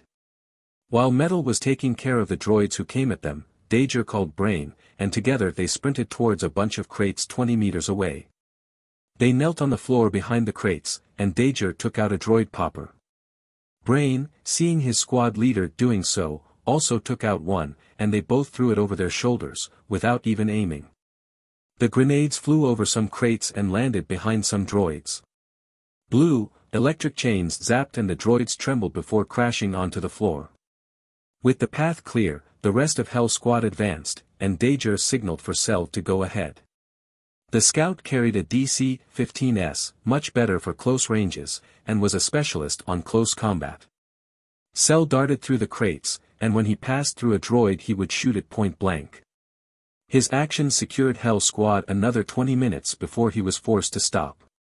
There was now an open space, and the droidekas were positioned there, their shields raised. There were five of them, and for the cadets, it was their first time seeing one. The destroyers were amongst the most dangerous infantry forces of the Separatist, and therefore it was difficult for the Republic to acquire one of them. Thus, the cadets only received theoretical training about how to destroy or deactivate droidekas. This time there was no doorway on which Hell Squad could funnel them, so Dager could only go with the second best option.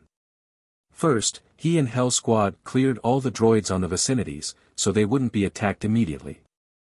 Then, each Hell Squad members grabbed droid poppers. Their objective was to roll the grenades under the destroyer's shields, but it was a troublesome tactic. They couldn't throw it too fast or the shields would identify it as a laser or attack of some sort and block it. But, if they were too slow then they wouldn't reach the target. Remember boys, neither too slow nor too fast, just like we practiced. We have to trick their shields into thinking those here are harmless rocks and not some kind of metal ball of death. When you are ready sir. Then go. Dager threw the grenade near the ground, and it started rolling towards the droidekas, together with six others. Chapter 49 The droid poppers rolled, but only four of them passed the shields and shut down the destroyers. Metal and 3-4 have thrown them too strong, and they banged on the shield before activating harmlessly. Dab 1, on the other hand, had been too slow and didn't have enough impulse to reach the destroyer. With on droideka remaining, Dager went all out and ran in a zigzag to the droid. Thanks to his swift movements he was able to dodge the stun lasers that the droideka was firing. He put the muzzle of his DC-15A on the droid head and pulled the trigger. On the stand's Bric made a hard face, thinking about how hard it was to acquire an intact droideka and reprogram it. Now with a third of the course done, and their biggest threat out of the way, Hell Squad was much more relaxed.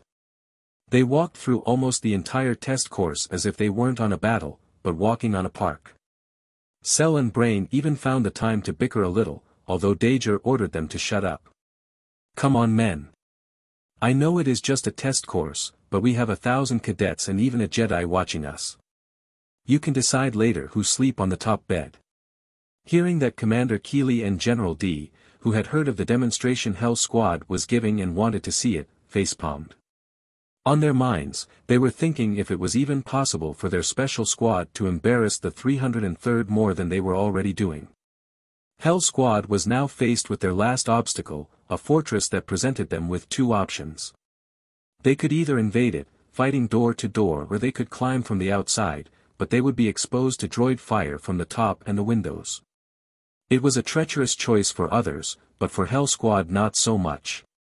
Dab would be able to shoot any droid who approached the windows from the outside, so it was an easy option.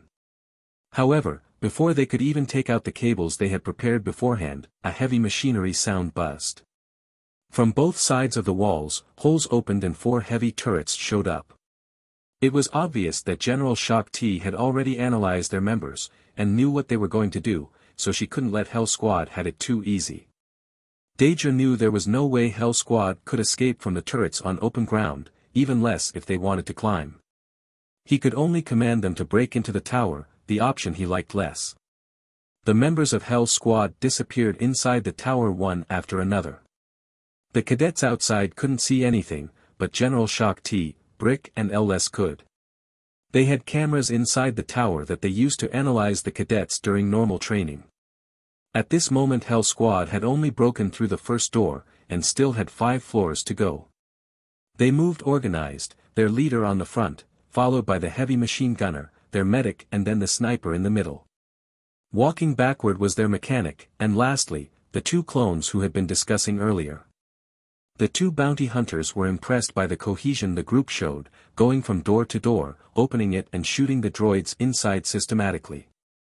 Dager opened the last door and then started going up the last set of stairs. Hell Squad had taken care of each and every droid on their way, and now the only remaining ones were those defending the flag. They didn't stand a chance. Dager walked among down droids and grabbed the flag. The moment he touched the green flag it turned red, and the timer stopped. 1456. Chapter 50. As soon as the chronometer stopped ticking the clone cadets got up and started cheering and clapping loudly. Such a short conclusion time was unheard of, and with turrets, droidekas and a ton of droids, even more so. Commander Keeli also joined in the fray, and even General Di had a proud smile on his face. General Shaak Ti asked for everyone attention on the speaker and waited for all of Hell Squad to line up. Congratulations Hell Squad. You have set a new record for all clones on Kamino to break. And a difficult one on top of that. However, cadets, do not feel discouraged because of this. Those clones here are merely two months ahead of you. All you have to do is train harder and you will be able to do the same as them. I thought the whole point of us being a special squad was doing what others could never do. Cell, unconcerned as ever, whispered to Dager, who gave him a stern warning stare. However, before Dager could reprimand him, the lights turned red. General Shaak Ti and General Di pulled out their lightsabers. Hell Squad, Commander Keeli, the two bounty hunters and any of the clones of the 303rd or 182nd who were there aimed their blasters at the doors on a swift motion. The cadets, on the other hand, did not know what to do, or at least the young ones didn't. They were just standing, waiting for someone to order them. A few seconds later General Shaak Ti received a message through her comlink. Immediately after she gave some orders to the bounty hunters, who then left, and turned to General Di. You were right Master Di. Kamino is under attack at this exact moment, but we still haven't identified the enemy commander. You and your legion already know what to do on this case, I believe. Don't worry my friend. Not a single droid will get past us. That said he gesticulated to Hell Squad and the 303rd clones on the training course. They immediately entered formation and followed him out of the training field. On her side, General Shaak Ti connected the speaker to the entire base system, and her voice resounded on every corner of the cloning facilities. Shaak Ti talking. This is a level 1 alert. Kamino security team, take up positions and prepare to hold. All clone cadets and non-essential personnel, return to your dormitories. Those who have six months or less to complete your training, pick your weapons at the arsenal and meet with trainers Bric and El-Les on platform FF203. The voice of the Togruta Jedi repeated the warning three times, but Dager was too busy running to pay attention. In his head, he was thinking that this was the reason why the 303rd Attack Battalion had been moved to Kamino. The Jedi knew something was going to happen, but they decided not to tell the clones. As a soldier he knew that was the correct decision, otherwise, the men would stay on a tiring, unnecessary alarmed state, waiting for an attack that they didn't know when it would happen.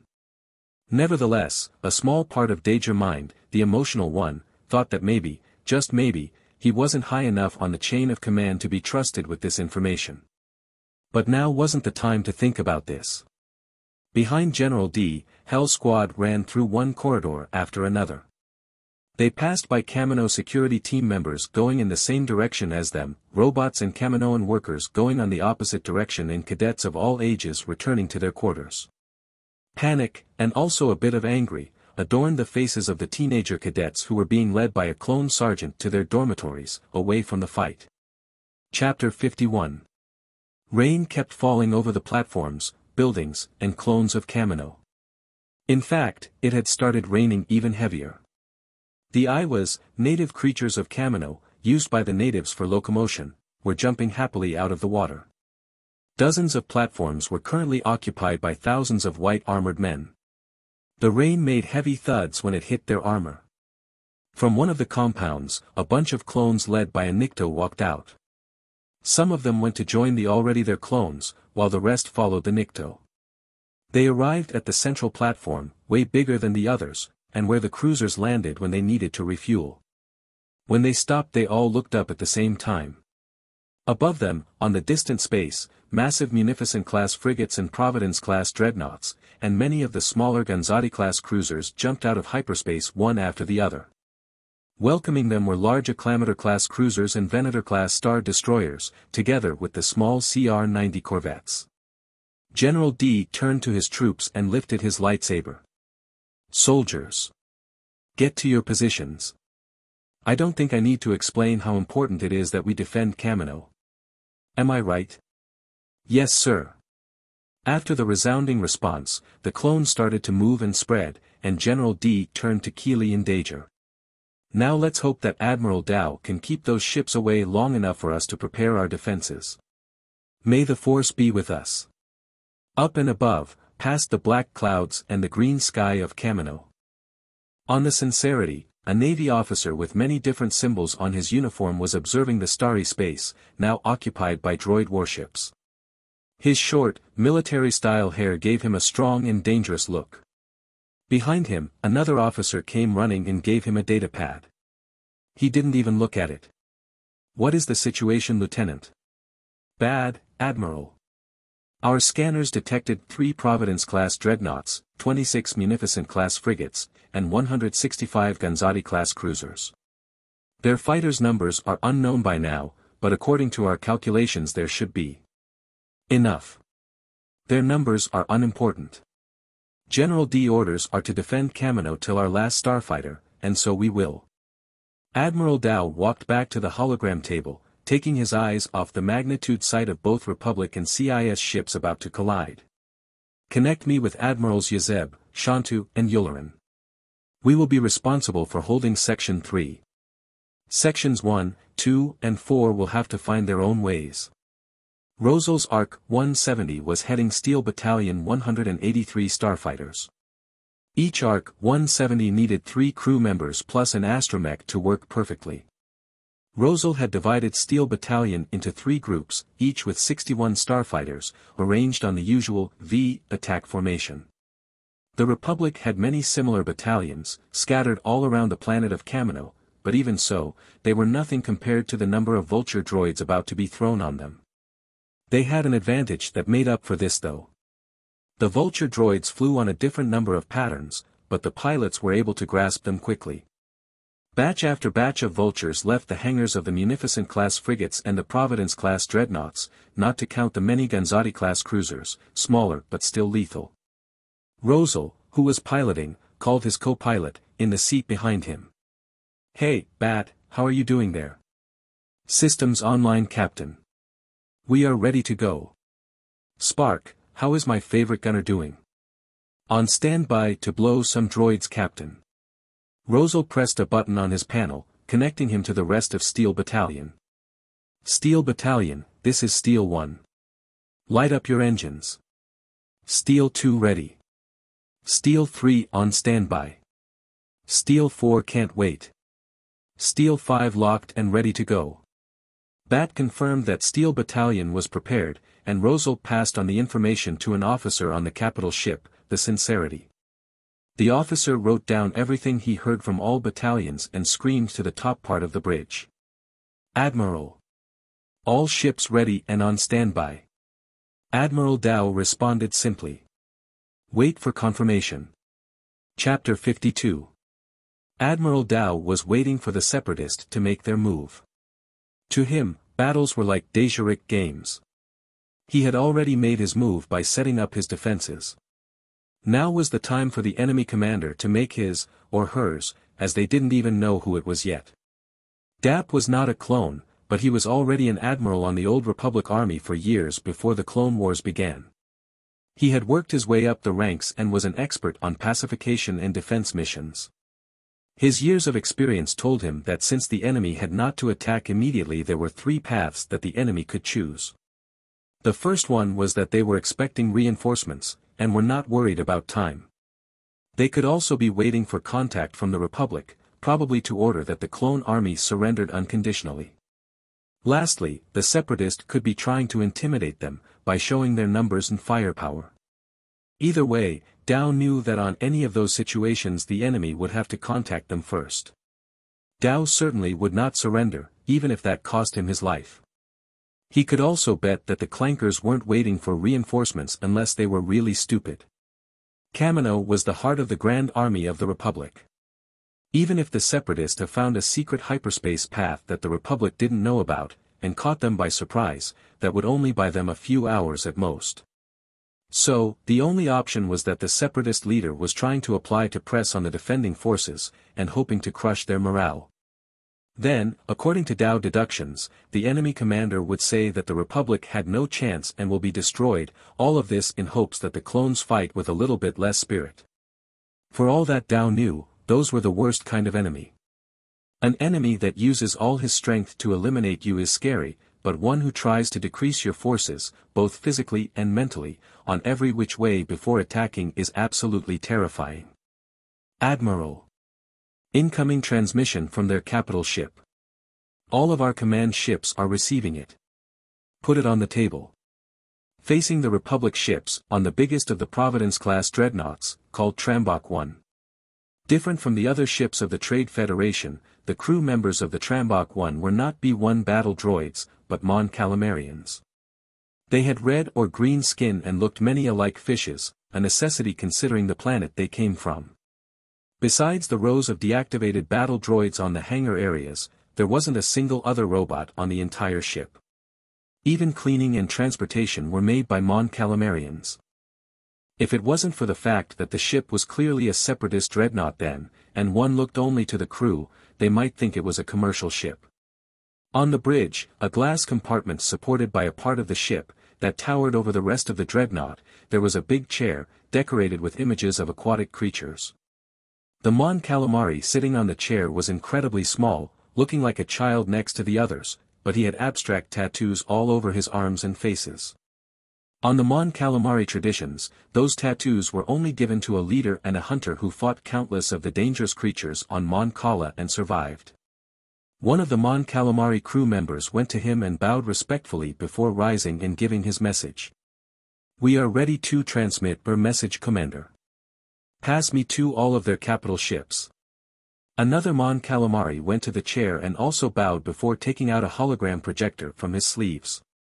The Mon Calamari on the chair straightened up and started talking. Admirals, I see your tactics didn't work on you. The projections kept quiet, waiting for their opponent to finish talking. Since things are like this I won't delay my attack anymore.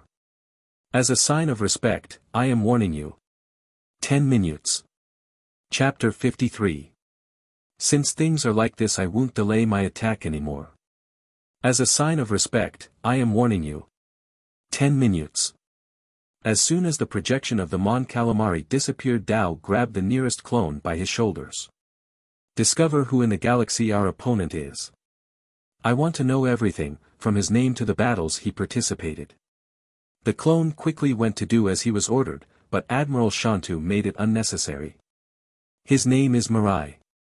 A Mon Calamari who received many honors from the Mon Calamari king for destroying Quarren ships on their civil war.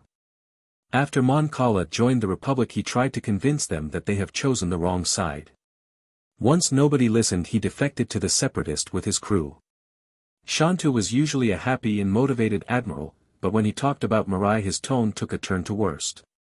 One admiral with a missing ear looked at Shantu and asked the question on everybody's head. And. How do you know all of that Shantu? I ordered a complete investigation on him after he crushed three Acclamator-class cruisers on the Kessel sector four weeks ago. Less than half of their crew survived. The 313th lost many good men that day, and the Republic lost Kessel sector. Solemn faces disappeared one by one as the admirals turned their attention to their troops and the imminent battle. Dao ordered his starfighters to start their engines. Rosal received Steel Battalion orders. Wait for the enemy to engage and don't go too far. Protecting the planet is our priority. Minutes passed slowly as the vultures rearranged their formations, entering on full attack positions, V-shape similar to the Republic ones. It seemed that it would be a frontal confrontation. Differently from Geonosis, this time the enemy was prepared for them. Rosal could already see the start of the battle playing on his head. The two sides will collide, ships will explode and they would pass by each other. Then, it would be the big ship's turn, firing their turbolaser cannons at each other. Detecting heat signatures ahead Captain. The clankers are warming up their engines. Rosal let their channel open, so he wouldn't have to worry about pressing any unnecessary buttons on the middle of the battle. He had lost enough brothers to learn that a moment of distraction could cost not only his life but others too. Rosal totally lit up his ARC 170, and Spark turned the turrets to the direction where the thousands of droids were. The voice of an officer came through. Here they come. Steel Battalion. Move out. Rosal accelerated the ARC-170 to his maximum in less than five seconds.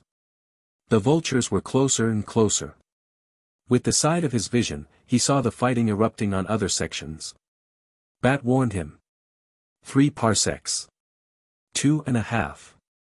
Captain. Two. Rosal aim locked on the front vulture droid. His thumbs pressed both triggers and blue laser left the frontal cannons of the ARC-170. Two flashes of blue traveled thereon through the vacuum of empty space. There was no sound, only the two lonely blue lasers flying at light speed. Their destination, a vulture droid, twisted out of way, but it was too late. The lasers found its home on the vulture right wing, sending it spinning before it blew. The first eliminate went to the Republic, but who knew how many more were needed before they could call it a day. Obviously, Rosal didn't have the time to think about it now. One vulture might have been shot, but the separatists were not to be outdone. Red and blue laser intertwined in the space. Rosal pulled the yoke hard, making the ARC-170 go even faster. One starfighter to his right exploded. Spark was spamming fire on the incoming mass of droids. Bat was still giving orientations. We lost Steel 46. One parsec to them sir. 0. 5. Steel 87 out of combat but still alive. Rosal didn't need the warnings to see that they were about to hit the vulture droids. Keep going boys. Cut right through them and turn quickly. Let's beat those droids in scrap metal. Chapter 54 Half of the space around Kamino was filled by big and small ships and starfighters, red and blue lasers, all in the still and noiseless vacuum of space. Steel Battalion was one of the many groups of starfighters, and they were about to pass straight through a group of vulture droids double their number. Rosal spun his ARC-170 to the left, doing full 360 spins, all the while firing. Spark, fire straight ahead. We have to cut a path in their midst. Steel Battalion, focus all your fire up front. I am not sure I can do that sir, I've lost my gunner. Do what you can. Every eliminate counts on this battle. Captain, they hit my stabilizers. I am losing contract. Steel 7. Ferret. We lost him, Captain. Rosal wanted to curse and mourn at the same time, but the vultures were already in front of him. Luckily Spark has turned the turrets right on time, and they blitzed their way through the remains of a vulture. Shadows passed by him, almost invisible in contrast with the dark space, if it wasn't for the blur their red, cold, mechanical eyes left behind. For a few moments, he couldn't even see what he was shooting. Just beside him Steel 81 and two Vulture droids crashed on each other leaving almost nothing. And then they were out of the cloud of droids. Rosal made a sharp turn, passing awfully close to some of his own brother starfighters. The short encounter had left behind many remains of Republic and Separatist combatants. And the big toys haven't even entered the fray yet. As the pilots of the 303rd made the turn, the vultures kept going without looking back, straight to the Republic cruisers. Come on brothers. Their objective is our home below us, but they have to pass by our cruisers first. We can't let them do that. Let's play catch. Rosal speed up his ARC 170. The battle had only started. Farrell didn't have much to do now besides watch and analyze. As the admiral of the 303rd, his focus was on his Legion ships, but he still kept an eye for any Republic cruiser needing reinforcements. Report. Yes Admiral. We lost a lot of pilots on the first engagement, and Rast Battalion was hit pretty hard by some torpedoes. But overall we took more of them than they took from us. We are still tabulating the exact numbers. That was similar to what Farrell was seeing outside. Clones and vultures had passed by each other, both sides suffering severe losses, but the droids more than the Republic. However, now was the time for the clone pilots to show their specialty, persecution. Their analysis of the vulture's patterns of flight, and their instincts, or, as the soldiers like to call, senses, made they much better at pursuit. As if to prove his thoughts an officer screamed from below the bridge. Vultures incoming sir. They should be trying to destroy us and invade the planet. ARC 170s on hot pursuit. All turrets open fire. Cannons hold for now. Charge and wait for their frigates to come into range. What Farrell was really worried about were not the vultures, but the big ships of the separatists. Even if some small droids passed through their blockade they wouldn't be able to do much damage. But if just one of the Munificent-class frigates got to the surface it could destroy dozens of installations and murder hundreds of thousands of embryos and newborn clones. Not to talk about what a Providence-class dreadnought would do. Farrell ordered the Republic fleet to hold ground, not actively attacking, but focusing on destroying the incoming vulture droids. Some of the vultures passed really close to the sincerity, but their small lasers didn't do much against the shields. And those who came close enough to fire were also on the range of the sincerity turrets. But the droid navy was relentless and knew no fear. They kept coming despite losing hundreds, and soon their proton torpedoes started amounting for something. One of the CR-90 sent a call for help, but even when the backup arrived it couldn't hold. Its shields went off, and a round of torpedoes blew it. Chapter 55 Rosal and ten pilots of Steel Battalion were part of the group sent to give the corvette backup, so when they failed Rosal decided he wouldn't leave the droids unscathed. Rosal took three ARC 170s with him and started chasing a group of vulture droids, flying in the middle of the remains of the CR-90. When Rosal entered persecution he focused only on his target. Before his visors, the only thing was the vultures. Bat prepared the ion torpedoes. The gifts are ready sir. Rosal locked his aim not on the vulture droids, but in a point somewhere in the middle of them. His computer bipped that he was aiming at the wrong place, but Rosal trusted his senses and pressed the trigger. Torpedo one off. The torpedo flew, leaving behind blue and white sparks. The torpedo almost scraped off the painting of one of the vultures, but hit bullseye. The explosion threw the vulture droid's formation in disarray, sending five or six of them out of control, some crashing on others and some exploding directly. Rosal didn't give them a chance to catch their breath. Torpedo 2 off. Another torpedo flew, but this time one vulture droid got on the way, and they took only one enemy out. Bat touched some buttons and keys on the control panel. Torpedoes 3 and 4 ready captain. You might want to hold them for now sir. Their small cruisers are getting into range. Spark, working not only as a gunner but also as a spotter, saw the Gonzati-class cruisers starting to get into the battle and warned them.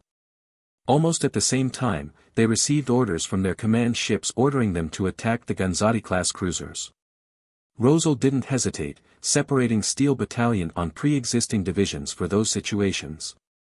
Iron and Thorn squadrons, attacked the cruiser at marker 187 to 690.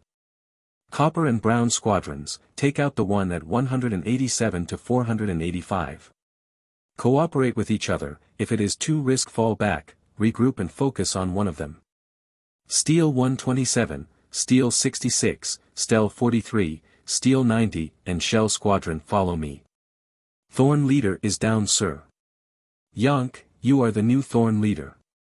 Rosal moved Steel 1 to the cruiser he decided to attack, but with them on the offensive, it was the droid's time to chase. Two vulture droids were on their tail, and even with Spark doing his best they were having difficulties shaking them off. Steel 1 needs assistance. We got two of them following us. Copy that. Steel 66 on the way to help, Captain. Rosal made a lot of sharp turns and even tried to rotate, but the vultures kept hot on them. Another ARC 170 appeared behind them, support finally arriving. The ARC 170 fired his two frontal cannons, spraying on the vultures. One of them exploded, blinding both Steel 66 and the other vulture temporarily. Spark took the chance, and the top turret tore the vulture droid to pieces. Now that their backs clean Rosal and his men concentrated on the attack. The Gonzati-class cruisers weren't big, and because of that had fewer defenses. They were used mostly as troops transports and were probably carrying the droids supposed to drop on Kamino. Those following me, go ahead and take out their shields. Steel 43 and I will deliver the torpedoes. Roger that. Rosal slowed just enough for the other starfighters to overtake him. Young voice came through the comms. Enemy ship at 187 to 690 is falling captain. Good job Thorn Squadron, Iron Squadron. Go give support to the attack on their other cruiser. In front of Rosal, the ARC 170s accompanying him fired a volley of lasers on the Gonzati-class cruiser, wearing out its shields, but Shell Squadron took one loss on the process. Rosal and Steel 43 prepared their ion torpedoes and took over the attack, flying extremely close to the enemy ship, and bombarding the heck out of the bridge. Without its command center, the cruiser quickly went down, falling towards Kamino. Rosal turned around and went looking for more targets. On the sincerity. Admiral, their frigates are in range. Scanners indicate that they are coming right to us. Dao showed some excitation on his face. The real battle was about to begin. All batteries, concentrate your fire on the nearest frigate. We have to take out as many as possible before the dreadnoughts arrive. Chapter 56 The Sincerity was a Venator-class cruiser, which means it had a good number of heavy turbolaser cannons, which were able to wreck a ship without shields in a few minutes. Also, since the Venator-class cruisers were bigger and more advanced than the Acclamator-class ones, they had a longer range. So, the Sincerity was the first Republic ship to open fire. Huge blue lasers impacted on the Munificent-class frigate's shields. Each round that the heavy turbolaser cannons fired need about 30 seconds to recharge, but took huge chunks out of the enemy. The separatist frigates were still holding at the moment, but their ships shook each time a shot connected. However, the Sincerity range vantage didn't last much. When the Munificent-class frigates started taking too much fire, the Gonzati-class cruisers took the lead and went forward to attack. The Republic cruisers started facing some problems, although a good number of small separatist cruisers went down. But the objective of the separatists wasn't to destroy all Republic ships, but have a small group break through. In fact, Dao suspected that the Munificent-class frigates were being used as bait, but he couldn't move critical troops because of that. He didn't have ships he could move. So, he decided that he would wait and see what cards the separatist had. That was his biggest mistake. Before he knew one munificent-class frigate suddenly accelerated, its cannon silent, as if there was no one on it. Admiral. It is heading straight toward us. I can see that. Destroy it. Now. At that moment that the biggest trick of the separatist showed itself. When the lasers landed on the front of the frigate, big explosions happened. They have no shields Admiral. And no weapons. It appears that all their power is on their thrusters. What are they doing? Oh. Darn it, they got us. Evasive maneuvers, quickly. But it was too late. The frigate torn front crashed on the Sincerity, opening a rhombus on the cruiser belly. The entire ship tilted sideways, and inside it clones were thrown in the air as if they were dolls. A gigantic gap was opened on the defensive ring around Kamino, and close to 20 Gonzati-class cruisers crossed it and entered the planet atmosphere. On the Sincerity Bridge, Admiral Dao got up, in his head a wound bleeding, and his left leg limping. But he couldn't feel his wounds, and went to the semi-destroyed hologram table. On the planet below, Dager saw everything. Even if he wasn't using his binoculars, the shocking sign of two massive ships crashing in each other was clear. He could also see the 20-odd separatist cruisers entering Kamino. One transmission from General Di capital ship arrived. On it a man that Dager recognized as Admiral Dao appeared with a bleeding head. I am so sorry General Di. The droids passed through our defensive line. I never expected that scum to use one of their frigates as a weapon. You have 18 small enemy cruisers going for you. Don't worry about it Admiral. You did your best, the separatists don't view their troops as we do with ours. They will need more than a few cruisers worth of droids to take Kamino. Just make sure that their bigger ships don't make it through. Admiral Dao didn't hear the entirety of General Di words, he passed out before. Keeli, every man on his position, they will do a ground attack. Their main targets will be the main reactor, the DNA room and the incubation area. Make sure our defenses there are strong enough. Yes General. I will go talk to my fellow Jedi, let them know about this on first hand. Don't worry General, we will be all set when you are back. May the Force be with us. General Di went way to talk with the other Jedi, and Commander Keeli turned to Dager. The Force may be good, but I trust a clone with a good blaster more. Hell Squad, I want you here, ready to give the clankers a welcome they will never forget. Our objective is to stop them before they can enter the buildings. When we are outnumbered we retreat to a better position and start again. Copy that? Yes Commander. Chapter 57 As the men of the 303rd got into position General Di came back just long enough to take about half of the Clone Legion to protect the incubation area and the DNA room. Before leaving he told them about the situation. Of the 18 Gonzati-class cruisers, three of them were coming towards Dager position. That was a lot of droids, but Dager had confidence that the 303rd would eliminate at least half of them on the outside. The open platforms of Kamino were optimal to defend and terrible to attack. If the defending forces were well positioned they could hold out for a good amount of time. With the enemy invasion force drawing closer and closer, Commander Keeli took Dager on a last-minute check of their defenses. Any ideas if there is any improvement we can make Dager? Dager analyzed the resistance that his brothers had made. Crates and blast shields have been put on the bridges connecting the platforms, and short-range anti-aircraft turrets on the buildings made so that the droids were forced to land a bit far away. On the platforms that the clones calculated the droids would land nothing was left. Every bit of cover that the droids could use was taken away, leaving only the bare platform. The bridges connected to such platforms had defenses only in the opposing half of the bridges, so the droids would have to walk on a small area with zero cover. I think we are okay. When the clankers land we should have our heavy machine gunners concentrate their fire on the disembark ramparts. After that, the first half of the bridges, the open areas, and the platforms on itself shall become death zones to them. Maybe if we have snipers take positions there, there and there we can eliminate some more of them. Commander Keeli didn't answer. Dager looked at him, and after a few seconds, realization struck him. You had already thought of that. Of course, you have, you are the commander. Then why make me say it all over again? First because two minds think better than one, and you might have spotted something I didn't. Secondly, because the best place to learn things like that isn't in a classroom, but on the battlefield. Um. So, did I miss anything? Actually, yes. See those side bridges? They are too small for their ships to land, but we can put some men over there to catch the droids on a crossfire. I've already ordered that, actually. Commander Keeli's comlink blinked to life. Commander, they are arriving. You should hurry back. Both of them looked upwards and saw that the three Gonzati-class cruisers were only a few kilometers away. They hurried back to the first line of defense, on the bridges near the landing points.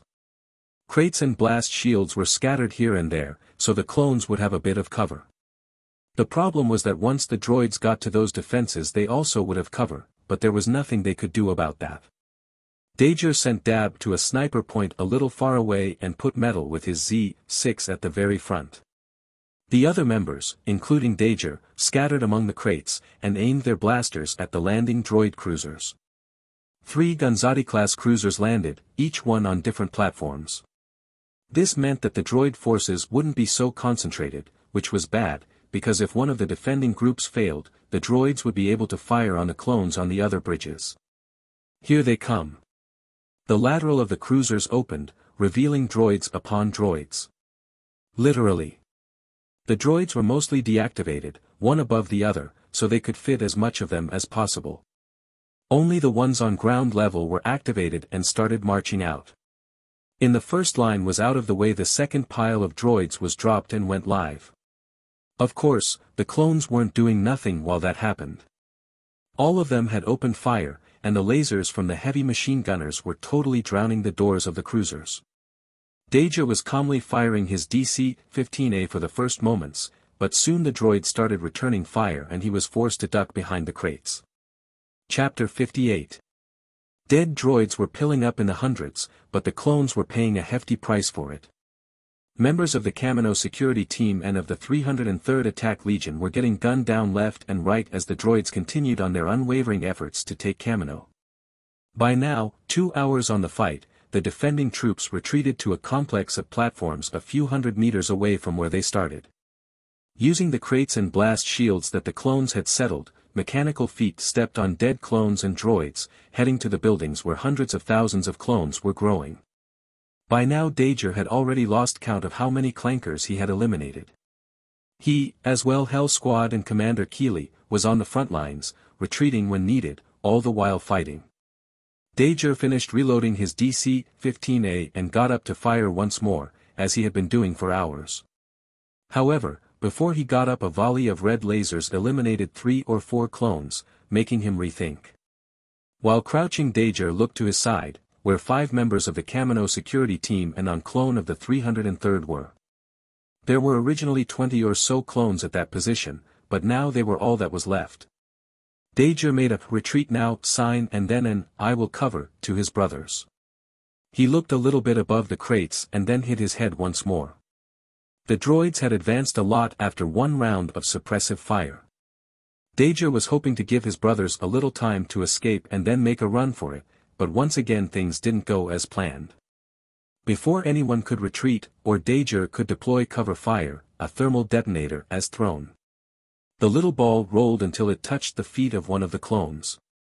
He looked down to see what it was, and then the detonator exploded. Dager had a vision of the clones being thrown in the air and spinning as they fell off the bridge into the sea below them. Then that vision disappeared as it as replaced by grey clouds, parts of the bridge, sea and grey clouds again. He fell into the agitated sea, not hearing anything because of the blast. The ice-cold water was probably what saved him, as the cold shocked him out of unconsciousness. Dager swam up and broke to the surface. Above the water was much more aggressive, big waves going forth. He took off his helmet, that was at the moment making things worse. After that he could hear something, although muffled. When he touched his ears he sensed blood, but besides that, he wasn't very hurt.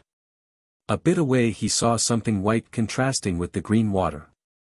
It was one of the Kamino security team clones, his left side totally burned and his armor destroyed.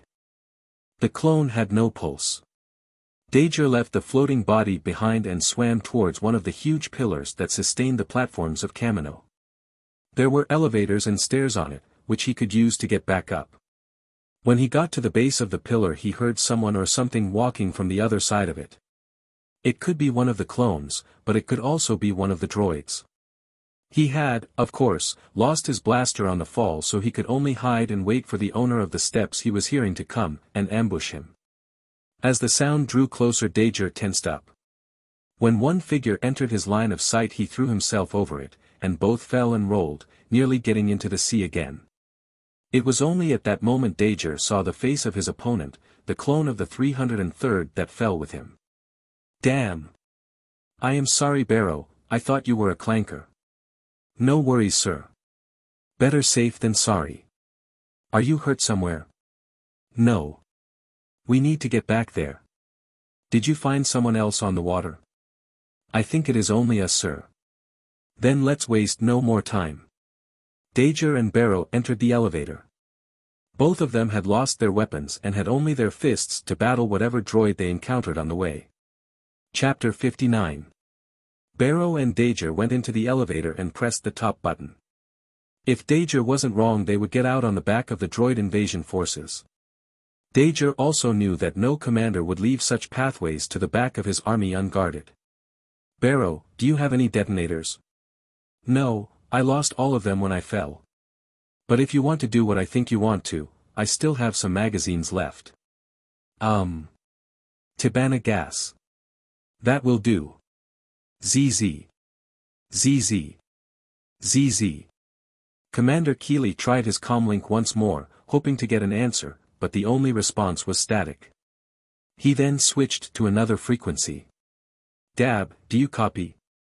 Yes Commander. Do you have eyes on Dager? No sir. I don't think he is amongst the dead, although it is difficult to tell with so many bodies. Dager doesn't die so easily. I just don't know where the hell he went. I swear that if he is dead I will throw each and every one of those droids on the C persona. Oh damn. The clankers are coming again Commander. Commander Keeli heard the sound of Dab's DC-15X firing before he cut comms. The droids were attacking again after small regroup moment. Cell came running towards Commander Keeli, his binoculars lowered on his visor. Commander, there was a small explosion behind enemy lines. From the size it was something smaller than a thermal detonator. Do we have anyone still alive behind the clankers? Not that we know of. And the droids certainly aren't taking prisoners. They proved that already. Cell was referring to a moment not long ago, after Dager went missing, when a squad of clones was overrun, and when the survivors surrendered the droids executed them in cold blood. After that no clone tried to surrender again, and fought to their last breath. If we don't have anyone there then it is probably some B-2 battle droids experiencing a late explosion. Continue the defense. A few minutes earlier. Dager and Barrow strapped four magazines together. The Tibanna gas that composed the fuel to the laser shots was highly unstable, and Dager wanted to exploit that. However, they needed something to trigger it. Barrow and Dager took off their armors and supported them on the walls of the elevator so it looked like two clones. Of course if one were to look at it one second longer than necessary they would discover the trick. After that, they left the elevator one floor earlier than the top floor, where the droids were. Then, they used some pieces of scrap metal to drill a hole on the magazines and threw it onto the elevator. Soon the Tibanna gas filled the elevator with a brownish fog. On the top level of the Kaminoan platforms, behind droid lines. A squad of droids was guarding every elevator, with orders to shoot anyone who got out of it. One of those elevators chimed and the door opened. The droids guarding it saw two white armors and fired instantly. When the red lasers entered in contact with a brown mist that was in the elevator a small explosion engulfed the area. Taking advantage of the distraction of the other droids, who had turned around to see what was happening, two clones wearing no armor got out of another elevator and pushed the droids out of the way and off the platform. After Dager left the perforated magazines on the elevator he and Barrow went to another elevator. When they heard the explosion they got to the top level, hoping to get the droids by surprise, what really happened. With their backs turned towards them, the droids didn't have a moment to react and the two clones grabbed their E5s and threw them off the platform. Dager and Barrow then used the stolen E5s to eliminate the three remaining droids guarding that elevator and took cover behind it. They had got back to the platform, but there was now an entire army between them and their brothers. Dager quickly thought of a plan, and it was crazy as always. Barrow, I have a crazy idea. I'm up to everything at the moment sir, crazy or not. Chapter 60 Barrow, try to contact Commander Keeli. You will have to take a comlink from one of our brothers. What do I tell him sir? Tell him to move all of our forces back. Sir. But then the facility. He will have to trust me, as you will have to. Dager left the cover that the elevator was providing and ran to a group of crates while firing. After he got there he searched the bodies of clones and droids for thermal detonators and was rewarded with a bunch of them. Then Dager triggered all of them and threw it without care, sending droids flying left and right. That gave them a small window on which Barrow found a comlink on a dead clone and contacted command. Commander Keeli. This is Barrow, CT-0457. I and Dager were thrown out the platform, but we are back. Barrow. Good to hear from you. Where are you? Was that explosion you're doing? Yes. We are behind the clankers. There is no way we can make it back now. But Dager has a plan. What is it? He wants you to retreat our troops to outside the buildings. I don't know anything apart from that. He said you will have to trust him. What? I want to talk to him. He is crazy. Yes Commander. Barrow turned to call Dager, but the only thing he saw was Dager's back, running towards the Gonzati-class cruisers and away from the clone defenses. Commander, he is out of reach. What do you mean? Commander Keeli was talking to Barrow in the middle of the fight, using his twin DC-17s to eliminate droids. When he heard that Dager had run towards the enemy cruisers he almost froze. He had a slight idea of what Dager wanted to do, and on the small chance that Dager wouldn't die while at it he had no option but retreat his troops as Dager said. He decided to wait a little more before calling the retreat, but for security and to speed up the process he ordered the back line of the clone army to build defenses near the entry of the facilities. Of course, he didn't forget to tell Hell Squad that their squad leader was alive. Dager ran towards the closer Gonzati-class cruiser with nothing but his stolen E-5 and a bunch of thermal detonators. Thankfully the only resistance he encountered were the groups guarding the elevators. He had a crazy idea, and stupid one, but it was the only he had. With the droid invasion forces disembarked, the Gonzati-class cruisers were almost empty apart from the crew. Dager easily got into the ship after killing a few droids. Gonk droids and cleaning droids were the only sort of droid he found for a time. It was only at the command bridge that he saw some battle droids. A group of B-2 super battle droids and a dozen B-1 battle droids were guarding the bridge. It was time for some grenade action. Without giving the enemy a warning he blew them to pieces. B-1 battle droids with blue painting but no weapons commanded the ship. Buzz. Who are you? You don't have authorization to. Dager dropped his blaster on the floor and started fiddling with the buttons of the control panel. He heard some movement behind him and instinctively dropped to the floor. However, no laser fire came. He got up and saw Barrow looking at him with a grimace. Barrow. You scared the hell out of me. Says the one who left me behind and ran towards an enemy cruiser. Come on man, I knew you would find your way. Now help me, this cruiser is so small that with two of us we should be able to get it on the air. And why exactly do we want it on the air? A clone came running to Commander Keeli. Sir, the enemy cruiser on the middle platform is taking off. He did it, that mad clone. Trooper, let's retreat. I want everyone inside the buildings before that cruiser is on the air. And order the anti-aircraft turrets not to fire. That cruiser is with us.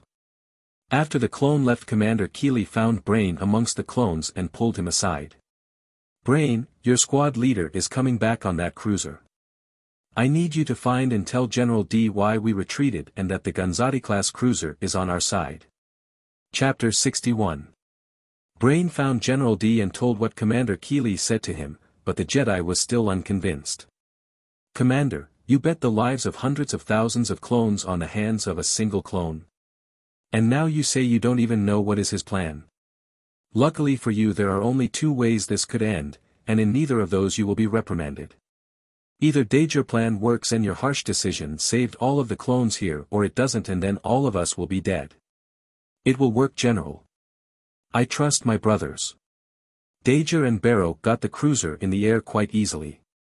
The first part of Dager plan was completed. Now it was the difficult piece of it, flying the cruiser to where the other two were and destroying them. The Gonzati-class cruiser got up very slowly, and turned even slower. Since the crew necessary to fly it was of only a few droids, Dager and Barrow could still do it, although the hyperdrive and the shields would be out of reach. Literally. If Dager left the control panel to go activate the shields, the ship would lose control. If Barrow tried to do it the weapon system would be unavailable and all of Dager planning would be for naught. Sir, the other enemy cruisers don't seem to have noticed we are not their allies. I am locking on the target. Wait till we get closer.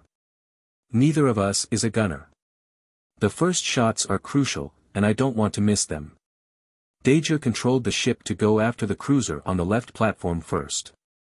After they destroyed or at least disabled it, they would have to turn around and go to the second target, which would probably be prepared for them. When they were midway between the middle and the left platform, a transmission of AB-1 battle droid with blue strips, a crew droid, popped into the control panel. R3, G6, why is cruiser HHP taking off? Those are not your orders. Sorry Clanker, R3, G6 had a slight malfunction. Wait. Buzz. Who are you? Barrow, now. Usually the small turrets of a Gonzati-class cruiser would be useless in a fight with anything bigger than a starfighter. However, as a troop carrier, the Gonzati-class cruisers focused on having as much space as possible, eliminating everything apart from the necessary for it to fly. That included its shields, who were so weak that even the small turrets could break them easily. And so they did. The first Gonzati-class cruiser was turned in scrap metal at record speed, and had zero chances to retaliate or run. The second one, however, turned its turrets to the stolen cruiser. It was true that the ship in which Dager and Barrow were destroyed the other easily, but that also meant that the same could happen with them. When the Gonzati-class cruiser took enemy fire its engines quickly shut down, and holes were opened on its surface. Barrow controlled the turrets, and even amidst the shaking, aimed and fired at the command bridge of the last ship. The command bridge blew up, and the cruiser which had barely taken off fell once again, crashing sideways on the platform. But Dager and Barrow had to pay quite the price to destroy the enemy cruiser. Their engines were dead, the ship was half destroyed and there was no way they could land it safely. Barrow. Remember when I told you that I had a plan? Well, I have good and bad news. The bad is that my plan depended on this ship being flyable. The good news is that I have a new plan. Why do I have the feeling that those are not exactly good news? Dager pressed all the buttons not destroyed on the control panel and put the cruiser in a direct course to the bridge where the main invasion droid force was. Find a door leading to outside. We need to run. Dager pulled Barrow to outside the command bridge. They didn't find a door, but soon a hole appeared on the side of the cruiser. That will do. Jump on the three. Wait. Sir, that is your plan. 3. Now. Dager jumped and Barrow followed suit. For the second time on the day, they fell onto the green and grey waters of Kamino. Chapter 62 The clones defending Kamino all saw the Gonzati-class cruiser take off, and most of them worried thinking that an air attack was coming. Only a few knew it was Dager controlling the enemy ship, those being General Di, Commander Keeli, Hell Squad and the clones in charge of the anti-aircraft turrets. So when the ship they thought it was an enemy fired and destroyed one of its own, they were astonished, to say the least. Commander Keeli waved a sigh of relief, but his expression soon turned dark once he saw Dager and Barrow taking a lot of fire from the second cruiser. Even when they destroyed the second cruiser his face didn't light up. Commander Keeli was no engineer, but even a child could see that Dager's cruiser was doomed. And then Commander Keeli screamed when Dager did the second unexpected thing of the day. What? Dager, you. All troops, fall back. Fall back. The Gonzati-class cruiser, 60 meters long, hundreds of tons heavy, came crashing down into the droid infantry troops. Be it B-1 battle droids, B-2 super battle droids, droidekas or dwarf spider droids, all of them were crushed immediately. The bridge where the cruiser crashed bent under the strength of weight and speed combined. For a few seconds it seemed as if it would resist, but then cracks appeared and the bridge broke in many pieces. Not only that, but the nearby bridges and platforms all fell due to the momentum of the ship. With thunderous sounds, cruiser, bridges, platforms, and droids were dragged into the sea, starting waves dozens of meters tall. Dager fell into the water once again, but this time the impact was much bigger, and his consciences started fading away. Dager saw flashes of gray and green, and what might have been some B-1 battle droids, as well as clones. Something or someone started pulling him.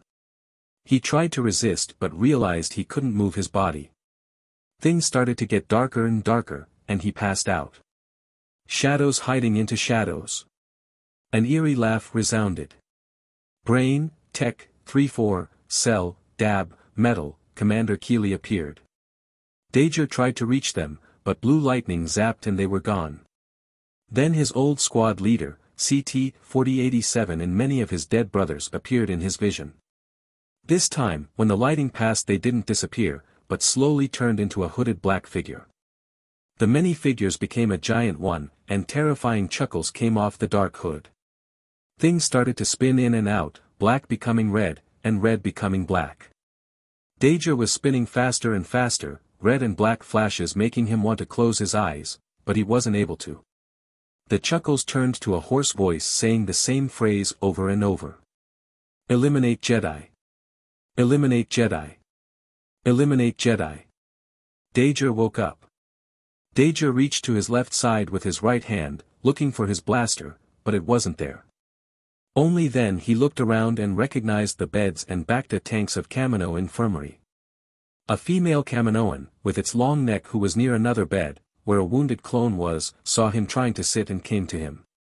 Don't get up trooper. You have. A fractured rib. Obviously, it was only when she said that, that he felt the pain on his abdomen. But he had suffered worst injuries. Where is Barrow? I don't know who. Barrow is, trooper, but Commander Keeli. Said that I was to. Call him as soon as you. Woke up. Then call him please. Already.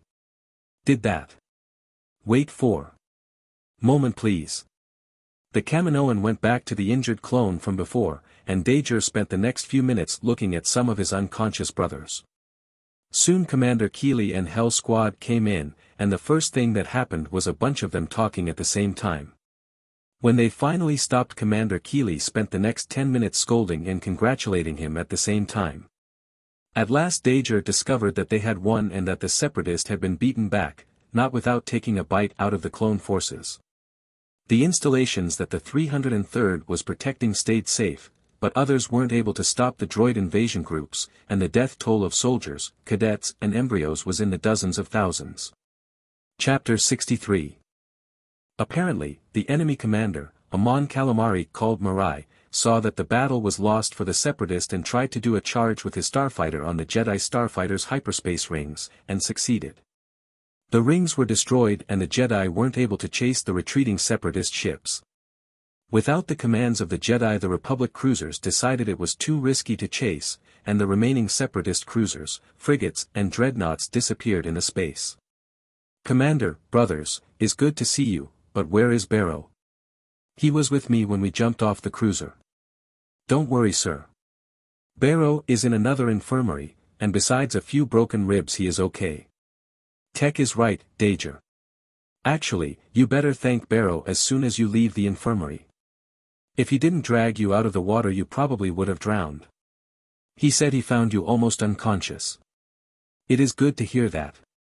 I will make sure to go after him soon. The Kaminoan from before came back, waving her long hands and fingers to make Commander Keeli and Hell Squad go out. Commander. There are many. Troopers that need rest. I shall ask. You. To leave. No problem Jumayfy. We were just making sure that this clone here was all good. Jumayfy gave Dager some pills, and soon he drifted into a heavy sleep, this time without dreaming. A few days later Dager was out of the infirmary. His broken rib didn't need a bacta tank, so his recovery took a little more this time, but there was no imminent battle, so he didn't rush it. The Republic discovered which path the Separatist had taken to arrive on Kamino, and were now guarding it tightly. Dager expected that the 303rd would soon leave Kamino and go find another battle. Of course, he didn't forget to visit Barrow on the other infirmary. He was more injured than Dager, so his recovery would take a little more. Most places of Kamino suffered some measure of damage. Corridors of glass were shattered, the mess had a patch of metal covering a hole in the ceiling where some laser fire melted the roof. There were still broke droid bodies here and there, and the robots were working hard to clean them. While roaming around Dager saw a teenager cadet talking to a clone on a litter. The clone had a bandage on his leg, but besides that seemed alright. Don't worry kid, it is just a blaster wound. Soon I will be back. You were very courageous there, make sure you and your squad work hard. The cadet nodded, and Dager became curious. He had supposed that by now all wounded clones would be on the infirmary, so why did that one have a fresh wound? Trooper. What happened to your leg? Sir. Nothing much. Some clankers managed to lock themselves into a storeroom, so we didn't discover them until today. It was quite a surprise, and they gave me a little gift before dying. The clone tapped himself on the leg and then frowned with pain. Go get yourself patched up. Dager turned to the clone cadet. He himself was quite amused by the situation and felt like smiling, but the cadet seemed afraid that it would get reprimanded. And what was your play on all of this cadet? I. I was near the room at that time sir. I helped to pull him out of the way when he was shot. Dager couldn't hold it any more and smile, making the cadet sigh in relief. That was very brave of you kid. What is your name? CT 4040, sir. Dager shook his head. He should have known that a cadet wouldn't have a name yet. Most of the grown soldiers were just getting theirs. That can't do.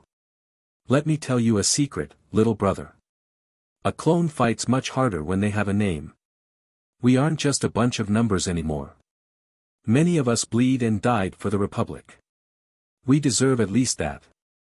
The cadet listened attentively, feeling anticipation for Dager's next words. CT 4040 right. Forget that numbers. Let me think. What about? Cut up. Yeah, cut up is good. Don't forget to tell our brothers what I said to you. We are living beings, not machines. Never forget that. Quite satisfied with himself, Dager left the clone cadet behind and went to meet Hell Squad at the mess. Chapter 64 The 303rd Attack Legion was going to be stationed on Kamino for a few more weeks until they could replenish all the troopers who died in battle. Dager had become once again the reason for proud of Hell Squad and the 303rd. Now most clones who took part in the Battle of Kamino, as it was being called, knew who he was, at least by name. Few days have passed since the invasion, and the originally tense and easily scared clones have now started to relax. Members of the Kamino security team, and even some cadets, walked with more confidence, and weren't afraid to lift their heads in front of the soldiers. For the past few days, Dager had done nothing more than patrolling and socializing. The members of Deep Squad, who at the start had been almost hostile, were now some of the best friends that Hell Squad had. If it wasn't for the batches of fresh clones that took the place of his fallen brothers, Dager could have thought that the war was over, although he knew it had just started. Now, however, duty called once more. Commander Keeli asked Dager to go to his headquarters, in the capital ship of General Di Fleet, the Sincerity. A LAAT took him there, and Dager had the chance to see what remained after one of the biggest space battles of the Clone Wars till now. Debris shuffling in the starry skies, some as small as fists, and others gigantic pieces of destroyed ships. Every now and then Dager saw dead droids floating, and he could swear that some were still trying to move, to no avail. What pained him, though, were the numerous clone bodies. Droids might be able to survive for some time in space before their engines froze and their power ran out. However, that was not an option for clones, who could survive only 10 to 20 minutes even with their helmets. After $15 minutes, the gunship finally landed inside the Sincerity. Even inside the cruiser things weren't going well. During the battle, a frigate tore a hole in the belly of the Sincerity. The hole had already been closed by energy shields, but it was still a depressing sight, seeing the ship that he treated as a second home like this. Commander Keeli was in the command bridge, surrounded by officers, and yelling tasks. General Di was nowhere to be seen. Commander, you wanted to see me? Yes Dager. Just give me a minute.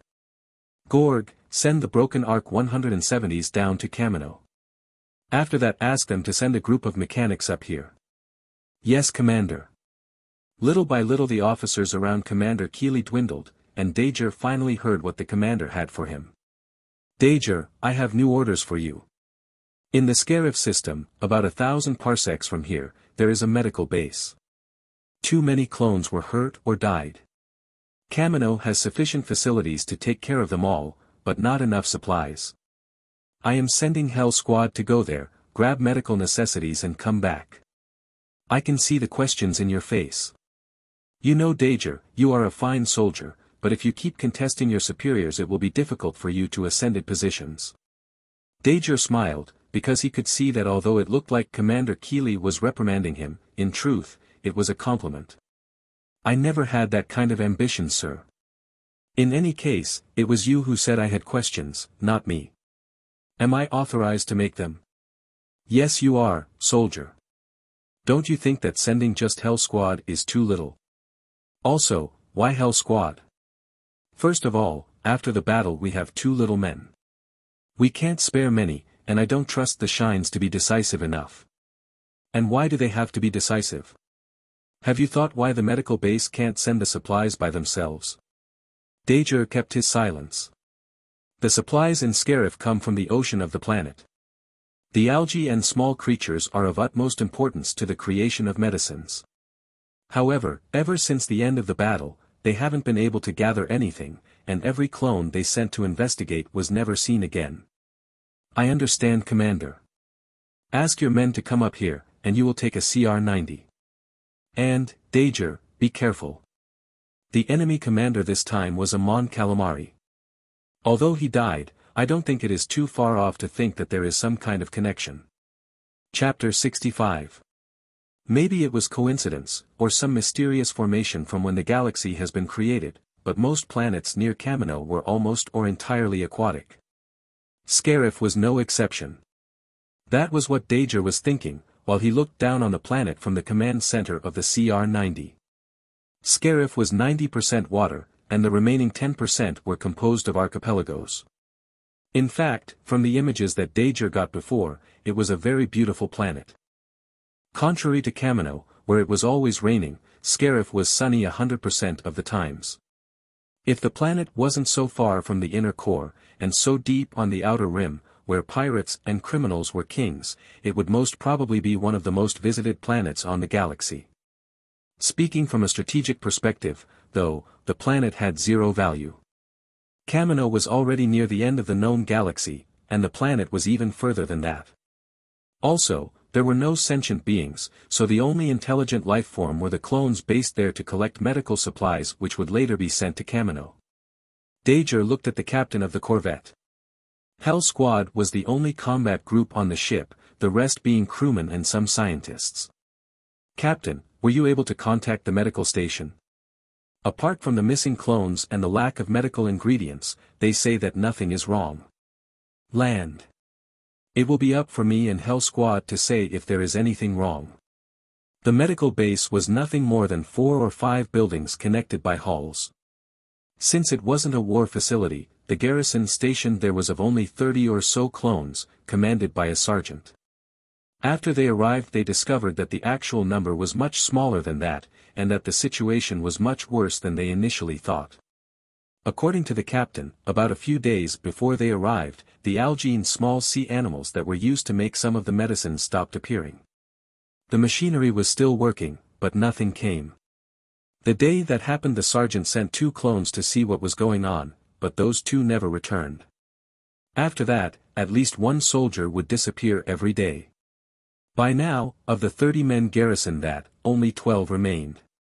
The sergeant was scared and looked at Dager as if he was his savior. I am very grateful that you arrived sir. We were starting to think that you hadn't got our message. If the situation was so serious, why didn't you tell us, Sergeant? One clone disappearing might be an accident, or a native creature, but 18 of them is no such thing. You better pray those men are well, or you are not going to have a good ending. But. Sir, we tried to contact you. There was no answer. What do you mean Sergeant? The only transmission we received from you was that production stopped and some clones went missing, so we were sent to solve this, and take medical supplies to Kamino. That was eight days ago. I know sir. After we sent that transmission more men disappeared, so we tried to call Kamino once more. Our transmission was sent, but no answer came. And we never received those transmissions. That means they were intercepted somewhere in the middle. What do you think it is sir? Certainly not a native creature. I am sending the corvette back right now. Dager turned on his comlink and contacted the captain of the CR-90, but the voice on the other side wasn't the one from a clone. Clone. Your kind eliminated my father. Now I will eliminate all of you. Who are you? What did you do to my brothers? You mean those clones? They are alive. You can come get them in a while. You won't die so easily. I will start with you all and they destroy all of you. The voice cut off communications. Dager instantly got into action, putting his helmet and grabbing his DC-15A before running out. The sergeant followed suit, as well as the two guards. Midway Dager contacted Brain, telling him to surround the corvette with Hell Squad. When they arrived the ship was entirely encircled, but after they entered it all they found was the unconscious crew and water puddles. Metal and 3-4 started carrying the unconscious clones to the medical station, while Tech started checking the ship for any hidden bombs. Brain and Dager checked the near areas but found no one. Sir, who do you think it was? And why leave the crew alive? I don't know who it is Brain, nor why not eliminate them. But I can guess why he is attacking us. He is a Mon Calamari, as was the enemy commander in the Battle of Kamino. Chapter 66 I don't know who it is Brain, nor why not eliminate them. But I can guess why he is attacking us. He is a Mon Calamari, as was the enemy commander in the Battle of Kamino. Dager knew it had to be a Mon Calamari, and one who partook into the Battle of Kamino. In two months of war, a lot of living beings died, be it on Geonosis, Kamino, Rhen Var, Alaris Prime, or any other battlefield in the galaxy. But the timing was too close to be any other than a Mon Calamari. Brain, after the ship is clean, I want everyone inside the medical base. Including sentries. He already proved that he can sneak inside easily, a few more guards won't make a difference. Not long after Brain left, Tech came over to Dager. Sir, the Corvette is clean. No bombs, almost all functions are good, only the communicators were broken, and there is no one left inside it. Only the communicators. He didn't even break the flight systems. No sir. Are the communicators reparable? Not in a short amount of time, sir. Then get the crew back here, and send them back to Kamino to ask for reinforcements. We have an unknown number of enemies, but they already eliminated or captured two dozens of clones. Sir, are you sure that is alright? Why would they leave the ship intact, knowing that we can ask for support? Think with me tech. They cut our communications, so the only way we can ask for backup is by this ship. They broke the communicators, which means that only when the Corvette land on Kamino that they will be able to know our situation. And that will take a few days and a few more for them to arrive back here. Is this a trap sir? Not for us. Our opponent must think that this spam of time is enough for him to eliminate all of us here on Scarif, and flee. Either that or he wants our reinforcements to arrive, and that would mean that the enemy force is much bigger than we thought. That doesn't make sense. If they were strong enough, why bother jamming communications?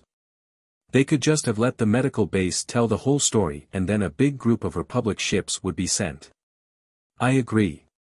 I think they want to eliminate us all and flee before our reinforcements arrive. The reason that they let the Corvette intact is that more clones can arrive here and see what they did. I am sorry sir, but I am still confused. That too doesn't make sense. If you are thinking from a strategic perspective, it doesn't. But this isn't a military operation. He said clones eliminated his father. This is vengeance. Deep into the Sea of Scarif, where there was so little light that only the weirdest creatures could survive. A starship as big as a Gozanti-class cruiser laid on the muddy bottom of the ocean. Inside it was a crew of Mon Calamari, and on the command center was a Mon Calamari bigger than any other. The Mon Calamari was alone on the command bridge, talking to a hologram of a hooded figure. At this moment the Mon Calamari seemed to be angry, and the calm voice of the hooded figure only made him angrier. It is exactly like you heard Count Dooku. Your pile of metal that you calls an army retreated as soon as they saw that my father died. Young Haigi, the last order from your father was for them to retreat. He should have retreated too. The death of your father was his own fault. He died because of you. He believed Ulan the separatist. I told him that your plan was bound to fail, but he trusted you, and now he is dead. Haigi, be careful. What you are saying could be interpreted as treason against the separatist cause. No Oduku. I still believe in your cause. The un I don't believe is you. You ask me to return, and do what? Stay hidden. Do a mission for you, as my father did? I can't even return to my home planet, or I will be charged as a traitor. No, oh, I will not return. I will avenge my father, and eliminate every clone and Jedi U in this galaxy. And after you do that, what will you do, child? I will eliminate you. The Mon Calamari, Haigi, crushed the hologram projector in his hands. Unfortunately, he was too absorbed in his rage to see the smile on Count Dooku's face. Chapter 67 The Mon Calamari, Haigi, threw the broken pieces of the hologram projector away and sat on the captain chair. The door opened, and a Mon Calamari entered. He had wrinkles on his face, and one of his legs was made of metal, so he limped while walking. Haigi wasn't on a food mood, but when the old Mon Calamari entered the room, respect showed on his face. Tart. Haigi, I followed your father four years, and I want to avenge him as much as you do. But we can't be harsh now. What do you want me to do? You said that I should interrupt their production. I did it. You said that I should cut the clones' communications. I did it. You said I should let their ship intact and not eliminate Enion. I did it. Now you say that we should eliminate those clones who came here. I am going to do that with pleasure. Haigi, calm down. Calm down. Calm down. Calm down. My father was eliminated and the next thing you want me to do is eliminate some clones and run away. I don't wanna eliminate some clones. I want to eliminate them all. Tart said nothing, and just looked at Haigi until he stopped raging. The chest of the big Mon Calamari waved up and down, and after he calmed down he sat on the chair. What do you want me to do Tart? What do you think that we should do? We can't fight an army. Not now. I say that after we eliminate all the Clunzuan Scarif we leave this planet and try to gather as much support as we can. Then we eliminate every Clun and Jedi we find. Haigi closed his eyes and crossed his fingers. Tonight we attack their medical base. No Clun survives. All the clones and researchers on the base were waiting for Dager in the command center. He had taken his time to talk with all the clones so he could grasp the situation. All the clones, including the researchers, have armed themselves. Hell Squad wasn't so tense, but the clones already there had some difficulties to calm down. Dager couldn't worry about it at the moment. They were soldiers, and wanting it or not, they would have to get used to it, or they wouldn't last long. Troopers. For the last few days you have faced some hardships. I know losing a brother is terrible, and not knowing what happened to them is even worse. But, we have a mission, to serve and protect the Republic. And those who took our brothers are ours and the Republic enemies.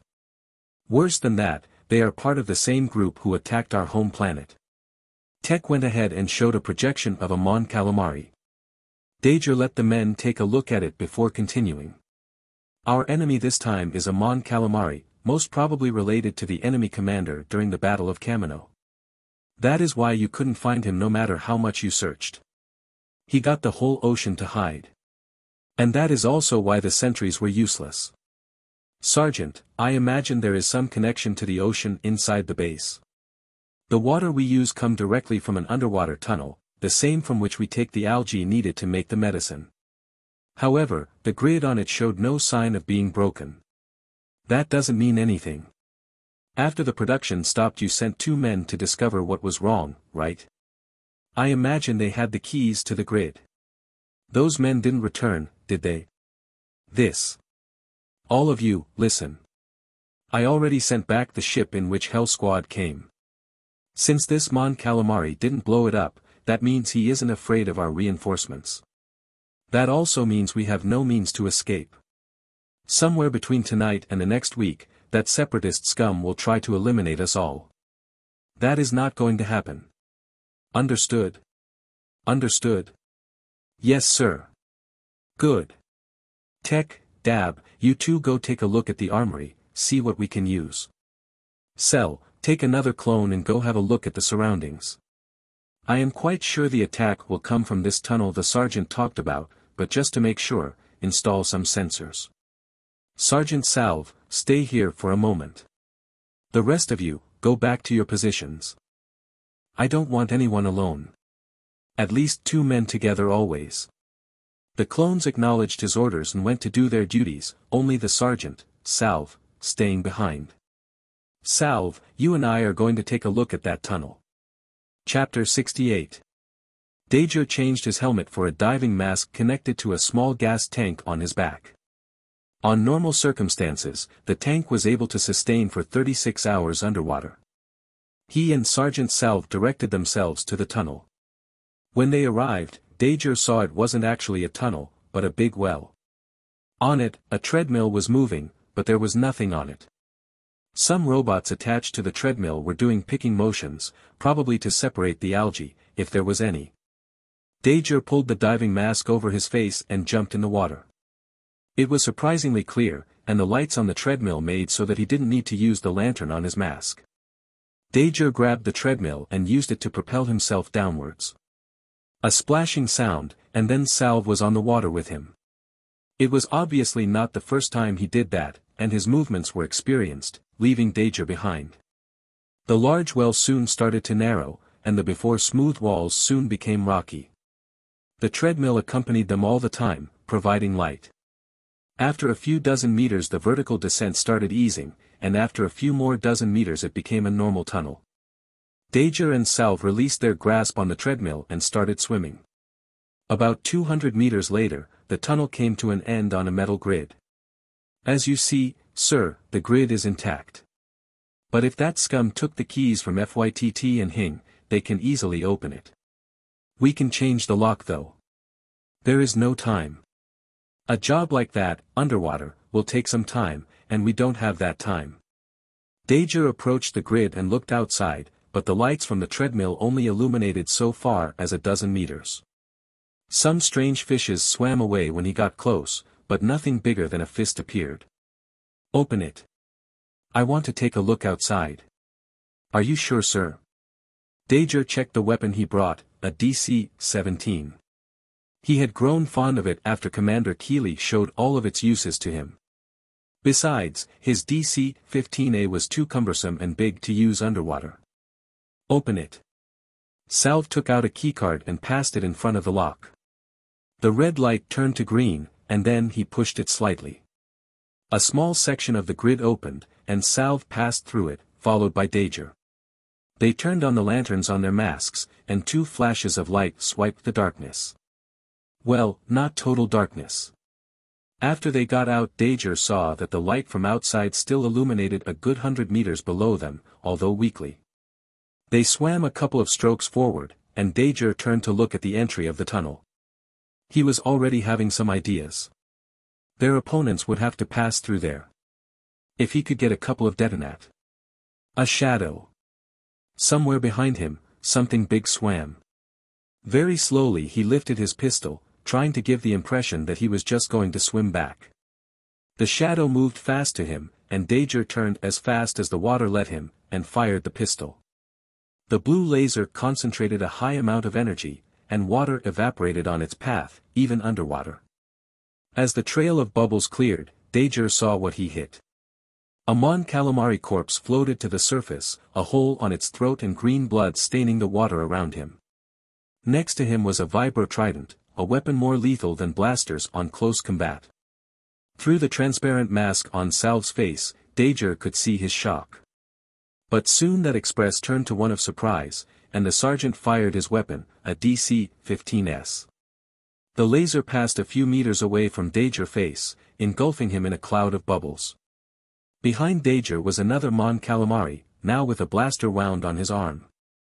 Contrary to Dager expectations, after the arm that was holding the Vibro Trident was disabled, the Mon Calamari didn't run, but showed his sharp teeth and swam to Dager barehanded. Dager didn't show mercy. They stayed alert for two minutes, but no more Mon Calamarians came. They should have been guarding the grid.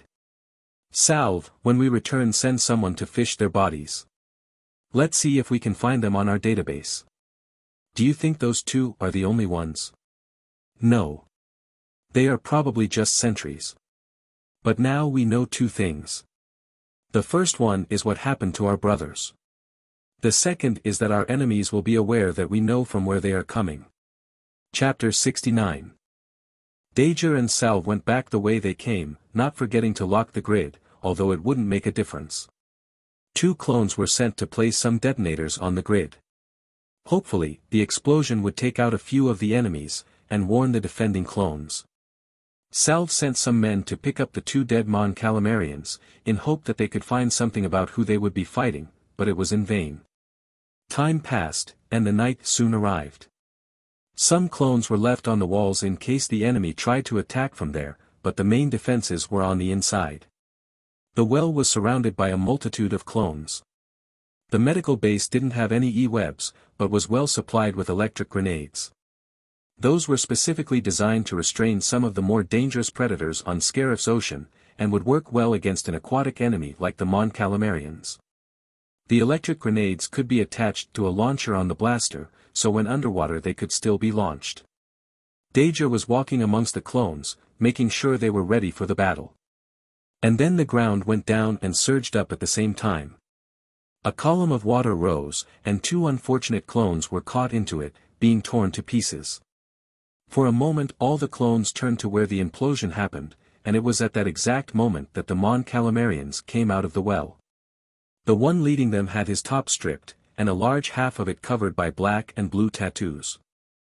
Heige stabbed his vibro trident on the back of a poor clone, then pulled it viciously and threw it at another clone, impaling him. Dager had to recognize how clever the enemy was. They had discovered and disarmed the thermal detonators on the grid, and also had to dig a hole underwater and blow it, at the same time distracting the clones and stopping them from using the electric grenades. Another clone fell, and the already small garrison went from 18 to 15. Dager turned and fired his DC-15A, days without end of practice guiding his hands. A few pulls on the trigger, two dead Mon Calamarians, and the effect was better than a sign saying, shoot me, on his armor. That was, at least until Metal showed up. Metal got up from his crouched stance, using both hands to lift his Z-6 rotary at his waist. Green blood flowed from the bodies of some Mon Calamarians, their lack of armor only making the situation grosser. By now the Mon Calamarians had changed their vibro tridents to a kind of blaster that fired red lasers. By Dager's side, one clone was hit on his shoulder, falling to the ground in pain. Dager dropped his weapon and dragged him until most of his body was behind the treadmill. 3-4. Wounded. Coming. 3-4 ran from behind his own piece of cover, and even eliminated one Mon Calamari while at it. He knelt beside Dager and the wounded clone, checking his wound. Sir, press here, we need to stop the bleedy. Damn. Red laser hit the treadmill in front of them, pulling splinters of it. Dager took 3-4 DC 15S and got up. Change of plans. 3-4, do your best and get him behind something. We need every clone here. The wounded clone moaned, and reached for his weapon. I can still fight sir. Cough. Cough. No, you can't. Be a good boy and follow orders. 3-4. On it. While their little exchange was going on, the Mon Calamarians had gained more ground, dozens of them already on the base, and more coming out of the well. Brain. Brain listened to him, and knew what to do. From his belt, a handful of thermal detonators appeared. Back on Kamino, when Hell Squad found out that Brain was putting so much training on throwing grenades, they had made fun of him. Now, each and every one of the detonators he threw took out bunches of Mon Calamarians. Dager had a random thought about how Brain, the one who didn't have a specified role on Hell Squad, went out after it by himself, deciding to train in the position they were missing, a grenadier. Chapter 70 Dager was very proud of the current Hell Squad, but there was no time to show it off at the moment. Even with Brain's thermal detonators, the situation was still getting out of hand very quickly. The number of Mon Calamarians who invaded the base was well over a hundred, although it appeared that the last of them had already got out. If Dager had to analyze the battle, he would probably say that, although the clones were outnumbered four, maybe five to one, they still had a chance. There were two main reasons for that. The first and most obvious one was that they occupied defensive positions, which was always an advantage. The second, and not so obvious, was that their enemies were enraged. That might not look as an advantage for some, and in some cases it really wasn't. But at this specific battle, or at least this moment of it, it made so that the Mon Calamarians were more likely to make mistakes. Such as running forward without thinking. At least two dozen Mon Calamarians had to fell to clone lasers, and brain grenades, until the rest learned that charging might not be the best tactic. Nevertheless, the brave moves by the Mon Calamarians paid off. Meter by meter, clone by clone, they started to gain ground. The one leading them was especially eye-catching. He used the weird Mon Calamari blasters with ability and zero scruples. Dager aimed at him, knowing that if he took out the leader, the invasion would soon crumble. The DC-15S, however, wasn't accurate enough. Dager shots passed right above the Mon Calamari head, and he ducked behind a crate. Fall back. Take position inside. Dager saw that he didn't have enough clones to maintain their position. He ordered a retreat, but he himself stayed behind. Unconsciously or not, all of Hell Squad members had gathered with him. Brain left his thermal detonators aside, changing them by a DC-15A. Tech and 3-4 were side by side, 3-4 helping Tech, who had a hole on his legs. Cell and Dab stayed a little behind, ready to cover their retreat. Metal took the chance to reload his Z-6 rotary, a troublesome matter, impossible to be done if they didn't have that break. Dager scrubbed the dust of his visor. Boys, we have no way out. Either we eliminate those fishes right here and right now, or we become seafood. On my mark, everyone gets up, fire what you had and run to inside the base. Cell, Dab, you cover us while we retreat. When we are past you, turn back and run. Brain, help Tech. His men looked intensely at him. He and Metal would be at the most danger, covering their retreat, and being the last to leave with a small nod, Dager took a deep breath and got up. In a synchronized movement, like a well-oiled machine, Hell Squad became an executioner squad. Almost ten Mon Calamarians in the front were cut down like Jiryu being harvested. Following Dager's orders, Tech, Brain, and 3-4 turned and ran. Dager aimed and fired, and then aimed and fired, and then aimed and fired, and then aimed and fired. When he thought that the others had enough time to retreat, he gave Metal a pat on his shoulder, and started walking backwards. The enemy blasters were getting more accurate, so Dager ordered Metal to turn back and run. Now, only Dager was left facing 60 or 70 enemies. He ducked behind cover, and analyzed the situation at hand. There were 15 meters of open ground between him and the base. Almost all clones were already there, metal reaching at the moment he looked. Men. On two. Arg. He didn't get the chance to count to two. One Mon Calamari had run very far forward, and somehow had managed to hide long enough to jump on Dager. They rolled on the ground, and the Mon Calamari grabbed Dager's head and smashed it on the ground hard. Amidst his dizziness, Dager took out his DC-17 and pressed the muzzle on the chest of the Mon Calamari. The eyes of his enemy enlarged, and he let Dager go, but it was too late for him. Dager pushed the Mon Calamari off. His men inside the base sent volleys of laser fire, trying to fend off the incoming enemies and give Dager some cover fire. But they were too close. Soon, his allies at the doorway had to hide from the laser fire of the Mon Calamarians, and Dager was left alone, about to be engulfed by the enemies. Chapter 71 the Mon Calamarians were advancing slowly, looking for traps. It seemed that they learned that clones were a tough nut to crack, as the 50 or 60 Mon Calamarians' bodies on the ground showed. In contrast, there were only seven dead clones there, showing how high the price to take the medical base was. Things had gone quiet for the moment, but it wouldn't take long before the air was filled with lasers once more. Involuntary, and certainly to their worry, one clone had been left behind. Dager checked his belt, and even the dead Mon Calamari, for anything that could be used to stop the invaders. He had on DC-17, one DC-15S, and two thermal detonators. Not nearly enough to escape his current predicament. No, that wasn't all of it actually. He also had some electric grenades, but he had thrown them to the back of his mind because they could only be used underwater. Underwater, underwater. The word kept ringing on his mind as if he was missing something. And then the idea dawned upon him. It was no wonder that Commander Keeli always said he had really bad ideas when he was in battle. That was another one of those bad ideas. Dager took out the grenade launcher and attached it to his weapon. Then he got one of his thermal detonators and activated it, before rolling it to his right.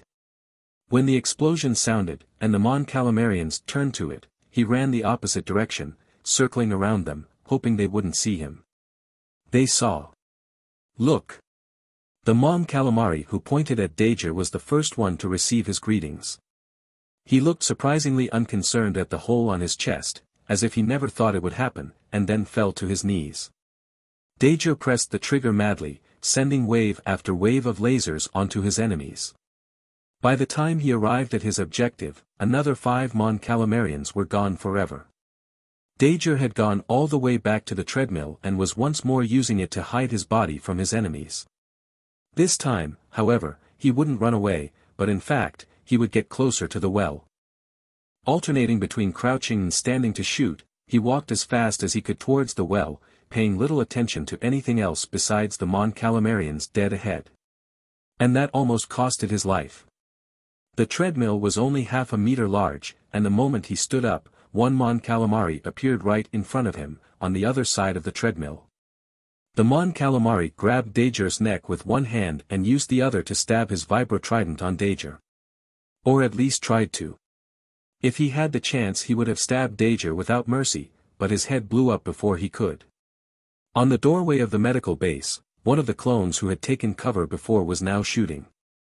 Dab used his DC-15X to eliminate not only the immediate threat to Dager's life but also three other Mon Calamarians who were close. Although those events might seem long, in truth they all happened in quick succession, and before they knew, the Mon Calamarians had lost almost ten men. Without any enemies right next to him, Dager did the unthinkable. He grabbed the diving mask and put it on, before jumping into the well. Before that, he left a little gift for the Mon Calamarians, a small and round metal ball, who eliminated three of them when it exploded. Needless to say that Heige was furious. He had started the assault with a full 128 men, but now only 58 remained. He had expected to lose some men, but not more than half of his forces, all because of a single variable, a clone squad he hadn't paid attention before. Tart. Chase and eliminate that idiot who dared to jump in her domain. I want his head. The elder Mon Calamari, Tart, acknowledged his orders, and gathered twelve Mon Calamarians before jumping in the well. He could only think of this clone as stupid, who decided, at his own will, to fight the Mon Calamarians on the habitat they knew better. Then he was greeted by a chain of electricity, numbing and paralyzing his body, as well as his men. The stupid clone didn't show any mercy, and tried to finish them off while they couldn't fight back. Chapter 72 Dager calmly shot the paralyzed Mon Calamarians, finishing them off one by one. Some of the weaker ones had already lost consciousness, and even the stronger of them, an older Mon Calamari, was having problems moving his body. Dager didn't show any mercy, even if his opponents were defenseless at the moment. He would not shoot a surrounded enemy, or one who couldn't fight in any way, but that wasn't the case for those Mon Calamarians. Dager was sure they would try to eliminate him as soon as they recovered. Eliminating all threats was in his nature as a soldier, and also on his genetic code. But he didn't have the time to eliminate all of them. A hand penetrated the water and grabbed the older Mon Calamari, pulling him out.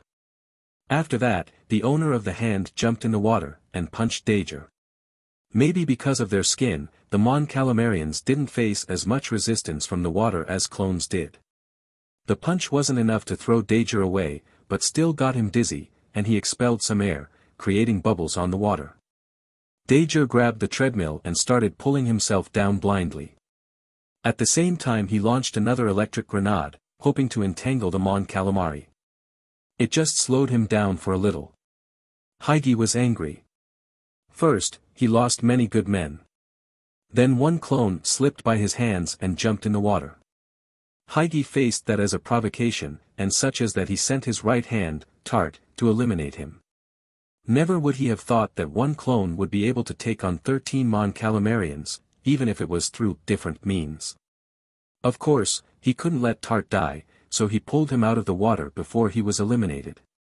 After doing that, a red mist took over his head, and all he could think of was of killing the clone. When the clone used his weapon to throw another of the detonators that exploded on electrical spirals, he was forced to stop. That was enough for him to clear his head, and think that maybe the clone was leading him into a trap. But what trap could it be? He had already disarmed their bombs, and scouted the tunnel. No. The clone was just desperate. And Heige liked the feeling of invoking such terror on one of the clones who eliminated his father. Dager's plan only went as far as that.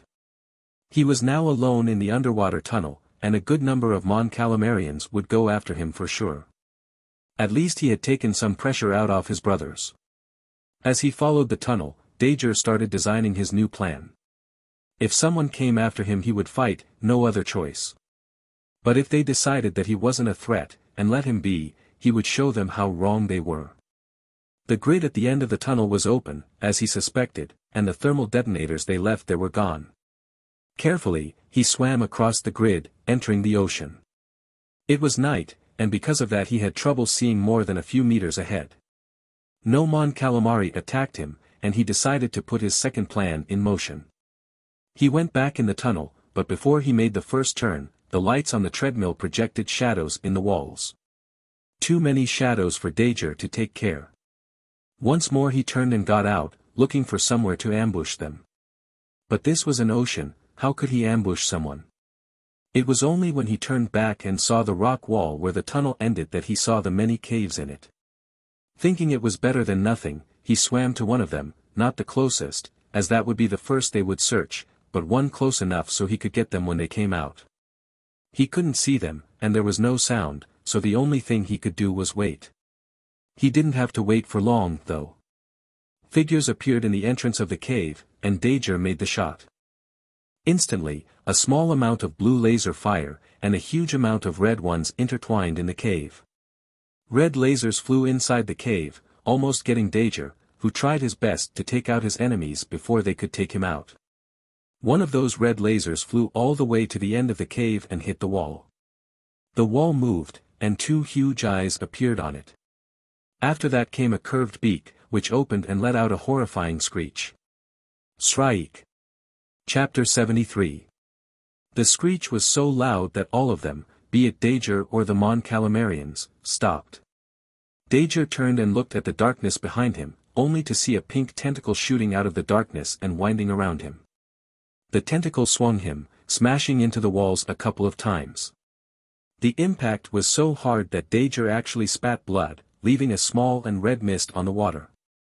The scent of blood seemed to stimulate the owner of the tentacles, and it came out of the darkness. A giant monster. That was the only way Dager could describe it. It was at least 15 meters long, with a pink body. It was covered by a dark gray shell, and the only uncovered place was its face, from where the tentacles came. Five long tentacles, ending on suckers and starting at the sides of its beak. The monster went closer and closer to the entrance of the cave, and the Mon Calamarians there seemed to be paralyzed. Even when the tentacles reached out to grab them, there was still no resistance from their part. The monster kept dragging Dager, and luckily for him, decided that it was one Mon Calamari, not him, that would be his dinner. The scene was gruesome. The monster, however, was not satisfied after just one Mon Calamari, and this time, Dager was the unfortunate one. As the tentacle pulled him closer and closer to the curved beak, Dager had to think fast. When the monster opened its beak in anticipation, Dager used another of the electric grenades, launching it directly inside the monster's mouth. Blue arcs of electricity filled the monster mouth, and it let another horrifying screech before its tentacles twitched and let go of Dager and the Mon Calamarians. Without worrying about the fact that they were enemies, Clone and Mon Calamarians swam as fast as they could to get out of the cave. Once they were out in the ocean again, Dager was instantly surrounded by Mon Calamarians. There were at least ten of them, lead by the one who chased Dager on the well. They entered a stalemate, both sides pointing their weapons at each other, but too worried with the monster to actually try and eliminate each other. The Mon Calamari on the lead, the one with the tattoos, looked viciously at Dager. Clun. Your kind eliminated my father. We are at war, Mon Calamari. Your father was amongst the one who attacked my home planet. How would you feel if we attacked Mon Cala? Mon Cala? Ha! I despise Mon Cala. They took your side, and betrayed my father and I. Listen Clun. The name of who will eliminate you is Haigi, soon of Marai. So the Mon Calamari was the son of the enemy commander. Now it made sense why he had such hate for the clones. And I am Dager, son of Kamino, a pleasure to meet you. Don't you think that we have more immediate problems? Such as this creature right there. Dager pointed at the cave, from where the tentacles of the monster were already emerging. I can eliminate you first, scum. Heidi spat those words, and was almost pulling the trigger. But Dager was already expecting that, and sent his last electric grenade. The grenade exploded, once more paralyzing the Mon Calamarians, and knocking some of them unconscious. Dager obviously would not wait for them, and swam as fast as he could to the tunnel. When he arrived there he looked over his shoulder, and saw the monster grabbing Mon Calamarians and stuffing them on its mouth. The clone threw another one of the electric grenades, catching Heidi and the other Mon Calamarians out off guard. With a numb body, Heidi could only look while the monster used its tentacles to capture his men and eat them. Heidi hated himself for not being able to move, he hated the clone who caused so many of his men to die, and he hated Count Dooku, who started it all. As the tentacles reached for him, the only thing he could do was watch and wait. At that moment, when he was almost being captured, Tart, his father right hand, pushed him out of the way. Tart. Until the moment that his body was crushed by the curved beak, Tart said nothing, but only looked at Heidi, his eyes telling him to run. Later, on the bottom of the ocean, Heidi's ship. Heidi was once more on the control room, facing Count Dooku's hologram. Heidi. I see your vengeance didn't go as well as expected. Not caring about how Count Dooku knew this, Heidi faced him silently. Child, you come to me for my help, even after you said you will eliminate me. I will show you the path on which you can destroy all clones. Go to a planet called Kalee. Someone there will teach you how to exercise your vengeance. Heidi turned off the transmission, and not much later a ship left Scarif. Chapter 74 When Dager got out of the well, the situation was pretty much the same as when he left, but both sides had suffered losses. Without counting the Mon Calamarians who chased him, and were by now most probably dead, there were about 25 or 30 of them. The clones obviously made them pay a heavy price to get to the inside of the base. But they did. Dager could see two dead clones on the doorway, and another one leaning on the wall. Thankfully none of them was of Hell Squad. As Dager got inside the facilities of the medical base, more bodies appeared. Most of them were Mon Calamarians, but there were also some more clones, and even some researchers. Judging by the blasters on their hands, even the researchers were still clones. Soon, Dager heard laser fire. He sneaked across the corridors, and saw the backs of the Mon Calamarians. They were grouped around a door on which water tests was written, and were firing inside. There were two more dead clones, with holes on their backs. Dager couldn't see who they were. By the sights of it, the clones were retreating when the Mon Calamarians caught up to them. If Dager didn't miss anything, then there were 17 Mon Calamarians alive. And judging by the bodies all over, only three or four clones remained, plus Hell Squad and some researchers. Hey, you smelly scum. Dager did the most reasonable thing, which was, of course, shooting at every Mon Calamari on his line of sight. The DC-15S that he took from 3-4 was the best option at this kind of close combat, since it could fire faster, and accuracy wasn't so important. Gus started with his blaster pointed at the left, and pressed the trigger non-stop, at the same time moving the weapon in a horizontal line, ending his movement on the right. As a result, the back lines of the Mon Calamarians, about six of them, all fell, and the astonished survivors took a lot of time to react. Dager didn't have anywhere to hide, and all of his ammo was spent. But he didn't need to worry, as the clones on the room came out, and quickly took down some enemies. For the first time in the whole battle, the Mon Calamarians showed some common sense and surrendered. Only half an hour later that Dager finally had the chance to sit down and think about the situation. They had nine prisoners, all locked and defeated both physically and mentally. However, the Republic side wasn't faring much better. On the battle, of the original 18 clones stationed on the medical base, only Salve and three more remained. Of the researchers, more than half were dead, all with a blaster on their hands. Hell Squad only had one wounded, Tech, and no dead, but were extremely tired. Talking about that, the only reason they were alive and victorious was because of that strange monster that Dager encountered. The creature eliminated at least 15 Mon Calamarians, and Dager still didn't know if their leader was alive, but his instincts told him that Heige was. Dager became curious about why such a dangerous monster lived near the medical base, and asked one of the researchers. The answer surprised him. It turned out that the monster was called Blixus, a native predator of Scarif. The electric grenades were originally designed to deal with it. And more, the Blixus he encountered was only one of the many who lived in Scarif. The clones knew the monster lived there, but since it never came out of its cave, until Dager electrocuted it, they never had any problems. The aftermath of the battle was intense, and the clones spent the next few days cleaning up everything. The task of how to make the production continue was not Dager's problem, and the researchers decided to wait a few weeks before going down on the water, to make sure the Blixes had calmed down. However, the medical base still had a huge stockpile of medicines, and Dager got it all ready for their return to Kamino. Dager didn't know that Heige had survived and followed Dooku's instructions to go to Kalee, but it was a fact that after the battle their communications were restored. Dager saw that as a sign that the planet was theirs again. It was only after a week that another group of Republic ships arrived, not rushing since Dager contacted them to say everything was under control. Dager was expecting that they would get the medical supplies on a ship and go back to Kamino, but apparently, Commander Keeli and General Di had other plans. Both of them disembarked from the Sincerity, and asked Dager to have all the clones in position because they were going to get a speech. Together with the speech came the surprises.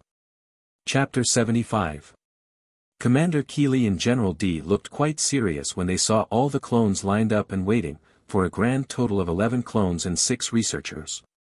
Both leaders looked at the group, solemn expressions on their faces, but Dager wasn't getting any bad feelings.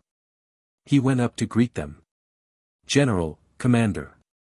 It is good to see you. For some time we thought we were all dead. Dager, are those all the survivors? Even the injured are here. Keeli. Yes, General. Commander Keeli stepped forward, and took off his helmet. His eyes calm, he took out a datapad. But before he started reading from it, he decided to say something himself. Clones. Only you remain before me, of over 30 brothers who were here before. They died doing their duties, but that doesn't make their deaths less important. Commander Keeli looked at the clones, who were all looking sharp. Most of them had some new scar or hole in their armor to show. Satisfied, Commander Keeli looked at the datapad, and started reading it. Sergeant Salve. One step ahead. Salve walked until he was in front of Commander Keeli and General Di. Sergeant Salve, the Republic, and I, are deeply grateful to you and your men, by defending this medical base, at the cost of your lives. Your lost troopers will be replenished soon. Thank you, sir. Salve returned to his position, and then it was the turn of the head researcher, Jitu. Jitu, many of the researchers lost their lives defending this base, as good as any other clone. Their sacrifice will not be forgotten, and the men you lost will also be replenished. Thank you, sir. After both men returned to their initial position, Commander Keeli passed the data pad to General Di, who took it, but didn't give it another glance. With his hoarse voice, the Jedi asked Dager to come a little bit forward. Dager, leader of Hell Squad. You lead your squad and the garrison of this medical base to withstand an attack from an enemy many times larger. Your actions also gave the Republic a crucial piece of information, that being that our enemies are not only much better prepared than we thought, but also that they are not only droids. He stopped talking, something that Dager was already accustomed. General Di looked at Commander Keeli, who took over. Dager, you did a meritorious service for the Republic, and showed exceptional bravery, attracting the invasion force way and giving your men the chance to regroup and fight back. For that reason, I, in the name of the Grand Army of the Republic, am rewarding you with the second-class Kaminoan Medal. Commander Keeli took out a small medal, shaped like a rectangle, and with dark blue borders. The medal was magnetized, and when Commander Keeli put it on Dager's chest, it stayed there without falling. Dager accepted the medal without any complaints, as he already suspected he would receive something like that. What surprised him was the second part of Commander Keeli's words. That is not all. Now I am not speaking in the name of the Grand Army of the Republic, but in the name of the 303rd Attack Legion. During this battle and many others, you showed outstanding courage, leadership, and a little bit of craziness. However, everything you did was thinking about your brothers, and how to keep most of them alive. Those are the thoughts that a leader should have. He paused, and one of the clones that came with him advanced, carrying a box bigger than Dager's head. The clone gave the box to Commander Keeli, who in turn passed it to Dager, but told him not to open it yet. I discussed with the general, and we both agreed that you deserve a promotion. You don't have to say that you don't want it, I know you don't. But we cannot let your talents go to waste. Because of that, we both agreed that you shall be given the rank of sub-commander in name. That means you will still command Hell Squad as a special unit, but when needed you will have to step out and take over. Do you copy that? Yes, sir. Thank you, sir. Thank you, General. Commander Keeli and General Di united the best of both options, giving Dager a place for his talents to shine, but at the same time keeping the best special squad on the 303rd. Nobody would say that aloud, but it was obvious that they were showing a lot more support for Hell Squad and Dager than for the rest. General Di put his hands on Dager's shoulders, and surprisingly made a joke. We prepared you a little gift, to congratulate you and at the same time make the heavy duties we are putting on you are a little bit lighter. It was so different from the general normal self that Dager took a few moments before he understood that it was not a real commentary, but a half-joke. Like a kid that got a new present, Dager opened the box expectantly. On it, a shiny new helmet waited for him. Chapter 76 Dager opened the box, and inside it was a shiny new helmet. He used both hands to pick up the helmet and saw it was very different from the normal ones. First of all, it had one of the macrobinoculars that was only present on lieutenant and higher ranks. The macrobinoculars was different from the usual ones, slimmer and more powerful. It had many functions, like night vision, 100x zoom, detection software that provided distance, wind, elevation and more. But that was by far the less eye-catching piece of the helmet. What really caused an impression was the dark, reddish-brown paint. The right side was plain white like the standard armor, but on the left was a stylized horn, much like the one on Commander Keeli's helmet. The base of the horn started a little above the neck piece, and started thinning as it went up. It ended when it met the visor, and appeared once above it. At the top, the tip of the horn was only one finger large, and made a curve to the side part of the helmet, ending in a half circle. It was amazing. Dager never thought he would use those words to describe a helmet, but it was really amazing. Dager picked his old helmet, full of scorched marks, dust and scars, and put it carefully on the box. Old or not, the helmet saved his life many times, and Dager felt it deserved some respect. After that, he put his new helmet, and it fitted perfectly, just like his old one.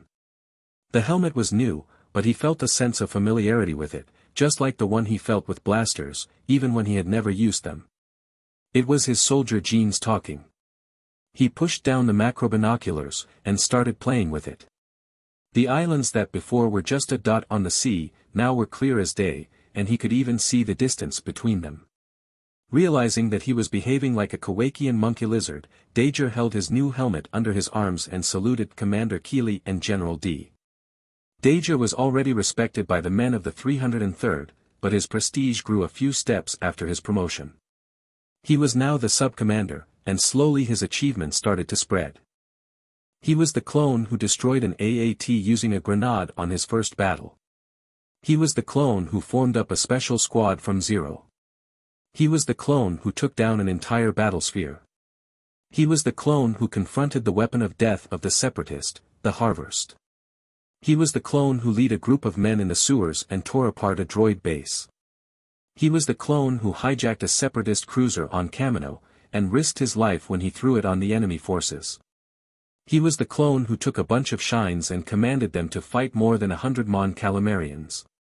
He was the clone who fought a Blixus and used it to destroy his enemies.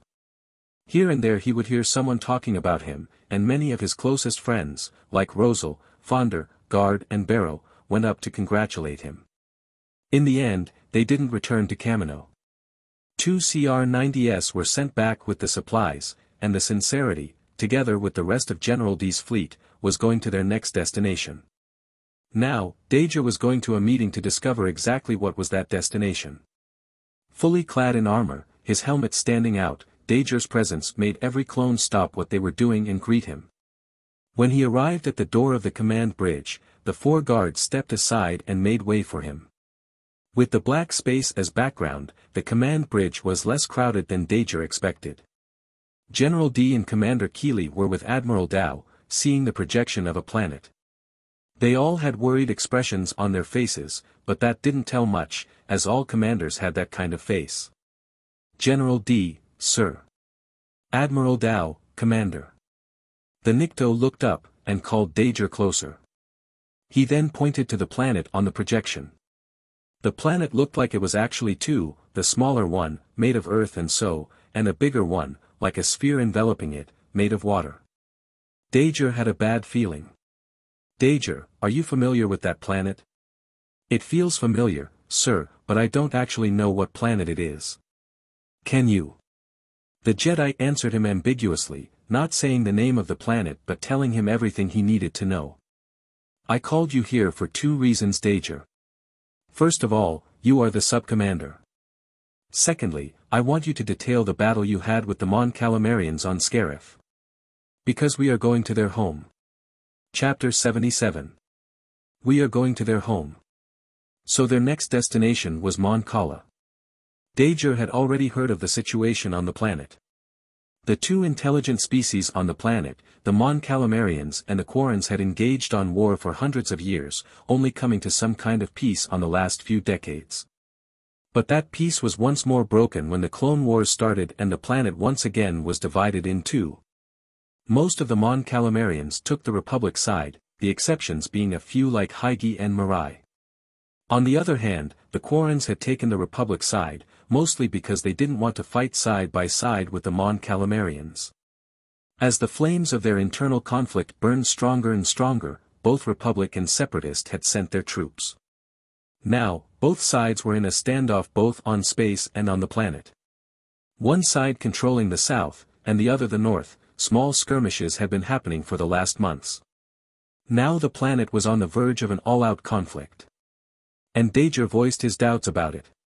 Sir, it is not that I like the situation on the planet, but till now, nothing big happened.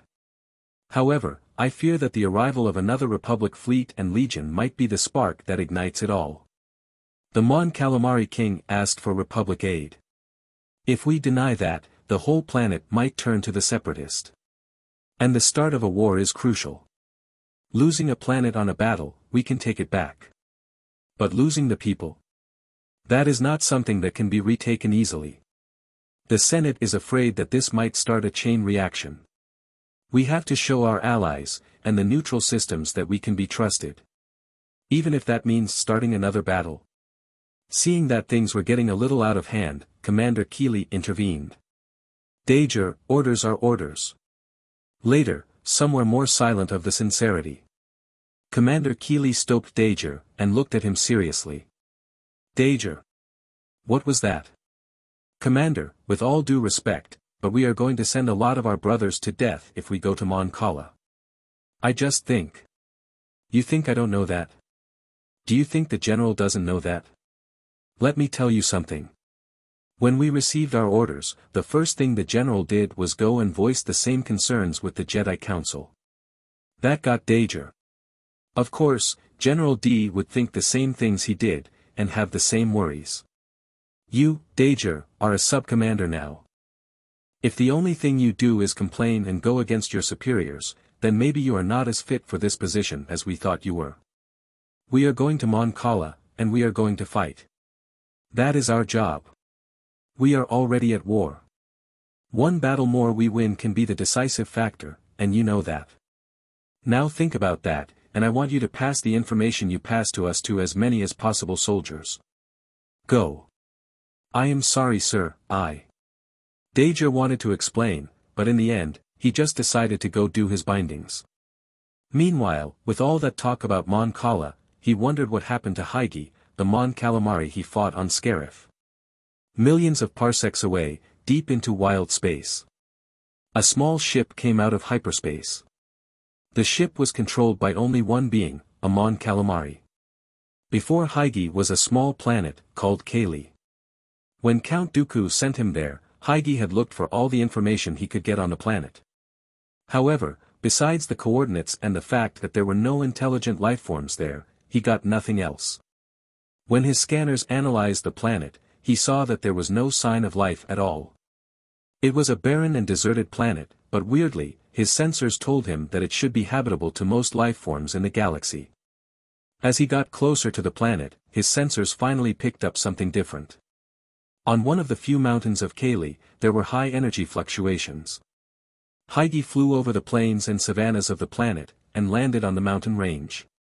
There, amidst the mist, a door was opened, and waiting for him. He picked his vibro trident and his blaster, and got in slowly. As soon as he passed through the door, it closed, and he was in total darkness, one that even his eyes, adapted to the depths of Mon Cala, couldn't see through. But he walked all the same, until an eerie voice was heard. Ka-ka-ka-ka. So you are the insect that. Cough. The insect that my master sent for me to train. Who are you? Ka-ka-ka-ka. If you survive, you will see. A hole opened under Hygie, and he fell in the darkness below. Inside the mountain, only a creepy laugh remained. Chapter 78 Heidi slid down faster and faster, his head, back and hands slamming on the sides repeatedly, leaving many bruises. Then, the hole ended, and he slammed on the ground, his legs exploding in pain. Struggling to get up, he looked around.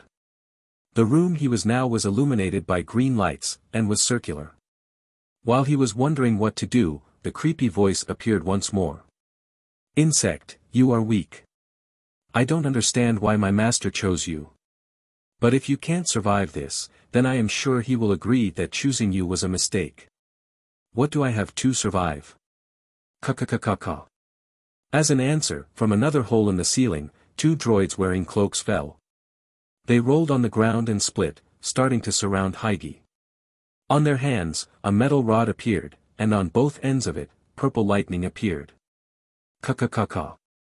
Cough, cough. Kaka. Those are only the first battle you will fight, insect. Ka-ka-ka-ka. Since his conversation with Commander Keeli, Dager thought a lot about what his commander said, and realized that he was right. Dager had indeed forgotten his place as a soldier, and that he couldn't be afraid of starting a battle. He wasn't fighting only for the Republic, but for a galaxy in which he and his brothers could be free, and that galaxy would only become reality if they win the war. With all that in mind, Dager shared his experiences in underwater combat, about two hours of it, with every clone he could. That could be the difference between life and death in the Battle of Mon Cala. When they came out of hyperspace they arrived just behind the Republic fleet already there. On the distance, very far away, was the Separatist fleet. They must have detected General Di fleet before it got out of hyperspace, because they were already arranging defensive formations. But they obviously didn't know that the Republic was going to send aid from Mon Cala, since they didn't attack, but waited for the Republic move. As per discussed before, half of the CR-90S on General Di fleet immediately descended on the planet. Their objective was to drop troopers on Mon Cala. Since less they only had diving and underwater equipment for less than half of the Legion, only two regiments, about four. 000 clones, would fight on the planet. The rest would stay on the cruisers either to board separatist ships or defend against them. Hell Squad was among the ones who would be dropped, but the separatist wouldn't let them get there easily. Mon Cala was basically an ocean, and as such, there was nothing like outposts, bases and else. The battles would take place directly in the cities, and 4,000 clones could make all the difference there. So, as soon as their objective became clear, the separatist moved to intercept. Vulture droid after vulture droid speed towards them, and the same amount of Republic starfighters went to meet the incoming enemy. Inside one of the corvettes, Dager reassured his opinion that this was the worst moment of any invasion. He was fine with fighting on the group or underwater, attacking or defending, alone or with his brothers, but not inside a ship. He couldn't do anything, only hope that he wasn't the next to be blown by the droids. At the cost of many pilots' lives, including some of Steel Battalion, only two corvettes were lost on their way. The bottom part of the CR-90 opened, and Dager, this time using much better prepared equipment, told the clones to jump, squad by squad.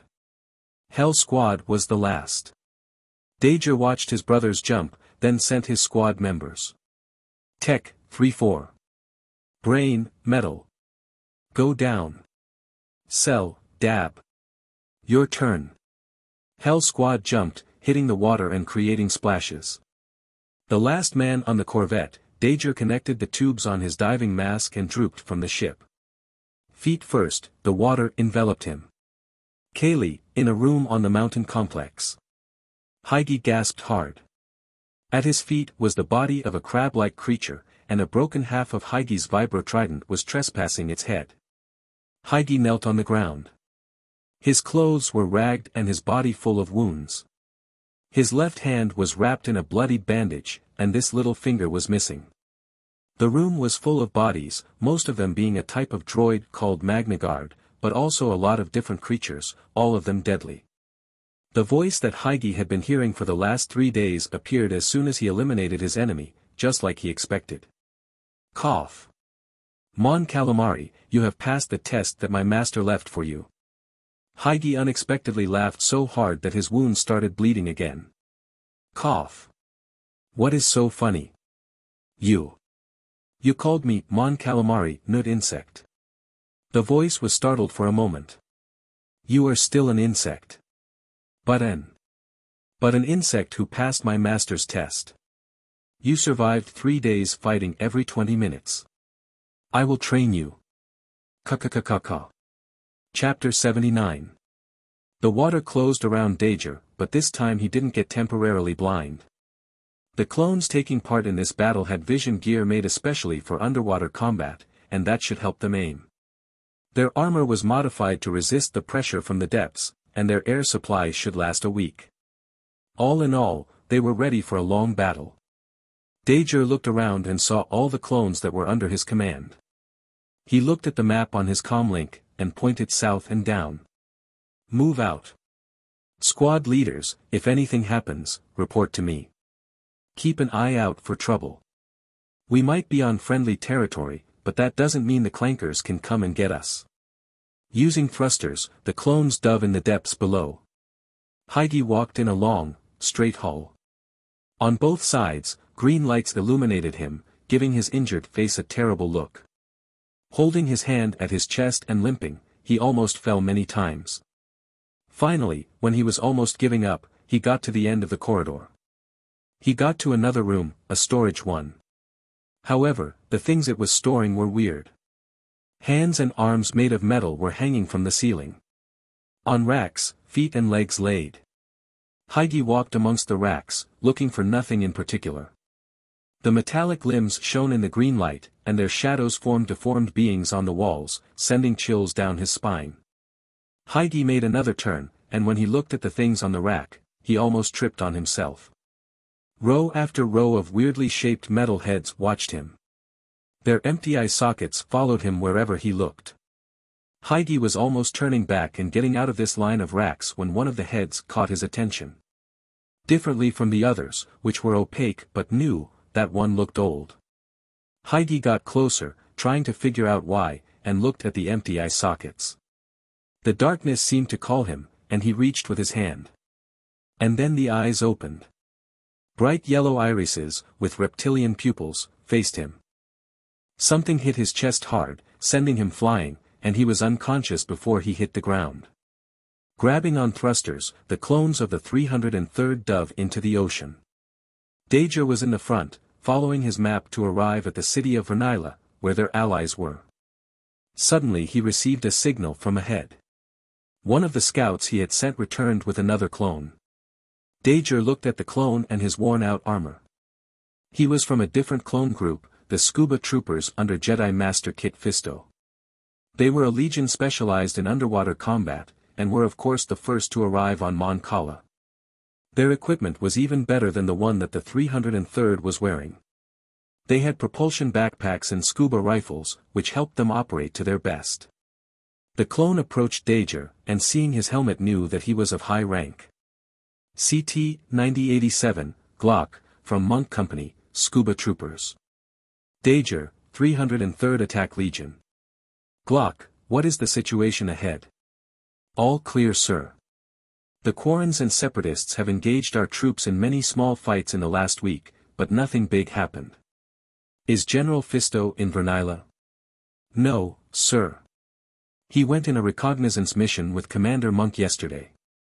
Dager preferred to talk to the Jedi as soon as possible, but if he wasn't there, then he could do nothing.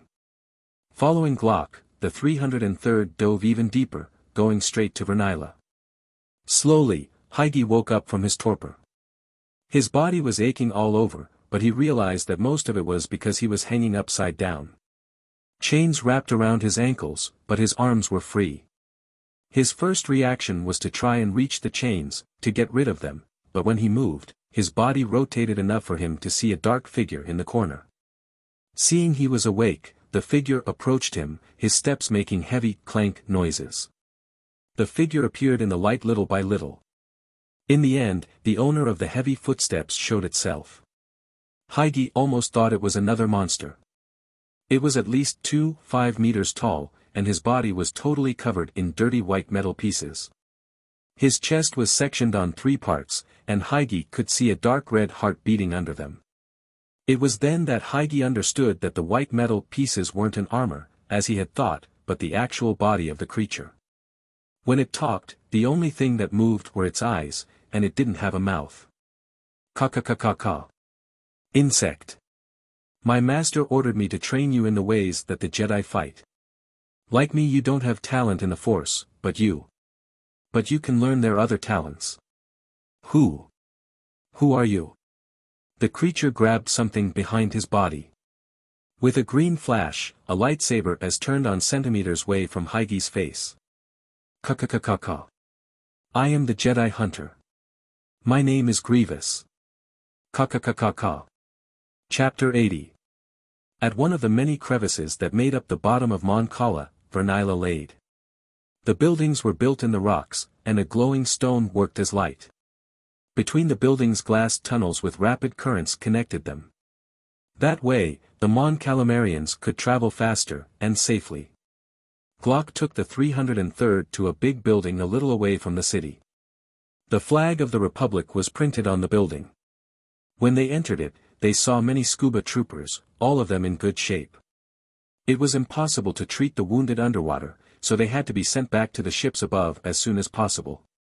Soon the 303rd was accommodated, and since Dager was the commander, it was his job to go and talk with the Mon Calamarians. But he decided to wait for Monk and General Fisto to come back. If he wasn't wrong, anything he asked about the Quarrens or Separatist would be answered with hate. He wanted to have a clear view of the situation, if possible given by a Jedi. Nevertheless, he still decided to walk around the city. He changed his helmet for a normal one, so others, beside clones, wouldn't be able to tell his rank. That way, even if he was stopped by a Mon Calamari he could say he didn't know anything because he was too low ranked.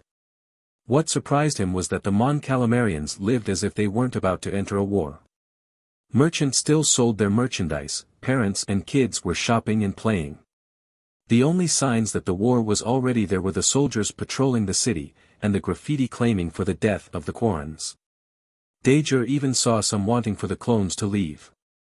As he wandered in the poorest areas of the city, the situation started to get worse, and the number of graffiti asking the clones to leave started to get bigger. When Dager turned a corner, he saw a commotion. Three young and male Mon Calamarians were kicking and punching someone.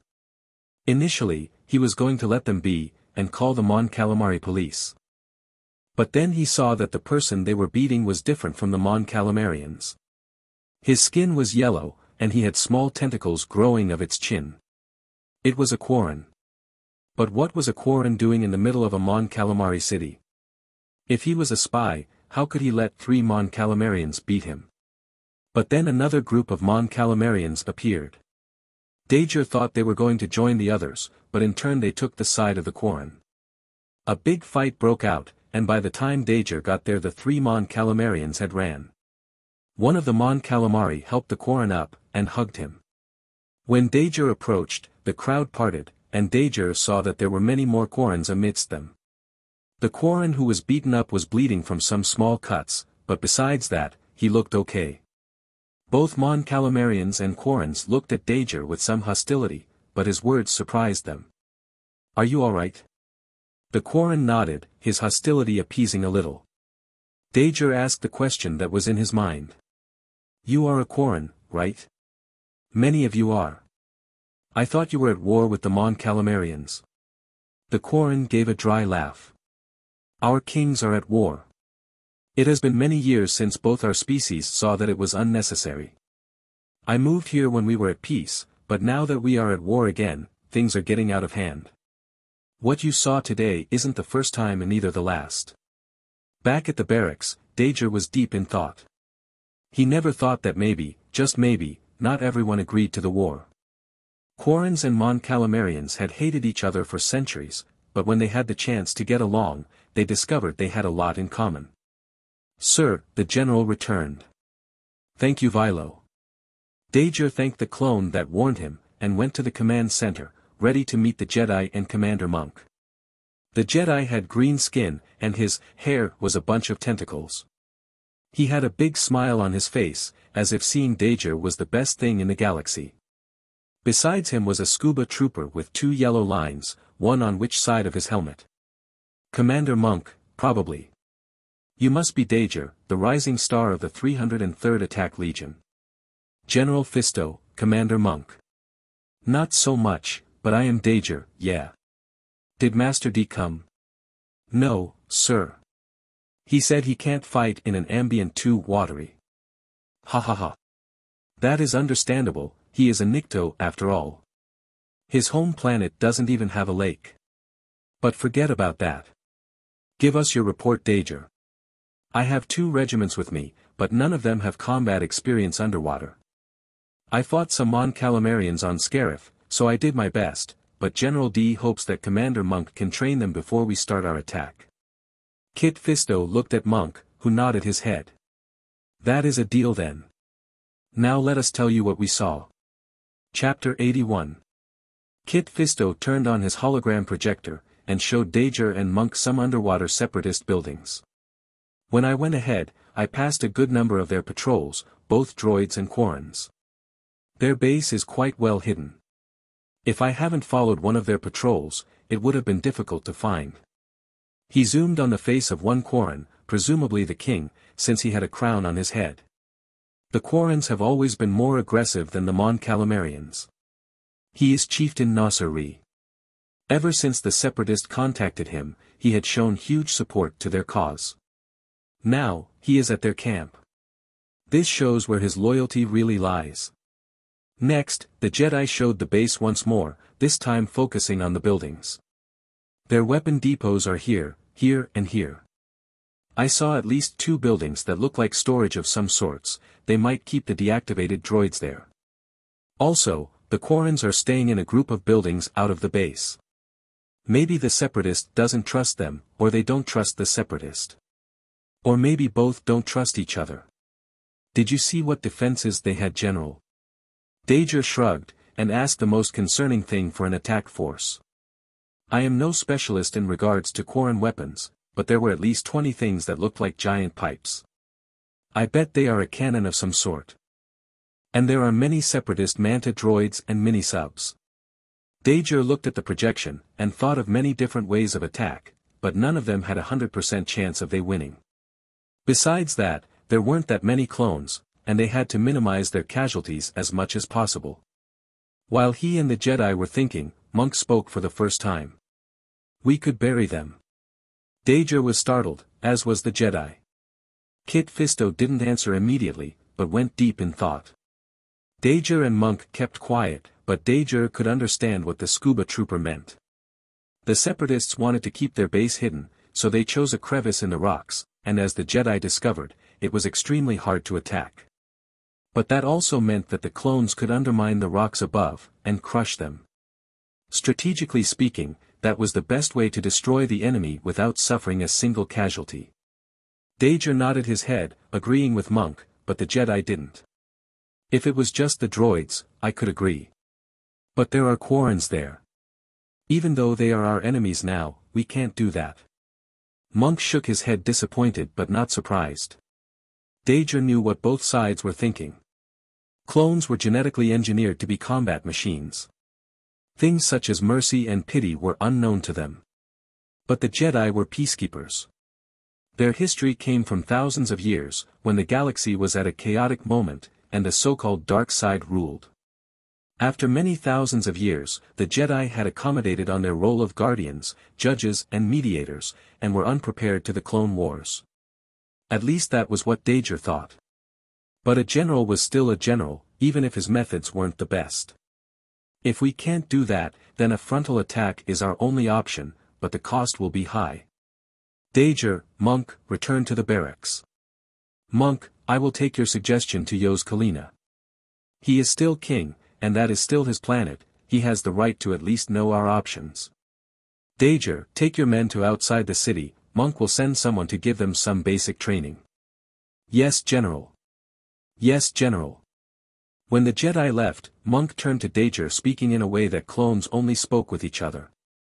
Brother, let me present myself unofficially. I am Monk, commander of the Scuba Troopers, and under General Fisto. Dager, subcommander of the 303rd Attack Legion. I see that General Fisto is quite difficult to deal with. He is emotive. His mood swings very fast, but his sense of righteousness is unmovable. Now come, let me give your boys a taste of underwater combat. Vernila, Red Palace, Side Hall. Dager and Monk were at the most important building of Mon Cala, the Red Palace, where the king lived and made his decisions. At that moment, what they were deciding was their course of attack. The meeting had been called by the king himself, Yos Kalina. For fear of spies, only the most trusted men of the king were there, mainly generals, and the prime minister. Of course, Jedi Kit Fisto and the clone commanders, Dager and Monk were also there. As Kit Fisto have suspected, when he took Monk's suggestion over to the king, the old Mon Calamari rejected. But many of his generals didn't view the matter the same as him. They supported burying the Quarrens, and Yos Kalina was having a hard time suppressing their protest.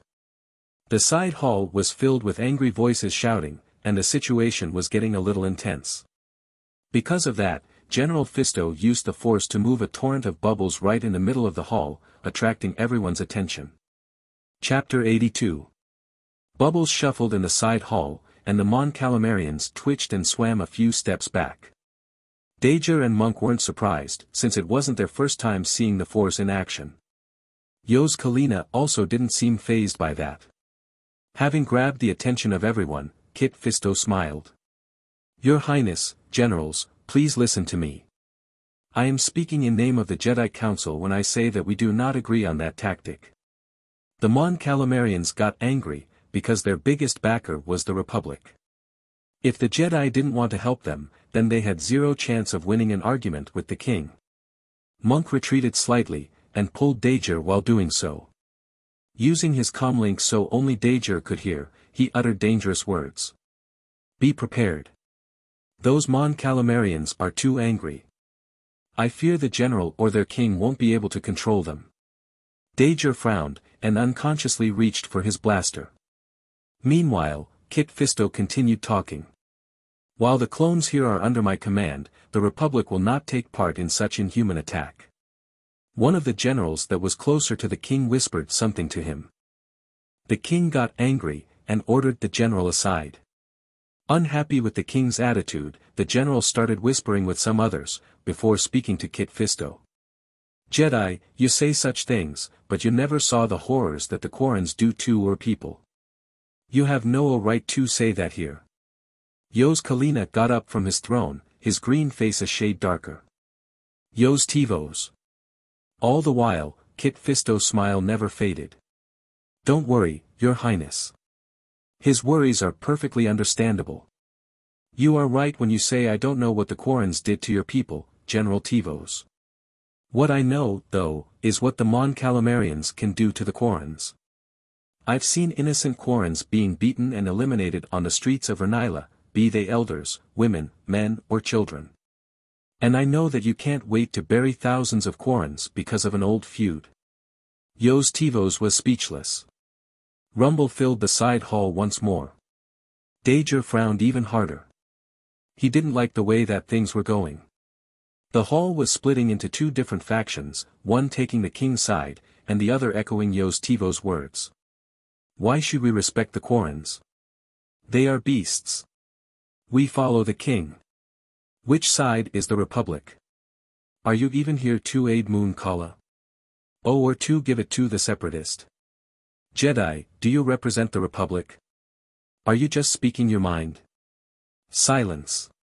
When Yos Kalina spoke, everyone shut up. The king was still the king, even if he was going against the wishes of his subordinates. Jedi, finish speaking. Generals, if you wish, you can ask the Chancellor for another Jedi or Commander. But while I am here, we won't undermine those rocks. That is not the way the Republic fights. Many hours later, only Yos Kalina, Dager, Monk, Kit Fisto and a few loyal aides of the king stayed in the hall. After the generals paid their respects to the king, in a not very respectful way, they stormed out of the hall, still angry with the decision. But they couldn't do anything, because without the help of the Republic they would be crushed. Master Jedi, I am sorry that my brother behaved in such way. Ever since we were little, Tivos always was against the peace agreements that her father made with the Quarrens. I wasn't offended, your highness. But if I could ask for your help. Go ahead. Please, send someone to keep an eye on General Yos Tivos. I am afraid that he might do something harsh. I already did that. But he is right about one thing. We can't delay much, or the side attacking will be the separatist. How about? What? While the king was speaking, one Mon Calamari came and said something in his ear, and that invoked a big reaction from him. Tivos, how can he? That is unacceptable. Your Highness, what happened? My brother. He ignored my orders, and decided to bury the separatist himself. Hearing that, Kit Fisto decisively turned around and swam out of the Red Palace. Dager and Monk followed him, and on the background, the king was barking orders at his subordinates. Monk and Dager only caught up to the Jedi when they reached their barracks.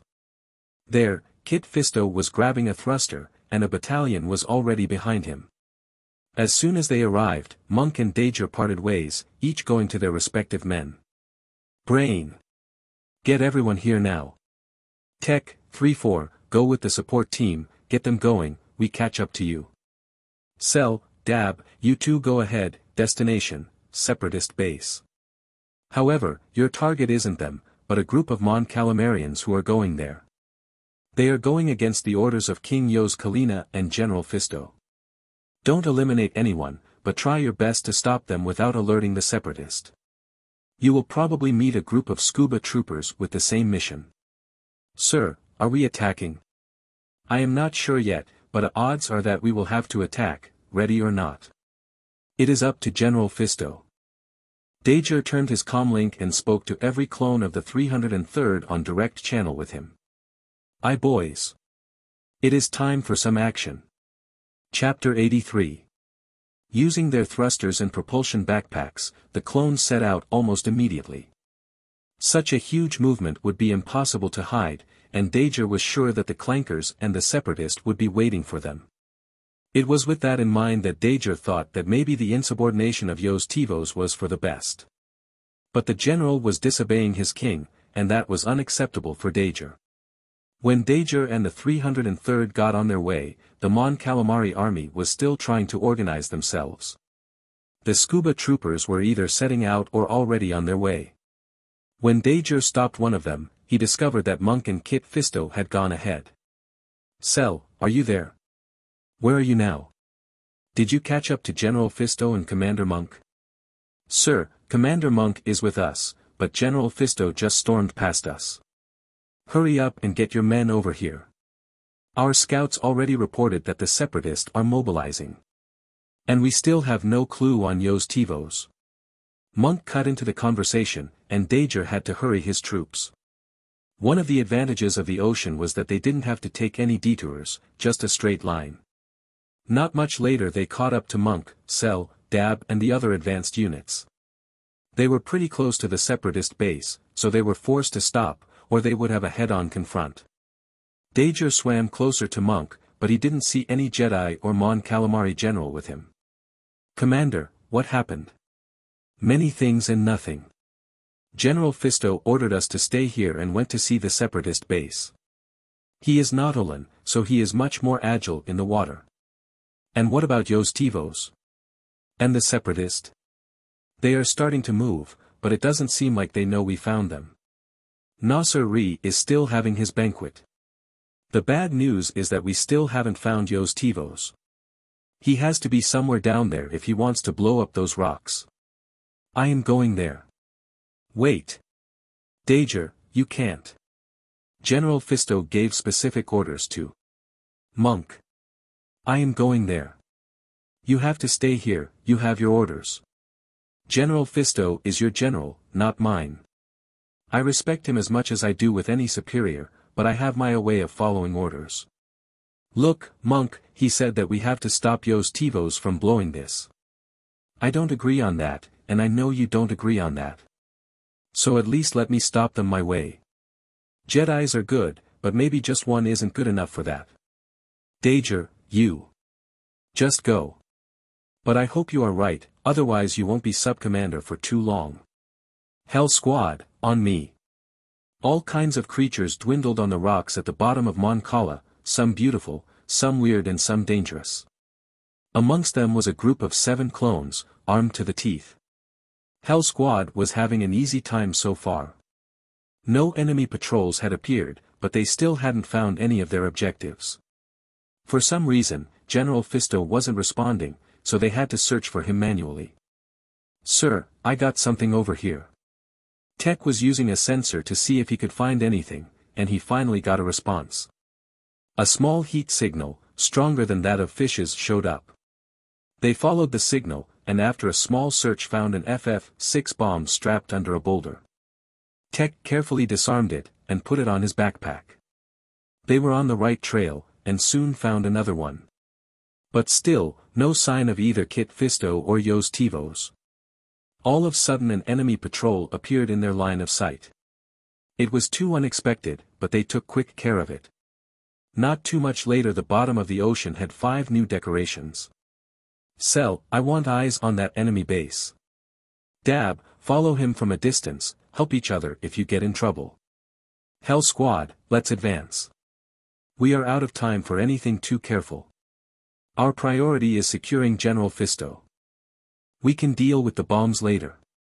Five minutes after Cell and Dab went scouting, Dab contacted Dager. Sir, we got something here. Cell is going ahead and... Dang! Sir, we need some help here. Dab, what happened? It will be better for you to see for yourself, sir. They advanced quickly, but what greeted them was out of their expectations. On one side was Kit Fisto, with his lightsaber turned on, and Cell. Dab was a little more far away, his sniper ready. On the other side were ten or so Mon Calamarians, including Yos Tivos. Both sides were facing each other, blasters ready to go. The arrival of Hell Squad evened the equation. Dager asked what was happening to Kit Fisto quietly. I caught them strapping more bombs, but I was the one captured. What are you doing here? Saving you, General. Oh. What are you talking? Jedi. Yos Tivos, on the other side, got afraid that they were making plans, and interrupted them. Jedi, we are all on the same side. There is no reason for you to stoop me. I can win this battle. Not that way, General. Leave those bombs and return. We can't have an internal conflict when we are about to enter a battle. The Mon Calamarians need to see that you, the King and the Republic are on the same side. Chapter 84 Not that way, General. Leave those bombs and return. We can't have an internal conflict when we are about to enter a battle. The Mon Calamarians need to see that you, the King and the Republic are on the same side. Kit Fisto words were touching, but useless. Yos Tivos was fighting for something on which he believed, and Dager knew by experience that it was impossible for such a man to give up. He was all too familiar with this because that was the way every clone fought. Don't think you can convince me, Jedi. As we speak my men are planting more bombs. Even if you try to disarm them, there won't be enough time. Enough time for what? A third voice was introduced in the conversation. Dager looked up, to the Quarrens and Separatist above them. There were at least a hundred, and on the front was Chieftain Nossor Ri. Clones and Mon Calamarians had been so absorbed in their confrontation that they didn't notice the enemy arriving. The Quarren leading the enemy was Nossor Ri himself, holding his crown in one hand and a scepter on the other. So, General Yos Tivos, would you be kind enough to tell me your plans? Dager slowly moved while Nossor Ri and Yos Tivos were quarreling, trying to get to a better position. At the moment the clones were too exposed, and the separatists were right above them, at a perfect angle to eliminate them all. The Mon Calamarians that Yos Tivos brought with him, presumably his guards, were doing the same. Both groups might have been discussing moments ago, but when they were put against the wall, they were still on the Republic side. Their actions, however, didn't pass unnoticed. With a shout from Nossor Ri, a hundred blasters were pointed at them. Don't you try anything, Republic scum, or you are dead. Kit Fisto talked at this moment, his eyes closed in concentration. His hand was moving left and right, in a hypnotic rhythm. Chieftain, you don't want to eliminate us. You want to let us free. You will let us go, and you will retreat your troops. We'll let you go. For a few seconds, the eyes of the chieftain became dazed, and Dager thought that maybe General Fisto's use of the force would work. But then Nossor Ri's body shook and the misty in his eyes disappeared, giving place to anger. No. Your tricks won't work on me, Jedi. My mind is too strong. You just dug your own grave, trying to control me, the king of Mon Cala. You are not the king. My brother is the only king Mon Cala have. Yos Tivos' face was entirely red, and he disregarded everything when he heard Nossor Ri calling himself king. He tried to swim to Nossor Ri, but gave up when dozens of E5s were pointed at him. Nossor Ri sneered, disdain all over his face. Little general, why are you so angered? Don't you already know that your dear brother charged you with treason? Ho ho hee hee. Did you really think my spies wouldn't discover why you came here? As we talk my men are disarming your bombs. Yos Tivos' face showed surprise, despair and then a defeated smile. So that is how it is. I guess I can only redeem myself by completing my treasonous acts. He opened his fists, showing that they weren't closed only because of his anger, but also to hide something. A small switch was revealed. Many things happened at the same time. Kit Fisto yelled no. And Nossor Ri ordered his men to stop Yos Tivos. But Yos Tivos pressed the switch, and then was immediately torn apart by the lasers of the droids. Muffled explosions happened all around them, and big boulders and rocks started to fall. One big boulder hit the droids and Quarrens, burying them under a few tons of rocks. More rocks crashed down, directly above Hell Squad. Before everything went dark, Dager felt a small push on his body. Hell Squad, can you hear me? Cell. Dab. Meta. You don't need to call in the comms, sir. We are here. Tech. Is everyone alright? Report. Tech here. Brain here. Cell and dab ready to go, sir. I am here, sir. 3-4. Metal here. General Fisto, can you hear me? There was no answer. Dager touched his helmet, and found out that he lost his lantern. Men, turn on your lights. Let me see what we have here. One by one, small light beams appeared in the darkness, barely enough to see anything. 3-4. What happened? Dager looked to one of the moving lights. Nothing, sir. Just got a bit scared here. Dager looked over, and saw that 3-4 was facing the corpse of a Mon Calamari, only that its bottom half was buried under the rocks. Miraculously, no one of Hell Squad got hurt, but it appeared that only them had that luck. Around them was an empty space, where no rocks had fallen, and then the rest was a mess of broken boulders and droid parts. Brain called him. Sir, I found General Fisto. Dager swam over to the middle of their cave and saw Kit Fisto there, laying on the bottom of the ocean, covered in dust.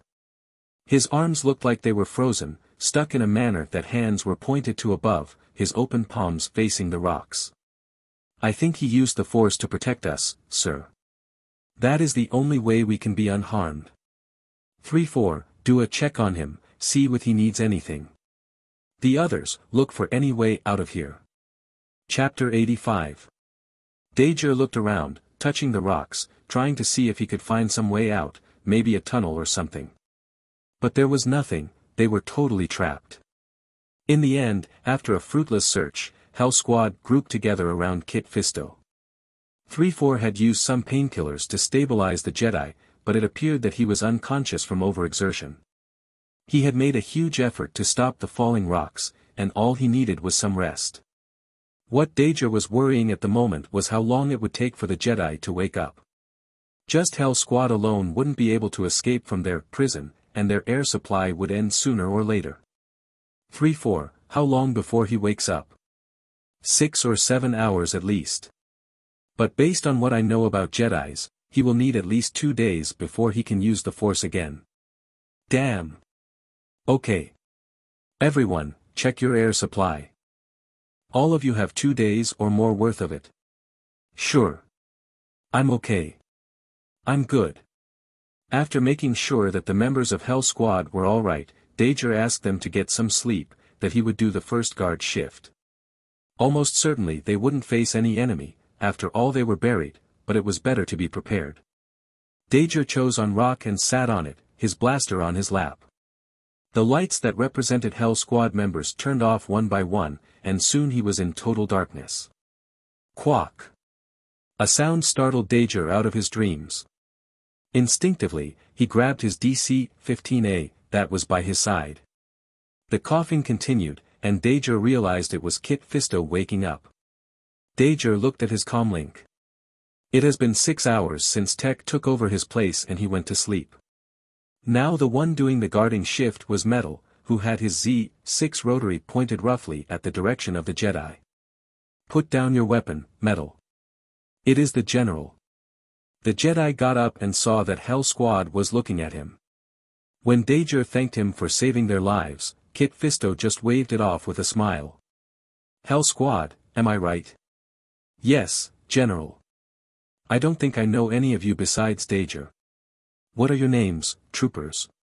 My name is Brain, Hell Squad Grenadier. Metal, Heavy Machine Gunner. Cell and Dab, Scout and Sniper.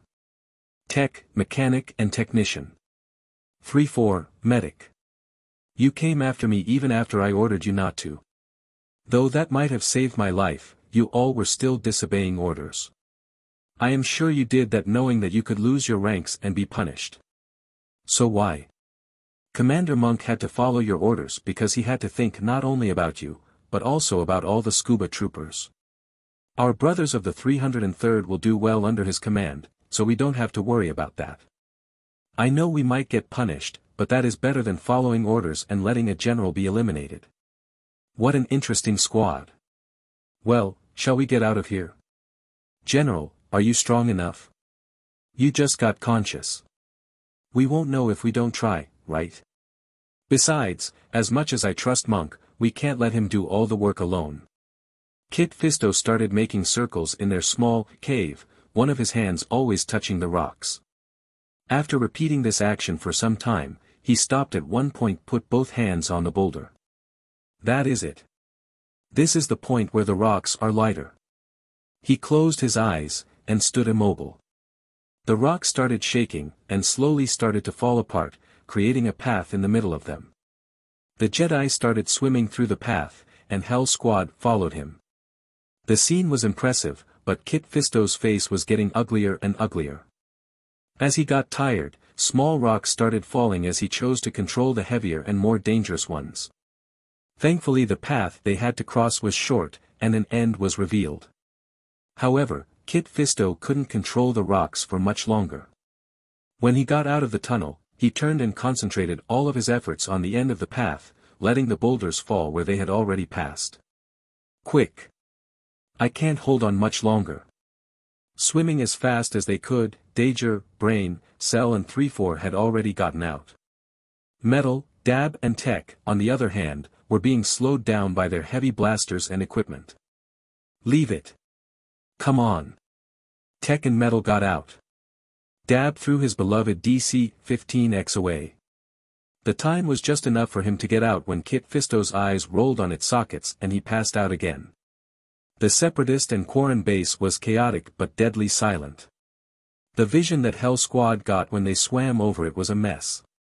Half of the base was totally buried under rocks and mud. The other half was hit with sporadic boulders, and many buildings have collapsed due to it. Kit Fisto clenched his fists when he saw all the dead. Droid parts were scattered at the bottom of the sea since they were heavier. But the Quarrens were floating. Men, women and children, none of them had escaped. Dager even saw some Mon Calamarians, probably in the same situation as the Quarren he saw on Vernila.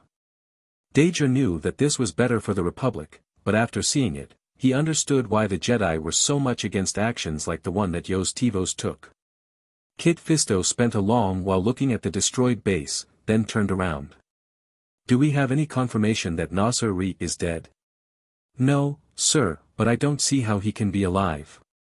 We survived, didn't we? But we had you with us. For all we know he can be leading an attack at Vernila. This battle will only end when he is dead or captured. Let's go to Vernila. Chapter 86 Vernila was a battlefield. At the moment only the outer layers of the city had been hit, but even then the scenery was of utter destruction. The two opposing forces were crashing against each other over and over again, each time resulting in more and more casualties. What Dager had beforehand considered being huge pipes, he now saw it were deadly weapons. Small but strong metal legs sprung from its side, and it was using those to move, albeit slowly. At the end of the pipe, huge laser fire was shot. Each time one of those lasers hit a building, a hole with a diameter of 15 meters appeared, and the building collapsed right away. There is no need to say what happened to any unlucky clone in its path. But the Republic was fighting back. Under the leadership of Monk, small squads were flanking the cannons, and bombing it. Unfortunately, not all of those squads made it back. Hell Squad had an easy way to the city, mainly because the droids and Quarrens were focused on the attack. General Fisto was still too tired to use the Force, but his skills with a lightsaber weren't affected. Together with Hell Squad, he blasted their way through the droids. They were only eight, but their skilled use of their blasters and the Jedi deflecting enemy lasers totally made up for their lack of numbers. Get that thing. On it. Dager pointed to one of the giant cannons, and marked it as their target. Brain took out his thermal detonators and laughed. Dager and Metal, with a little help from Dab, soon took out the droids around the cannon. Brain swiftly planted the detonators, and Kit Fisto helped by cutting the legs of the cannon. The weird cannon fell on one side when all of its legs were cut off, and crushed a few droids. Everyone, get some distance. Brain. Clear. The thermal detonators blew one by one, starting a chain reaction. In the end, the cannon cracked into two halves, totally out of use. After that, Hell Squad had a clear pathway to Vernila. They left dead Quarrens and droids on their trail, and opened a path for the other clones to attack. General, it is good to see you. The situation is quite a mess at the moment. Monk. I thought you brought all your troops to their base, preparing for an attack. How come we are the ones being attacked? Well sir, I am quite confused about it. We were waiting for you, and Hell Squad, when the whole thing blew up. We thought you were all dead, but I was prepared to send a search team when the Seppies came out of nowhere. We were out in the middle of the ocean, no cover, and they had those huge crab cannons. I had to order retreat. We fought our way back here, so we at least have cover. I understand. Well, continue fighting. Where is King Yos Kalina? I need to speak to him. He and the Mon Calamarians are on the left flank. Dager, I've sent the 303rd there to support them, they were getting destroyed. Dager, Hell Squad, go take control of your men. I will explain what happened to the king. Turned out that the 303rd was doing quite well. They had taken pretty good defensive positions, and were trading fire with the separatist. Dager found his second in command, Jeffrey, coordinating the retreat of a batch of wounded clones. Jeffrey, status. Yes, sir. Quarrens and Separatist pushed us back to the 13th block, but now our lines are holding them back. If we keep those cannons away, I believe we have a good chance of holding our position. How many casualties? Numbers are uncertain, but we have 205 dead, and at least another 200 out of combat. Medium and light wounds should be about 6 or 700. And there are 75 clones missing or uncounted for. I am not sure about the Mon Calamarians, but they are in a way worse situation than us. They have retreated to the 17th block and organized some bunkers. Okay. Jeffrey, prepare the men to push forward. Sir. If we go out now, their crab cannons will decimate us. I think it is better to hold. That is why I'm going to take care of the cannons. Why else do you think Hell Squad was formed to? Our job is to turn the tides of the battle. Jeffrey was stunned, but remembered Dager was right. Dager was only given the rank of sub-commander so Hell Squad wouldn't face problems when in their operations. He might be the commander in name of this battle, but his real role was to do what he just said. His orders given, Dager and Hell Squad swam in the direction of the battle. Since the battle was now happening inside of the city, things were a little bit easier. The weird cannons, or crab cannons, had to either maneuver or destroy the buildings before they could go on, so their already slow-moving pace almost came to a stop. So, Hell Squad made use of the corners and alleys to get to the cannons. The problem was that the cannons were way behind the enemy lines. They reached the first line of defense of the clones pretty soon, and without any accidents. Since they were the closest to the Quarrens and droids, many clones there were dead or wounded, and dead bodies and blood floated in the water. Dager pulled the sergeant in charge of the line aside. Sergeant, retreat. Jeffrey built some strong positions in the 13th block. Get your wounded there and prepare for the counterattack. Hell Squad stayed back with some clones to cover the retreating ones, and when they were gone, they quietly slipped into one of the buildings. Alright, boys. We will let them pass, and when the crab cannons are close, we strike. If they send a patrol to secure the building, we have to take care of them quietly. Tech scanners blipped, and he turned to one of the doors in the building, and put his head close to it. Sir, I am hearing something there. Probably just natives. Anyway, brain, metal, check it out. Chapter 87. Probably just natives. But anyway, Brain, Metal, check it out. Both clones got closer to the door, and Brain pushed it slightly, but it didn't open. It was Metal's turn then, and he was a little more brutal. He got in front of the door and kicked it hard twice. In the second kick, the door creaked and dropped to the inside. Brain covered the door frame, and he and Metal formed a sort of cross, covering the entirety of the room. Nothing. Moving to the next room. A few moments later, Brain called them from the inside. Just a family sir. No clankers. Dager entered the apartment, and found a family of three trembling on a corner. The child appeared to be especially afraid, and it was hiding its face on his mother clothes. Sometimes it would look at metal and brain, and then hide its face again. When Dager entered, the father stepped forward, hiding his wife and child behind him. Brain, metal, go outside. You are scaring them. Especially you metal. Your blaster isn't exactly calming. What do you mean sir? This beauty here is absolutely charming. Ha ha ha. Stop joking. Brain, prepare everything for the ambush. We will have only one shot at this. Come on Metal. Both clones got outside, Metal still complaining that they were making fun of his new Z6 rotary. Brain shook his head, helpless. Tech, get to a window and see where this cannon is. Be careful to not be seen. Metal, you will take out the escort of the cannon. 3-4 and Cell will help you. Dab, I don't think there is much you can do, even more without your modified DC-15X. Grab a DC-15A and cover us. Dager put his blaster on the table, and got his hands up to show he didn't mean anything bad. It is all right. We don't mean any bad. You are a clone, right? Sir, I am sorry, but I am afraid that I have to ask you and your family to leave this building. If you go towards the center of the city you will find other clones. They will lead you somewhere safe. Leave. My home. You. You. You come here and bring your war, and we have to pay for it. Now I have to leave my home. I won't. Sir, please think properly. This is about to become a war zone.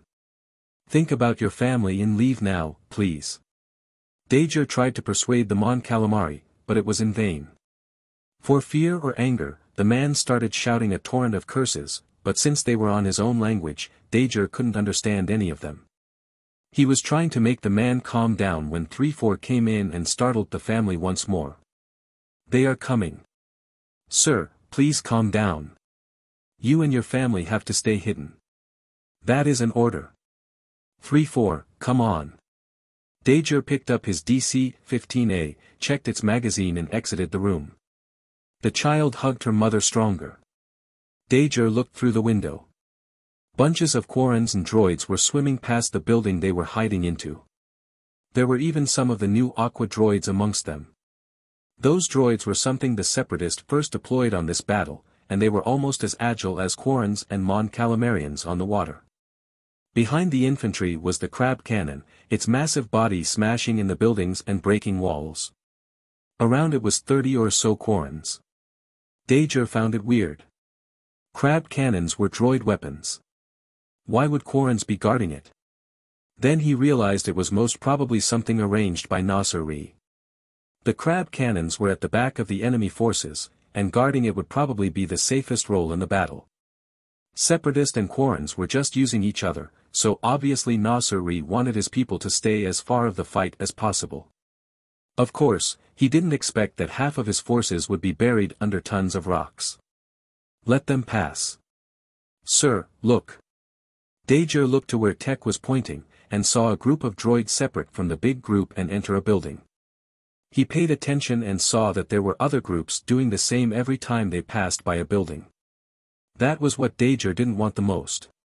The droids were searching building by building, and most certainly the same would happen on the one they were. If Hell Squad didn't want their whole ambush plan to fail, they would have to take care of the droids quietly and quickly. Okay. There are five of them in each search group. We have to do this quietly. That means no blasters. They will start by the lower floors. That gives us some time. Hell Squad positioned themselves. Brain, Dab, Tech, and 3-4 were on two of the apartments, ready to surround the droids. Cell, Metal, and Dager were just on the sides of the elevator door leading to their floor. They pulled some furniture from the apartments to cover them. The trick wouldn't last long, but it should cover them from the first stairs of the droids. The door of the elevator opened, and five droids swam out of it, all of them standard B-1S, with thrusters on their backs. They glanced over Dager, but didn't notice him or Metal and Cell. It was only after they were a little more on the floor that their scanners seemed to pick up something. Who is there? Dager and Cell pushed the table behind which they were hiding.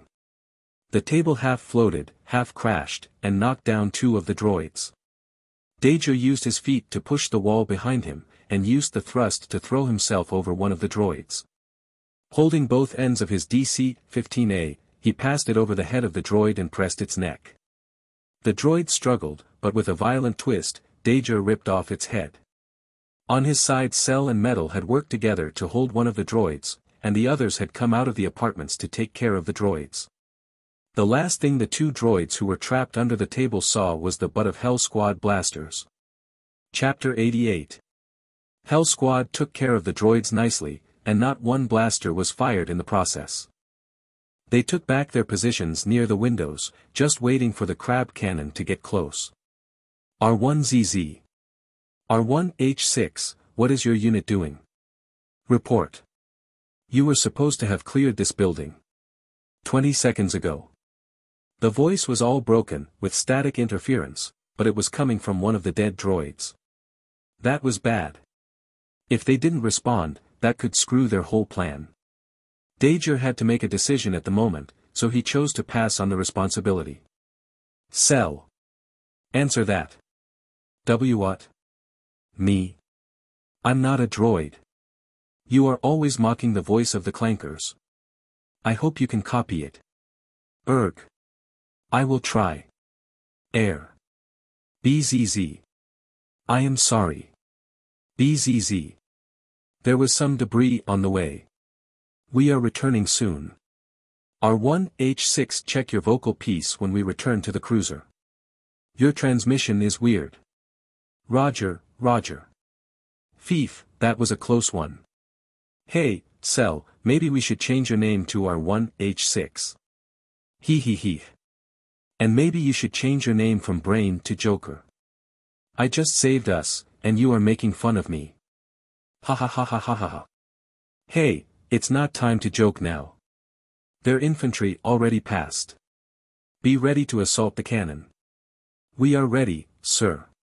The crab cannon was really close now, almost under them. Brain, if you don't mind. Brain got close to the wall of the building and stuck a thermal detonator on it. Hell Squad took some distance from the wall, and Brain blew it up. Small rocks crashed in their armor, but they didn't see to notice it. With Dager leading the way, Hell Squad swam out of the building through the hole they blasted.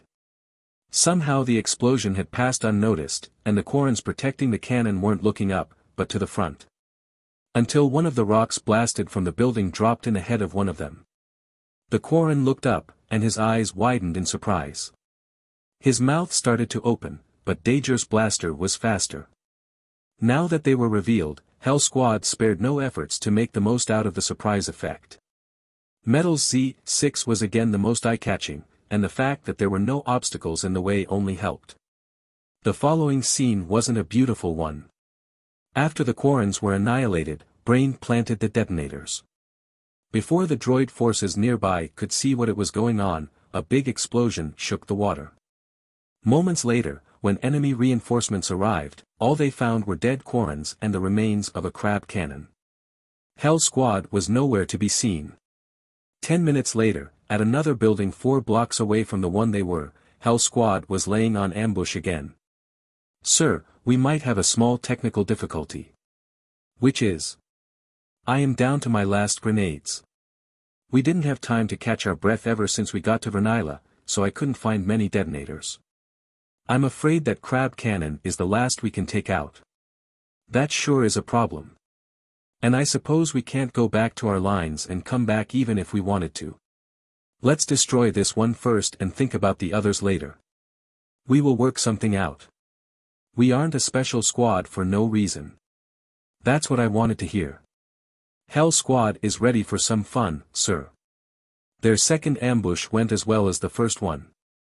This time the enemy was a bit warier, so the fight was more intense, but Hell Squad didn't sustain any injuries, and the second crab cannon was destroyed. It was their third and last target that was the most troublesome. All problems seemed to have come together on this one. Not only they didn't have anything with which they could blow up the cannon, but there were two crab cannons. Besides that, the guard around them had increased a lot, to almost 300 enemies. No matter how good Hell Squad was, there was no way they could pass through that. But if they didn't, the Republic might win the battle, but casualties would be heavy. Apparently they heard of us, sir. Dab showed a multitude of enemies on their way. Dager shrugged.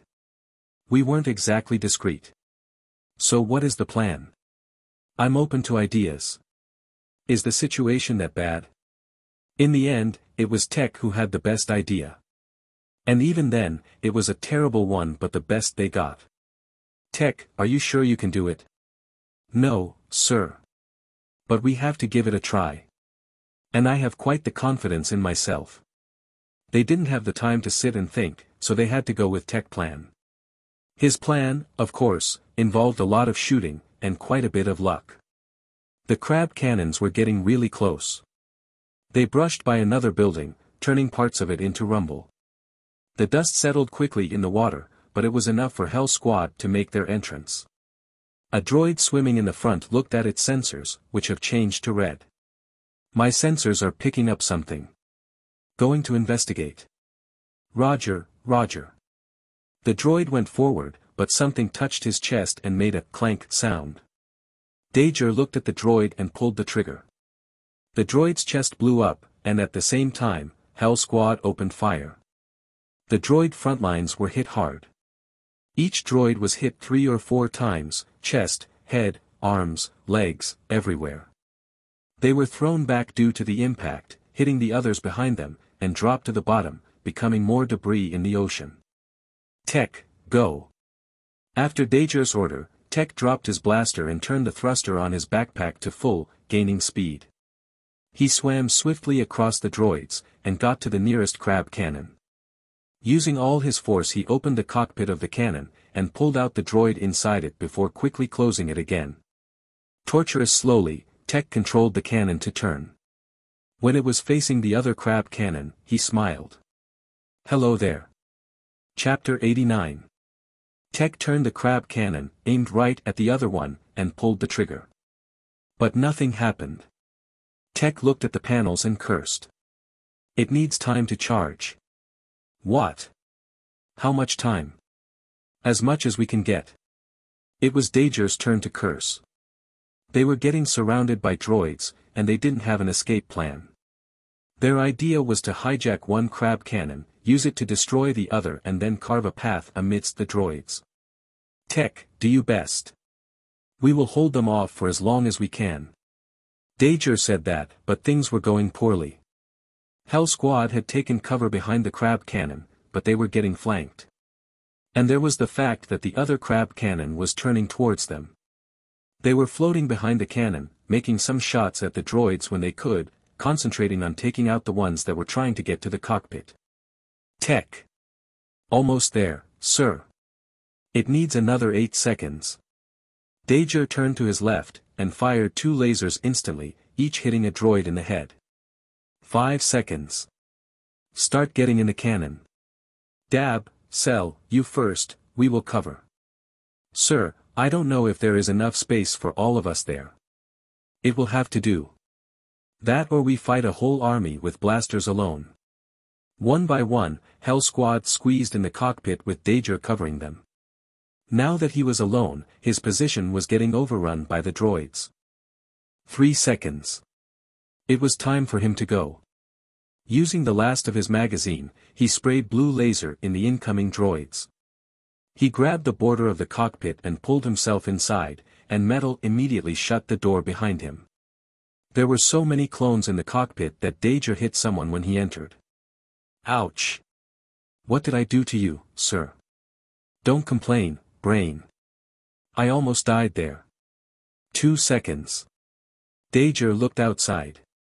The other crab cannon was facing them, a red light was building inside its barrel.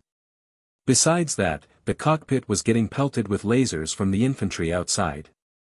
Now that he was inside the cannon, Dager's confidence grew, and he was fairly sure that they could pull this off, although it would be a close one.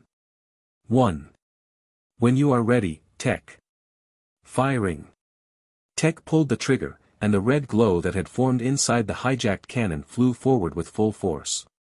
Good aim or coincidence, the shot from the crab cannon flew straight inside the barrel of the other cannon. The cannon seemed to inflate, and then it blew from the inside, sending shrapnel in the water. Both crab cannons were only 50 meters apart. When one of them exploded, the other was forced a few meters back by the pure strength of the blast, and almost dropped to one side. The clones inside faced a lot of turns and bumps, but came out unscathed. The droids and Quarrens outside, however, became butts and pieces.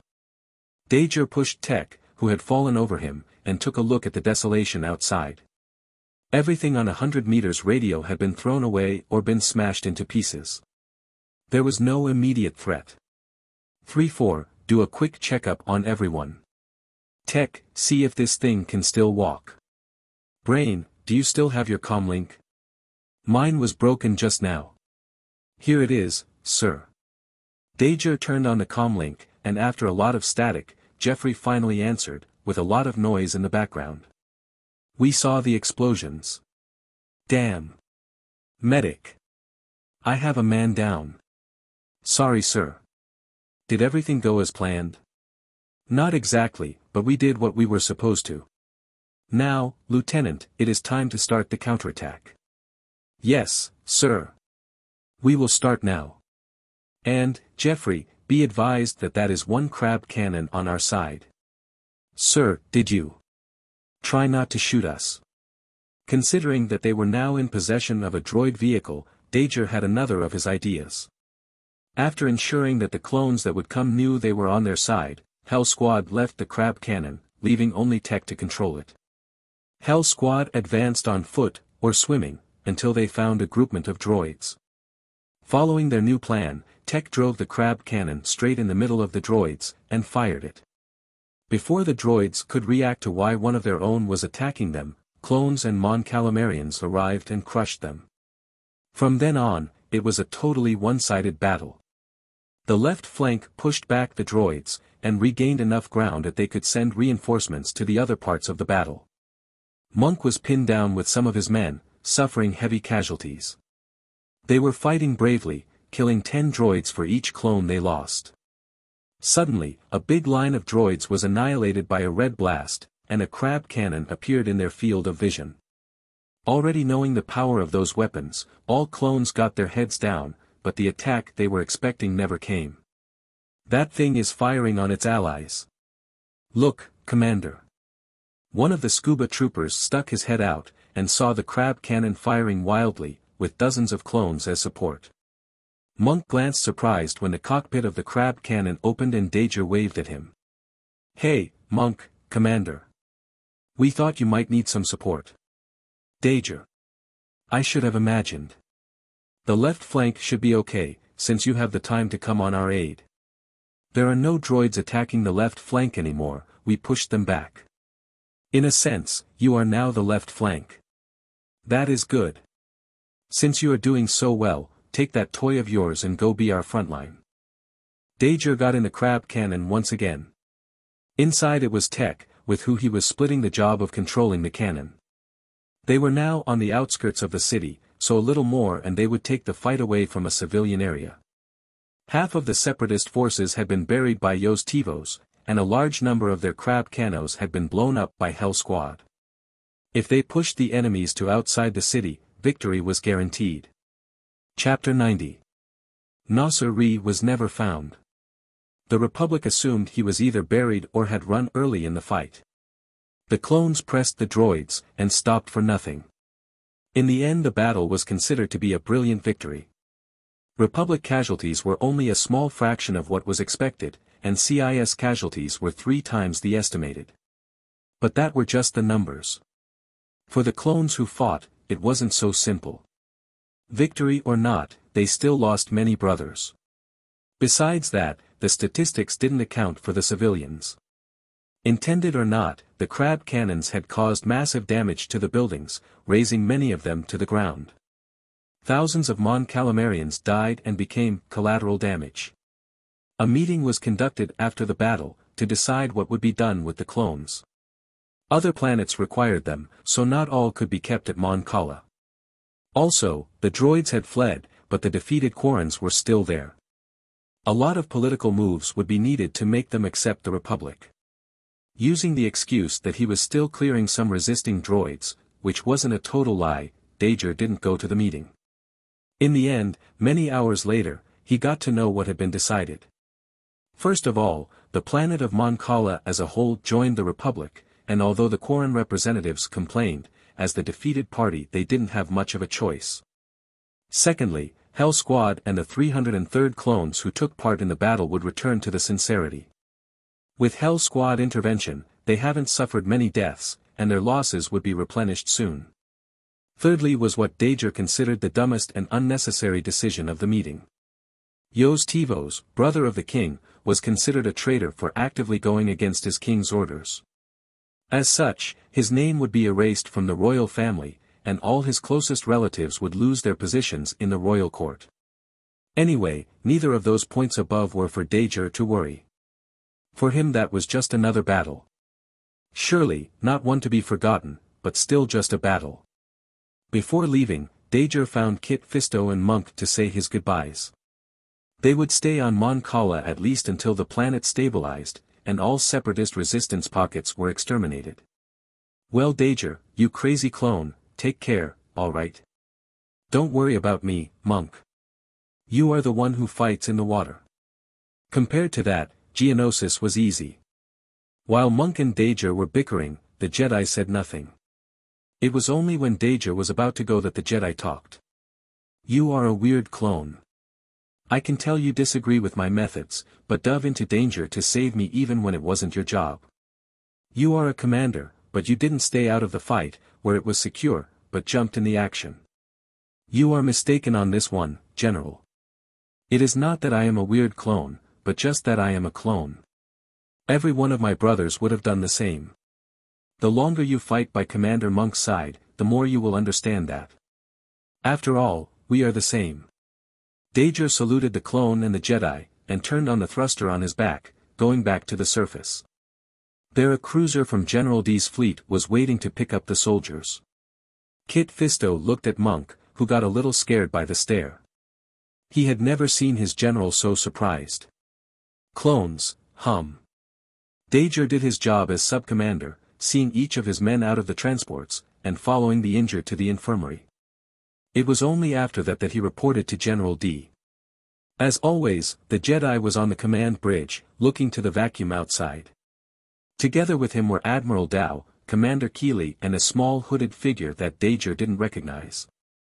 The first to greet him was Commander Keeli with a handshake and Admiral Dao with a nod. Neither General Di nor the figure turned around, so Dager started his report. General. Subcommander Dager reporting. During the battle on Mon Cala, of the two regiments sent, 282 clones died. Another 340 will need some time to recover. General Di turned, as did the hooded person, but Dager still couldn't see his or her face. You did a good job commanding your men down there. We already received confirmation that our forces will be replenished soon. For now, I would like to introduce you to someone. You will work with him a lot from now on. The hooded person stepped forward, and took off his hood. A young face was revealed, with light blue skin and red eyes. Two large protuberances sprouted out of his head, blue as his skin, but with white stripes. Togruta. That was the species of the newcomer. They lived in a planet called Shili and took the tea. Republic side as soon as the war started. Not only that, but the planet had a significantly larger number of Force-sensitive children. Dager, this is Ragu Latte, the new Padawan sent to me by the Jedi Council. He is still young, and learning, so you will have to look after him in the following battles. Ragu made a gracious Jedi posture. It is my pleasure to meet you, Sub-Commander Dager. Commander Keeli already told me about your achievements. I look forward to fighting alongside Hell Squad. The young face was filled with expectations. Dager felt pity for the kid, as he would soon face the dark and not so glamorous side of war. Still, Dager answered him without giving away his thoughts. It will be good to have another Jedi by our side. Welcome, kid. Kalee, Grievous Base. General Grievous was watching Heige with his hands behind his back. A few weeks had passed since he started training Heige, and the body of the Mon Calamari was riddled with scars. Heige was at the moment just looking at the empty air, his eyes blank. Grievous coughed and slammed his metallic leg on the floor to capture his attention. Insect, your planet just fell for the Republic.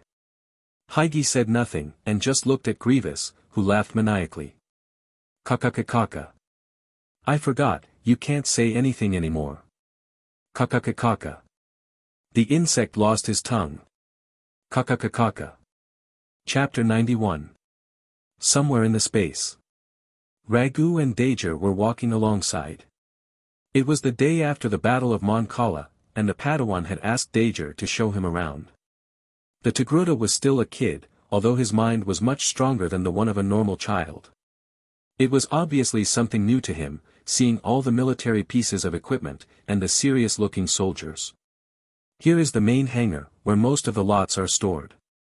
That is the weapon deposit. I'm afraid you can enter there. It is a controlled area. Why? I am a Jedi Padawan. Isn't my rank even above yours? When they sent me here they told me that I am only under my master.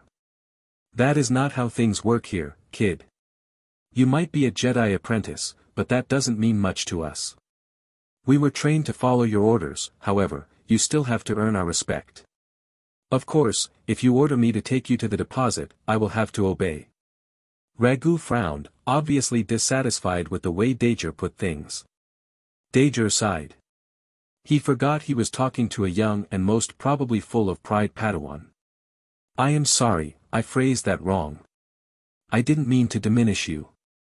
It is hard to explain just with words, you will understand way better when you fight your first battle. Ragu expression got a little better. Dager decided that it was time to show the infirmary to the Padawan he was sure that when the Padawan saw the injured clones, he would understand what Dager meant. He guided Ragu in the corridors, getting saluted by each clone they saw. Dager's helmet was very distinctive and a symbol that he carried with pride. Two clones were guarding the doors to the infirmary, but they gave passage to Dager and Ragu without saying a word. Medical droids and some medic clones were walking amongst the beds. The infirmary of the Sincerity was the biggest of General Di's fleet, and as such, it was the best equipped. Because of that, it was also where the most badly injured clones were. Lost limbs, debilitating wounds, all of those were being treated there. No matter how good the medical technology of the Republic was, there were still some clones who lost their lives. When that happened, they were sent to the crematorium, and their ashes were later sent to Kamino, home of all clones. It was on such an occasion that Dager and Ragu arrived. One clone that was missing his left leg had lost too much blood before being brought to the medical base, and didn't resist. Medical droids put the body in a litter, and when they passed, Dager took off his helmet and mourned for another lost brother. Ragu had a serious face when they left the infirmary, and Dager thought that maybe he was being too harsh, showing such scenes to the Padawan. But when he thought about how a battlefield was, he knew the Padawan would face much worse. Ragu, do you know the reason why we respect General Di so much? It isn't just because he is our general. Every clone legion has one, and we all respect them. The reason is because of what you saw inside there. General Di wasn't only commanding us. He fought alongside us, and saved many of us. In war injuries and deaths are inevitable. What a soldier respect the most isn't some hero who eliminated thousands of enemies, but some unknown person who did his best to save as many as possible. Of course, General Di isn't unknown. I think I understand now. At least a little. I guess. What is that? The now familiar alarms went off in the ship. Dager put his helmet again, and ran, letting the Padawan behind. He could recognize from where the alarms were going off, the cargo bay. He checked with Brain with he got something. Brain, it is the cargo bay. Do we have anything of value there? Besides the AT-TEs worth millions of credits? I don't think so. Then it is probably a decoy. I am already near there, so I will go check anyway. Get Cell and Dab there too. 3-4 is in the infirmary, keep him there. Find Tech and send him to the weaponry. You and Metal, I want you besides General Di at all times, no matter what he says. Also, any free trooper you can find, I want them patrolling five floors up and down from the cargo bay. Yes, sir. Dager ran, and other clones joined him. The cargo bay wasn't too far from where he was, but he was quite sure there would be no trespassers there. Clank. There was a loud sound above Dager's head. He looked up, but there was only the ceiling. He probably was imagining things. Dager shook his head and looked forward while giving orders to the clones who were with him. In the ventilation ducts above Dager. A woman's voice was scolding someone quietly. Idiot. You almost screwed everything. It is not my fault. How did you expect me to pass through those ducts? Not everyone is as slim as you. Those last words were said in a low voice, so the female didn't hear it. There were also some traces of lust on it. Shut up. I swear that I will eliminate you if you mess up. As expected, Dager didn't find any intruders on the cargo bay. He did find, however, what set off the alarm. A lot of crates had fallen down to the floor, and one of them had crossed the invisible line the alarms had. If it was just that, Dager might have considered it to be an accident, maybe someone bumped into it, or the ship turned too fast. But on the floor there were also two dead clones, their necks snapped like twigs. Dager cursed. Trooper, I want a full search on the whole ship. We have trespassers. I repeat, we have trespassers. Two dead soldiers accounted for, every trooper, confirm your position, follow standard procedure. The last sentences were said in his comlink, and transmitted to the whole ship. Clones started to check in, first to their squad leaders, who then passed the information to their sergeants and so on. That way there wouldn't be any chaos, and it was faster. Chapter 92 Squad leaders reported to sergeants. Sergeants reported to lieutenants. Lieutenants reported to captains. And captains reported to Dager. One by one, the reports trickled in. Most of them didn't have any problems, but not all. A captain named Vardos called Dager worried. We have problems. Who is missing? We have lost contact with an entire squad, including the squad leader. Who is the squad leader? Any chance that they are at the canteen or the infirmary and didn't hear? I was at the canteen, and everyone in the infirmary already checked in. Also, the squad missing is under Barrow's command. You know him, sir. He would have answered if he could. Barrow, what was their assignment? They were guarding the elevators of the 11th floor. Go there right now. Be careful, they have eliminated or captured an entire squad without anyone noticing. I'm on my way. I'm almost there. Vardos, leave your comlink channel opened. I want to hear what is happening. The sound of Vardos giving orders and his rapid breathing were the only sounds Dager heard for a while. Finally, Vardos arrived on the eleventh floor and reported. Dager was still on his way. I'm here, sir. Go easy, check for allies before firing. Alright, typo, Blut, with me. The others split in groups of three. Guard the doors and do a throughout sweep. Before long, Dager arrived on the eleventh floor. Panting, he saw Vardos waiting for him near one of the elevators. Captain, what is the situation? What is the status of the missing squad? The floor is clear sir. No signs of enemies. We did find Fort Squad. They have four dead, their necks twisted the same as Weembo and Gurley on the cargo bay. Barrow and six others are unconscious. Something or someone hit them hard on the head. You didn't find anything. What do we have of important on this floor? Nothing sir. There are just some storage rooms with little to no value. Most of the rooms are dormitories. Vardos stopped in the middle of his sentence. He took a data pad from one of the clones nearby and looked at it for a few seconds. Actually. I did not remember it at the start because it is new, but General Di's Padawan was moved here while proper accommodations are made. The room he was supposed to have suffered some damage on Mon Cala. That is it. Whoever they are, they are after the Padawan. It is the only possible option. How did they know he would be here? The most logic would be for the intruders to go after him at his normal room. And, if they knew he was staying here, how did they even get this information? They can break into our capital ship, incapacitate an entire squad without making a sound, and are still on the run. We don't even know who they are. They wouldn't come unprepared. But they will come out empty-handed. Ragu is not here. I know. I was with him, and I left him alone. I was stupid. Ragu. Ragu, come in. Come on kid, come on. There was no sound from the other end of the transmission, not even static. That meant that the comlink had been broken, and that the Padawan was in danger. Commander. We have problems. Huge problems. I and Vardos came to the eleventh floor, but there were no signs of trespassers. We think they are after Ragu, but we can't get in contact with him.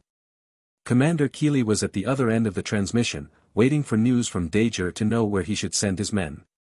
Do we have any information on his location? Last time I saw him was near the infirmary. Do you want me to seal the area?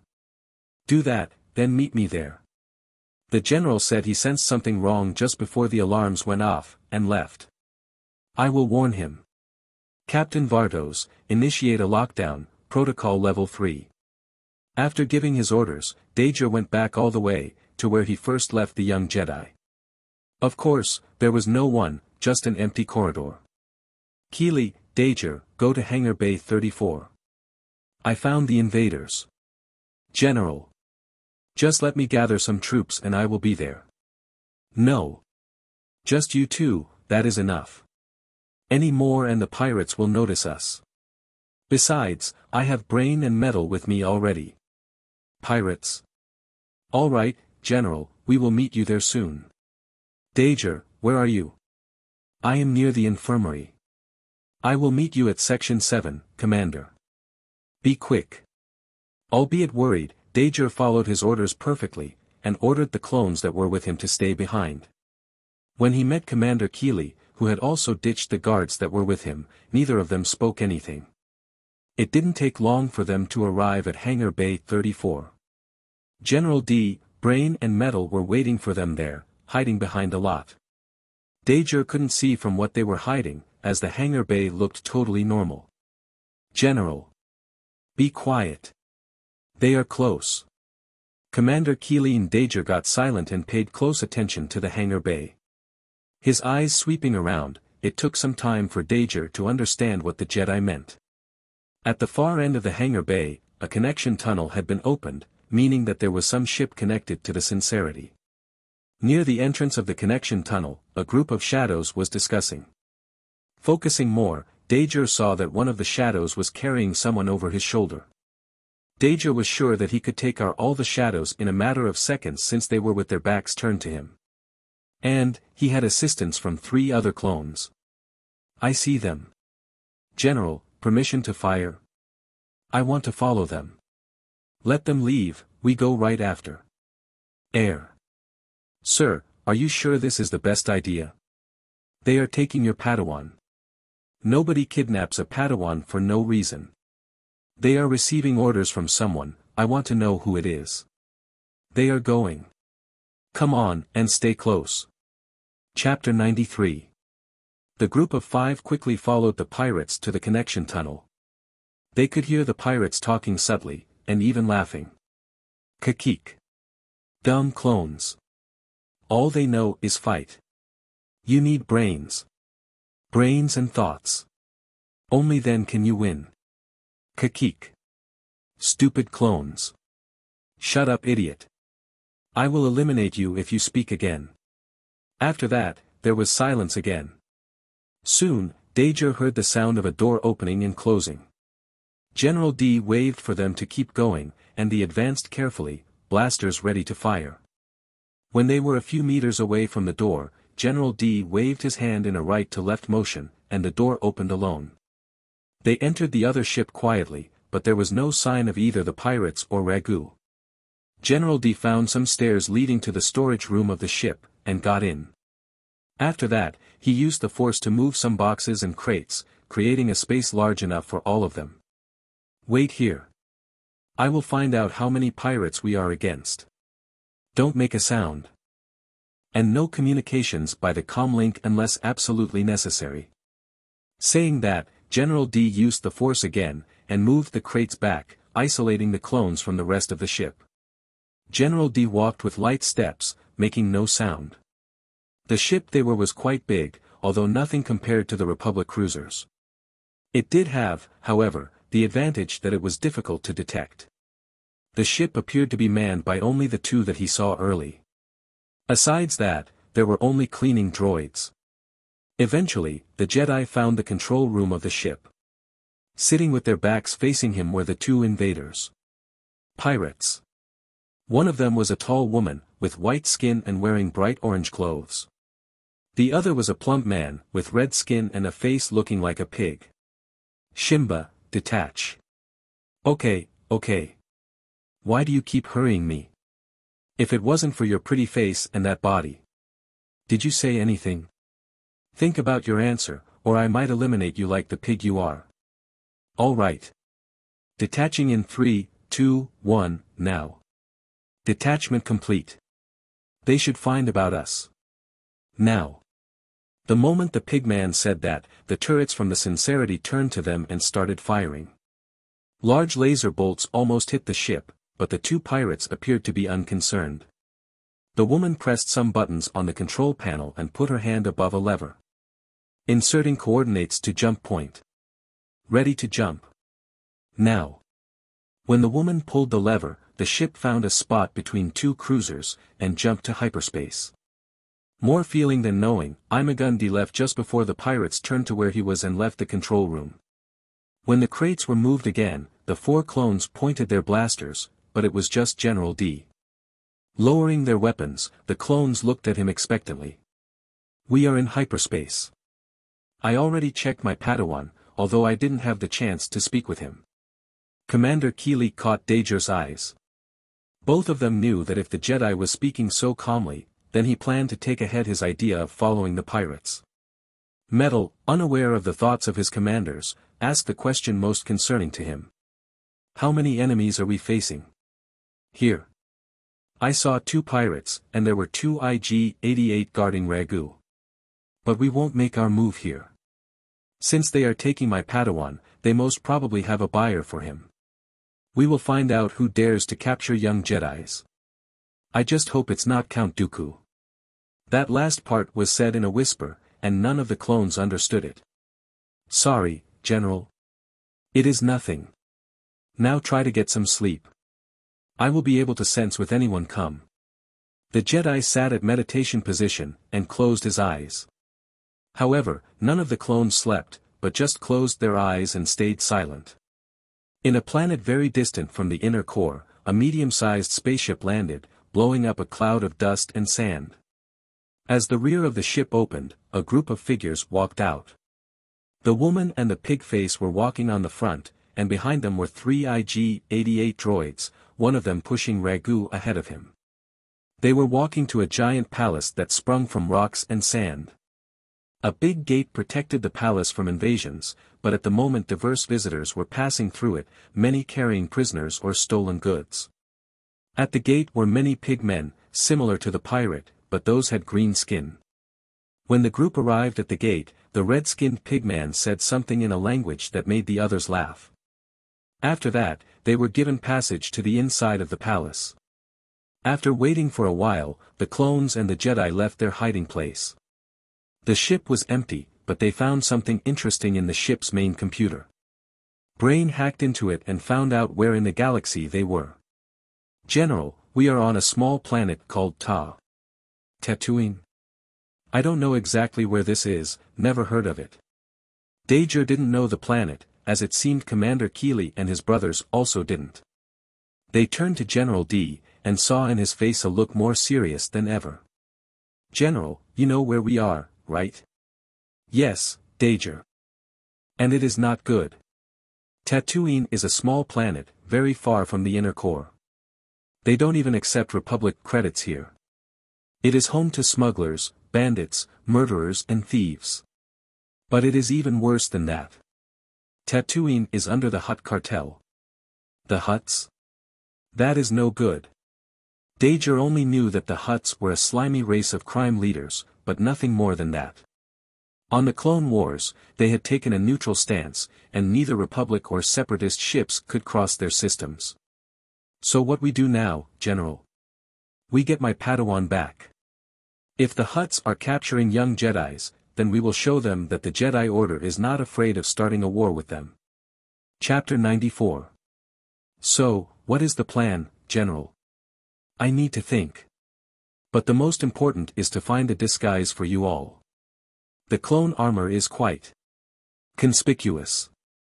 Most of the scum on that palace probably never saw a clone, but those two pirates we are hunting certainly have. Metal shook his head when he heard General Di's words. I don't think they are pirates, General. I think they are bounty hunters. General Di lifted his eyebrows. Is there any difference? Bounty hunters are much more deadly. Before I was recruited in Hell Squad, on my first battle, in Geonosis, my platoon and another one were tasked with capturing a small Geonosian leader. Everything was going okay until we fought two bounty hunters that he had hired. At that point, Metal shook his head once more, but this time he seemed sad and angry. That was how many bounty hunters we confronted. They eliminated 24 of my brothers. And even then, one of them still managed to run, although he left the Geonosian behind. Silence enveloped the group. Dager had never fought bounty hunters before, and to him, they were just a slightly better version of pirates. But now it didn't seem so. He looked again to the front gate of the palace, where dozens of people were carrying weapons and prisoners. If even half of them were as good as Metal described, then they were in serious trouble. General Di face got even more serious. We have here a commander, and three clones belonging to a special unit. If we get rid of your armors, or at least disguise them, I believe we can enter there. They aren't checking everyone who goes in. Besides, those creatures are simple-minded. We will do that without fighting, and after we rescue my Padawan we go back. Following General Di's plan, the clones smeared dust in their armors, and took off their helmets. After that, they found some pieces of ragged clothes and used it as cloaks. The white armor was covered in dust, so even if a piece of it or another appeared under the cloak, it was unrecognizable. Without their helmets, each clone had different hairstyles and tattoos, so unless someone put them side by side and compared, it would be difficult to recognize them. The Jedi found a red mantle to himself, and by intention or not, this clearly marked him as the leader of the group. After making sure that no one was looking at the ship, they departed, and walked to the palace. The sand was incredibly hot, and Dager was sweating profusely inside his armor. Two suns hanged in the sky, sending heat wave after heat wave onto them. Dager wondered how the Hutts could build a crime empire on such planet. The only one who looked comfortable was General Di. When they arrived at the palace gate, they had to enter in a long queue that the bounty hunters from before had skipped. Hours passed, and day turned to night. Dager was tired of waiting in line all day, and it looked like they still had some time to wait. His throat was sore, and he seriously needed a drink. At that moment there was a commotion in front of the gate. The big metal gate started to close, and many of the aliens near to it tried to run inside, only to be beaten back by the guards. That was bad, because if they were locked outside, then who knows what would happen to Ragu. Dager looked at General Di, waiting for his orders. The Jedi walked ahead calmly, even though the gate was already half closed. He got near one of the green-skinned pigmen. You will let us pass. You won't close the gate. The eyes of the pigmen blinked, and then got misty. He made a move to stop the gate, but as soon as he touched the lever that controlled it, electric currents passed through his body, and he fell to the ground twitching. An electronic voice appeared, together with a mechanic eye. Unauthorized. Unauthorized. Any who dare to stop the mighty Jabba's orders will be eliminated. After the pigman was eliminated, the others just kicked its corpse aside, and let the gate close. Nobody tried to go against the guards anymore. General Di looked quite shocked. He never expected that the owner of the palace, Jabba, would eliminate one of his own men. But after thinking about it, it was quite normal. He couldn't maintain his position as one of the heads of the Hutts if he was merciful. What do we do now, General? Commander Keeli approached the Jedi and asked quietly. Their path was blocked, and they couldn't let Ragu wait another night. Let's go back for now. We need to find another entry point, and if we stay here it would look suspicious. The group retreated enough so the darkness of the night could cover them, and started circling around the palace. But there were no windows, doors or anything they could use. After half an hour, General Di finally lost his patience. He knocked on the walls until he found one thin enough, then used his lightsaber to open a hole through it. The blue lightsaber melted the wall, leaving a bright orange and yellow lava-like substance on the border of the circle. Using the force, he pushed the circular block he had cut and it fell to the inside. The first thing they saw when they looked was a surprised pigman, with the meat of some animal halfway to his mouth. General Di did a rapid spin, and the chest of the guard was opened, a blood-red line showing where the lightsaber had cut. That was the first time Dager saw the general eliminate someone who wasn't a droid. When he saw that the Jedi's expression didn't even twitch, he wanted to say something along the line, for a peacekeeper you eliminate quite decisively, but he got a hold of his mouth. Maybe that was why he liked General Di.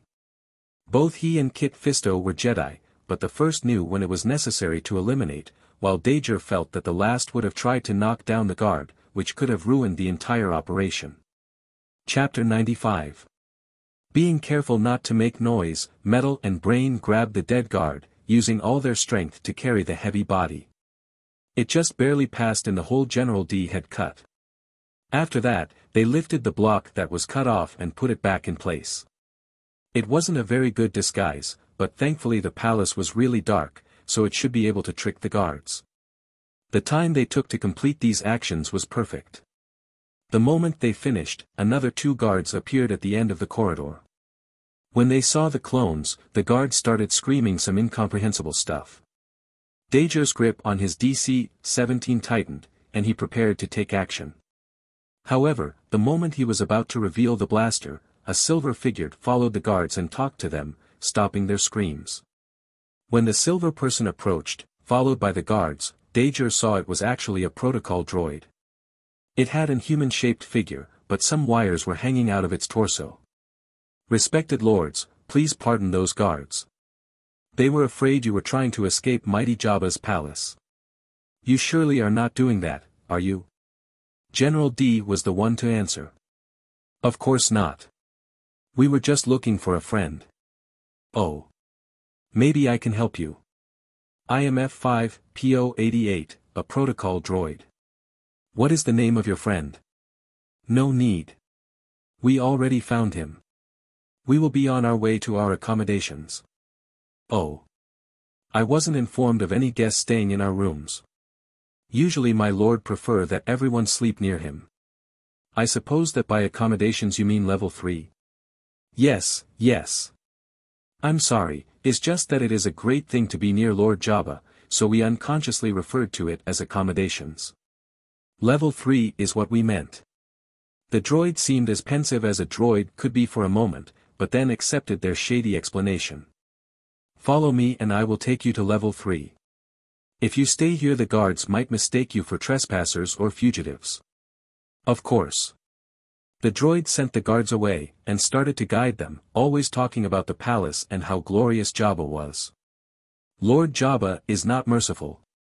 Lord Jabba is the mightiest in the galaxy. If you try to go against him, he will. From time to time he would point out some rooms or directions, as if they were visiting some tourist attractions, and not the lair of a crime lord. Dager suddenly thought that maybe they could take advantage of how talkative the droid was. He walked a little faster to catch up with F5, PO88. This is such an impressive palace, as expected of Lord Jabba. However, he must have many enemies that are jealous of him because of that. You are right. The Pykes, the Crimerath, Caldana. But Lord Jabba have special ways of dealing with such scum. Those he considers unimportant he gives to his favorite pet. Those that he needs, he keeps them very well guarded. That is what that scum deserves for daring to defy Lord Jabba. I'm sure his prisons are packed full of those idiots. I bet it feels amazing to see them receive their punishment. Unfortunately you can't do that. The prisoners are kept on level 13, where no light enters, but anyone who tries to go there has to be authorized by Lord Jabba. I guess such unimportant pirates like us will never have that pleasure. It is really a pity. Well, what about? After talking with the droid a few more minutes, always in a happy manner, Dager slowed down and let the protocol droid continue on its never-ending monologue. He looked at General Di, who nodded at him, recognizing that his plan worked. Brain smiled at him. After quite some time the droid finally left them at a junction, indicating that they should go ahead. Apparently, he was forbidden from entering the room. Of course they didn't go in, but Dager could see part of the room through the door. There were people sleeping on the floor, one on top of the other. But there was an empty space in the middle of the room, on which a big bed was. Snoring on it was Jabba, who looked like an incredibly big and incredibly fat worm. Two beautiful Twi'leks were with him, chained to the feet of his bed. One of them saw Dager, who was peeking inside the room, and stretched her hand to him, tears on her face. Dager almost walked to the room, but Commander Keeli put a hand on his shoulder and shook his head. Dager looked to the Twi'lek, who now was crying profusely, and walked away with heavy steps. Two hours. That was the time that they took to arrive at level 13. The more they descended, the better guarded the floors were. At start, they had just slipped past the guards, or General Di used the force, but they faced their first problem on level 8 or 9. General Di took care of those problems with his lightsaber, and from that moment on they had no choice but to keep going until they found Ragu. Of course, they were still trying to do it silently. It would be for the best if no one noticed that they rescue a prisoner until the next morning. But the clock was ticking. Soon it would be dawn, and the palace would wake. The bodies would be found very soon. Dager had taken out his blaster pistol, and all the clones threw their cloaks away. It hindered their movements, and it wasn't necessary anymore. Their armor, already full of scars before, now had brown patterns of dust, that had been shaped by the contact between cloak and armor. Moving ahead of formation, Brain signaled enemies in front. Dager peeked over the corner. Two pigmen were snoring on the ground, a bottle of something near them. Dager walked to one of them, and hit his head with the butt of the pistol. The only change was that the snoring stopped. Then he repeated the action with the other, and glanced at the floor number. General, we are just one floor away. We might just do that without fighting. Chapter 96 Jedi and clones walked down the stairs, heading to the prison. General Di was in front, lightsaber ready to dispatch the guards. He was followed by Brain and Metal, both who, for metal discontentment, had small blaster pistols stolen from the guards. Dager and Commander Keeli were in the back, guarding their rear. There was a quiet noise in the front, as if something moved at a high speed, and one pigman dropped to the ground without his head. The cut-off head dropped to the ground and started bouncing downstairs in a weary and gross manner. None of the group paid much attention to it, as it wasn't the first time they saw it since they started their mission. But who would have expected that at this moment, when they were already near level 13, someone would be using the same path as them. The head hit someone's foot with a squishy sound. Dager stopped dead on his tracks. The stairs were deadly quiet. Neither they nor their opponent moved. After a few seconds of stalemate, General Di took a deep breath and jumped a few steps, aiming his lightsaber for the enemy. He almost hit, but when the blue lightsaber was a few centimeters away it stopped. Pale blue light shined on the face of their enemy, revealing a small Togruta's face. Ragu. What are you doing here? Master. I'm sorry, I, I was captured. I'm so sorry, I was returning to my room when someone knocked me unconscious. I am so sorry, I. We know you were captured. What I meant was, what are you doing out of your cell? We were coming to get you. How did you escape? This. It wasn't difficult. There were only two guards near my cell, and they were quite easy to manipulate. After that, I sneaked past the other guards. General, and... General. It is great that we found you, but we are running out of time. Commander Keeli stopped them, quite unsure about how to call Ragu. Theoretically, he was considered a Jedi, so he should be called General. But that made the chain of command rather awkward because General Di was the master of Ragu, so his rank was even higher. But he brushed that question apart and got to the important part, which was that they should escape. Keeli is right. Come on Ragu, let's go. General Di almost pulled the young Padawan, but found unexpected resistance. He looked at the Padawan intrigued. Master, my lightsaber. I need to take it back. Dager thought that the Jedi Master would have been at least annoyed or exasperated at the suggestion of losing precious time to look for a weapon. But he wasn't. General Di actually looked concerned about the lightsaber. Do you know where it is? That worm, Jabba, kept it with him when I was brought to his presence. I guess it is still with him. Dager had a bad feeling. Judging by how serious General Di was, it looked like he really wanted to go take the lightsaber from Jabba. He couldn't be more right. Without uttering a word, both Master and Padawan started climbing the stairs. The clones looked at each other, not sure if they should say something or not. In the end, they decided it was best not to. The lightsaber seemed to have a very special meaning to both master and apprentice, and they already knew how stubborn General Di was. Their way back was quiet. The only ones they found were those they had already defeated. Soon they reached level 3, where they found the same people still sleeping. The Hutt was still twisted on the bed, his fat tail dropping over the edge. The two Twi'leks that Dager saw before were also sleeping, although they still had some tears on their faces. General Di showed the clones the corridor they used the first time, when they had just entered the palace. You go back, wait for me at our exit. I will take back your lightsaber, but things will probably get a little heated. He urged the clones and his Padawan, not giving them the chance to complain. It was only when they were a good distance away that they stopped. Knowing that they couldn't go against their orders, Commander Keeli chose the second best option. Dager, turn around and go back. We will continue, and wait for you and the general at our exit. There is no need to do anything unless General Di get in trouble. If needed, then assist him the best you can. Yes, Commander. Dager immediately turned around and started going back. Behind him, he could still hear Ragu saying he would go too. Keeli, why? Our mission was to come here and rescue you. I can't let you go, otherwise, I will be disobeying General Di. Letting me go is disobeying, but letting Dager go isn't. Come on.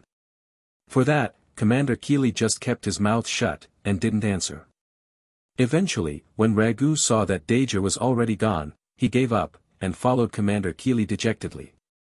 Dager arrived at level 3 for the third time in a few hours, and saw something that looked simple, but for some reason he would remember that for the rest of his life. General Di was facing Jabba the Hutt, who wasn't sleeping anymore. Their faces were centimeters away from each other. Despite that, the Hutt didn't try to call his guards or do anything. In fact, he hasn't spoken a word, neither tried to wake up the dozens of sleeping bounty hunters. The reason for that was the lightsaber that was between his and General Di's face. The small eyes of the Hutt were squinted so hard that they were almost closed, and he was sweating profusely. It was possible to see the fear in his face. Dager couldn't see General Di's face because he had his back turned to him, but he appeared to be talking. Jabba's face twisted, and he used his worm-like tail to grab something behind him. When he presented it, General Di used the force to pick up the lightsaber and put it on his belt. After that he said something else, and retreated slowly, always facing the Hutt. Chapter 97 General Di watched the backs of the clones, and nodded to his Padawan, who followed them reluctantly. To tell the truth, Ima-Gun Di was really worried about his Padawan. The boy had just arrived, a fresh apprentice, but was kidnapped by some bounty hunters for reasons that were still unknown. His confidence had suffered a huge blow, and General Di knew that if he didn't fix that, the young Padawan could, and would, lose all his fighting spirit and motivation. Because of that, when Ragu said he needed to get his lightsaber back, General Di readily agreed. He understood how important a lightsaber was to a Jedi. Not the metal part of it, but the true soul and heart of the lightsaber, the Kyber crystal, that was the important bit. A broken lightsaber could still be fixed or switched on the condition that the crystal was still intact. General Di himself had lost a couple lightsabers during his life. But as the crystal was destroyed, a Jedi could never get another. The connection between a Jedi and his lightsaber was like that, if one side of it disappeared, the other also couldn't exist. A lightsaber was more than a weapon. It was the symbol of a Jedi, the proof that he deserved his position. During their training, the younglings built a strong link with their weapon, a link that couldn't be broken. If that happened, all the pain and sorrow that the crystal and its owner felt would be turned in a strong emotion, rage, hate, madness. That emotion would be driven to the crystal, and it would suffer as if it was a living creature. When the pain was too much, the crystal would either break or change colors. In the first case, the mind of the Jedi would break together with the crystal. In the last, the crystal would turn red, and the oldest enemies of the Jedi's would be born. That was how Siths first came into being. So, General Di couldn't let that happen to Ragu. Although most probably it wouldn't get to that point, he didn't want to risk anything. He walked slowly in the room, stepping lightly in the spaces between the sleeping pirates and bounty hunters. He saw the red-skinned pigman that captured Ragu leaning on a wall, many empty bottles around him. There was no sign of the woman or the droids, but the palace was big, and they could be anywhere. He didn't want to waste time on them. He soon arrived in front of the big, sleeping, fat figure in the bed. Jabba the Hutt was snoring loudly, mucus dripping from his nose and mouth. General Di jumped over the sleeping Twi'leks, and came face to face with the crime lord. With a quiet, zoom, sound, his blue lightsaber flicked into existence, its tip only millimeters away from Jabba's face. Maybe it was the heat, maybe it was instinct, but the Hutt woke up without any help from General Di. Without opening his small eyes, he used his long tongue to sweep up and swallow the mucus and leftover food on his face. Only after that did he open his eyes, and immediately closed then again when he saw the lightsaber. His lips parted open, about to call the guards when he heard General Di's cold voice. You better not do anything. If your guards come, the first to suffer the consequences will be you. The Hutt froze, looking to the lightsaber, and then to the Jedi, and the lightsaber again. The tip of his tail twitched nervously, and his eyes showed rage. Shuru Woidio Yerik. Tuoit Harmony Jedi, Wuloa Sudi. Fatiwi. Enough. I do not speak your language, but I am sure you can understand mine. So listen carefully, Hutt. My name is Ima-Gun Di, Jedi Master. The Padawan who you imprisoned was my Padawan. Now, Jabba, try to explain to me why a Hutt Lord is kidnapping young Jedi. The Hutt said something in his language, and when he saw that General Di didn't understand him, he used his small arms to point to somewhere near him. When General Di looked over, he saw a protocol droid similar to F5, PO88. No droids. Tell me why, now. The eyes of Jabba showed some internal struggle, but he apparently gave up, and started talking the common language with difficulty. Getro. I not speak well. Hugh Faz. I not know. Tori Jurdi. He was Jedi. Jagiwi. Bounty hunter bring him, say I. Durave Yuna. Say I pay good. General Di didn't believe a word the Hutt was saying. But it was better to let things flow. He couldn't risk a conflict here. Then why didn't you contact the Republic immediately? I tried. Fura took Katya's. Sunstorm 2. Strong. Have to wait. Got you. Well. Then, Jabba, I am sure you won't mind that I take my Padawan back with me. That will free you from a lot of bureaucracy. Yui. Of course. I send someone to get him. No need. Now, Jabba, give me his lightsaber. You don't want him to be ashamed for losing his weapon, right? A dangerous glint flashed in the Hutt's eyes. After some moments of careful consideration, he eventually gave the lightsaber to General Di, who caught it using the Force. Before leaving he made sure to warn the Hutt about the consequences of capturing Jedis. Thank you, mighty Jabba. Before I take my leave, I think it is important that we make one thing clear. The Jedi Council won't allow this to happen again. So, when your bounty hunters bring their prey, make sure it is a good idea to accept it. I would hate to see you in such unfortunate circumstances again. Ignoring the rage on Jabba's face, General Di retreated slowly, always with his lightsaber pointed to his opponent. Jabba could do nothing more than swear quietly. General Di wasn't surprised to find Dager waiting for him. He knew how the troops under him thought, and already expected something like that. So, he only nodded to Dager and started running. Not much later, both of them heard the angry screams of Jabba the Hutt and started running faster. It wouldn't take long until the whole palace started chasing them. Chapter 98 After the small conversation that General Di and the crime lord had, Dager suspected that the situation at hand would get heated pretty soon. His suspicions were confirmed when the Jedi just nodded at him and immediately started to ran. Not much later, guttural screams could be heard from Jabba's chamber. In their way, General Di explained his talk with Jabba quickly and concisely, never stopping running. There was something that he said that bothered Dager, but he wasn't able to pinpoint what it was. He was lost on his thoughts, but not enough that he wouldn't pay attention to their path. So, when a guard appeared, Dager instantly fired his pistol. Even though he was running, it was difficult to miss the large frame of the pigman, and his laser opened and cauterized a hole on the left leg of the guard. The guard fell down, screaming loud enough to startle the Blixus on Scarif. It was a sorry image, but Dager showed no mercy. When they passed by the guard, Dager fired a round in his forehead, stopping his pain once and for all. In Dager's mind, an enemy eliminated was an enemy less. Showing mercy to an enemy was the same as putting his brothers and himself in danger. His way of thinking was both unique and normal at the same time. Aside from clones, only pirates and bandits would be so merciless. It was unique because for most, wounded equals to out of the fight. To the clones, however, fighting despite injuries was just normal. It wasn't uncommon for a clone to die because he insisted on fighting with injuries that should have kept him to the bed. But his thinking was also normal because there were millions of clones in the galaxy that thought just like him. If anyone heard that, or saw what happened, they would call Dager crazy or murderer.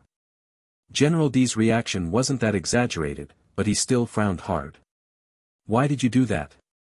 General.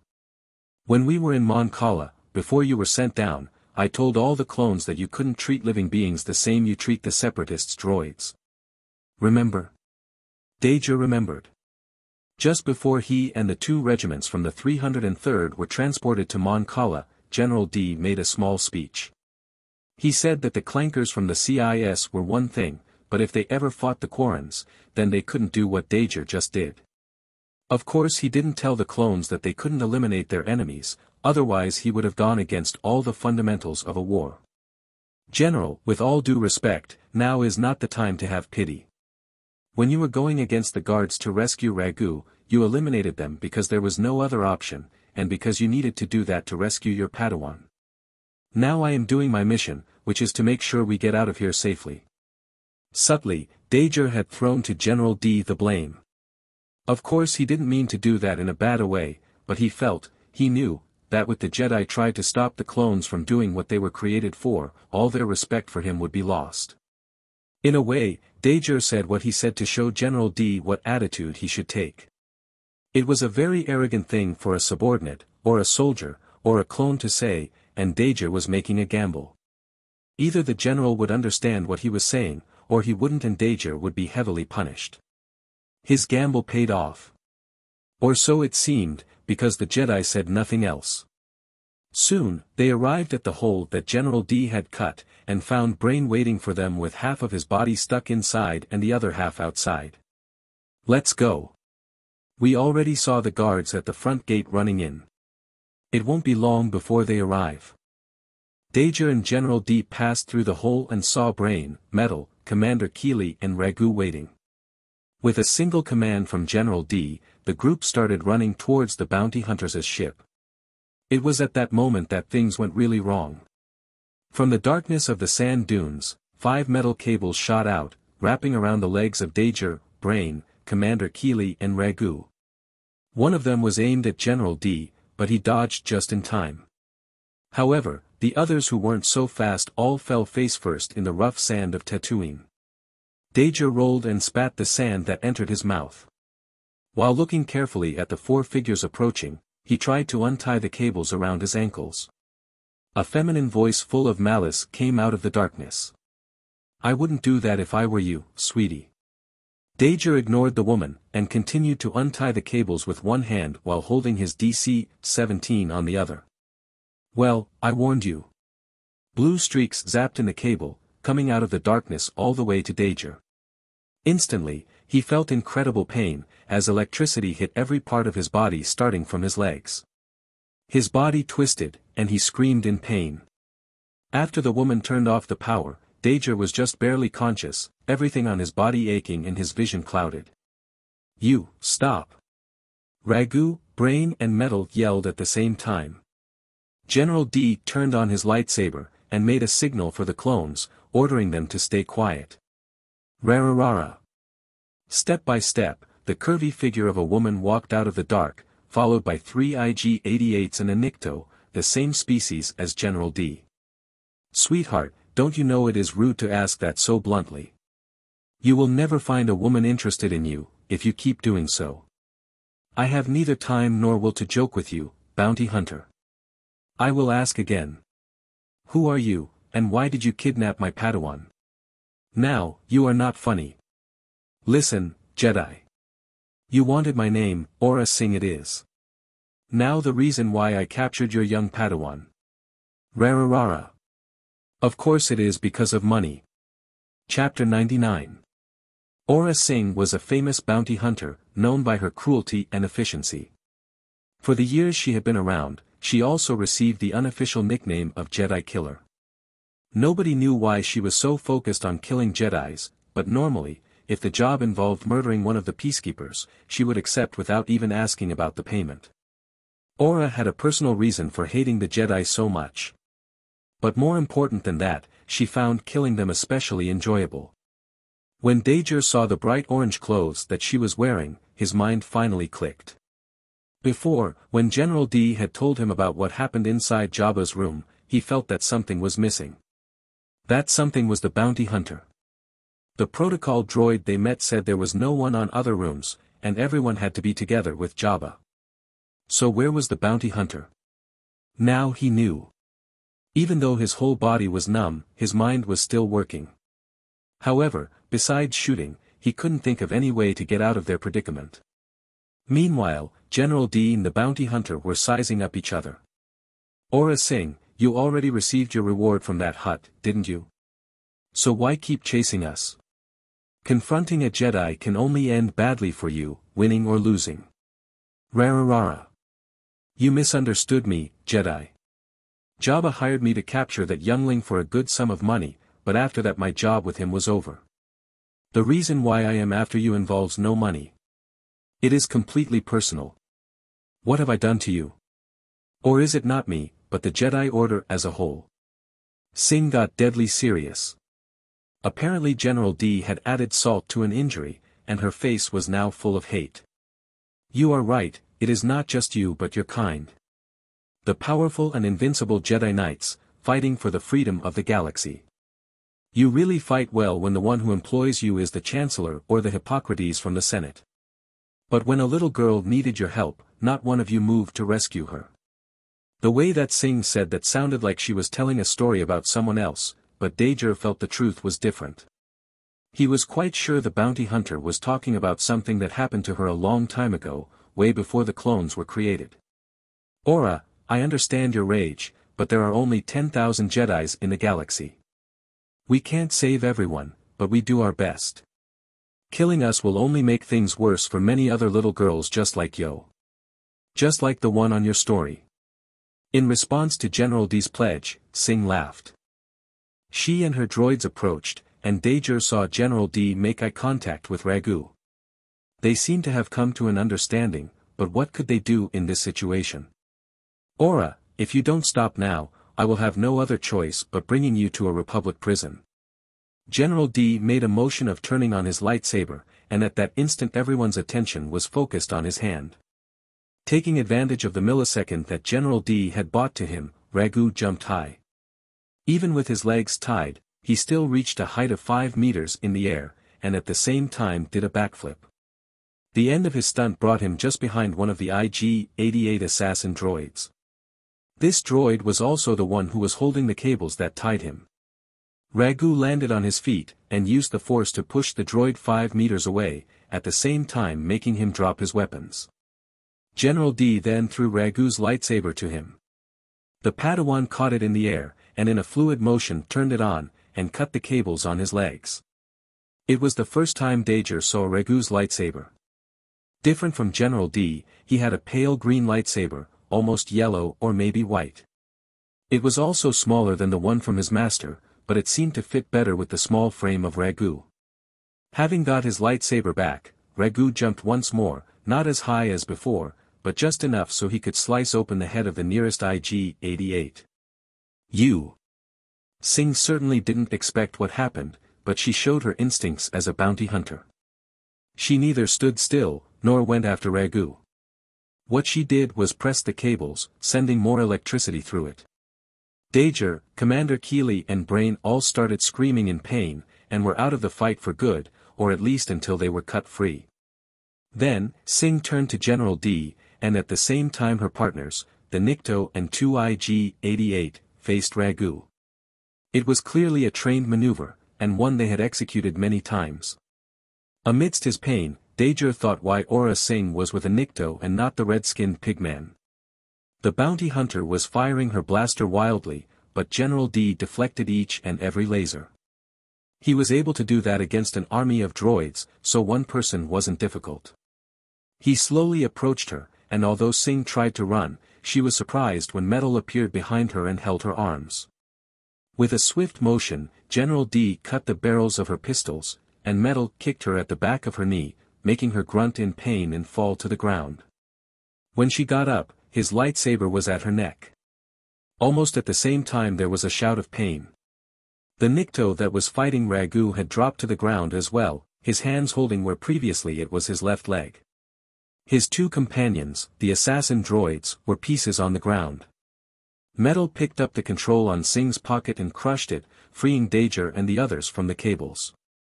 The battle which had started with them as the losing side was turned around and won so quickly that Dager was surprised.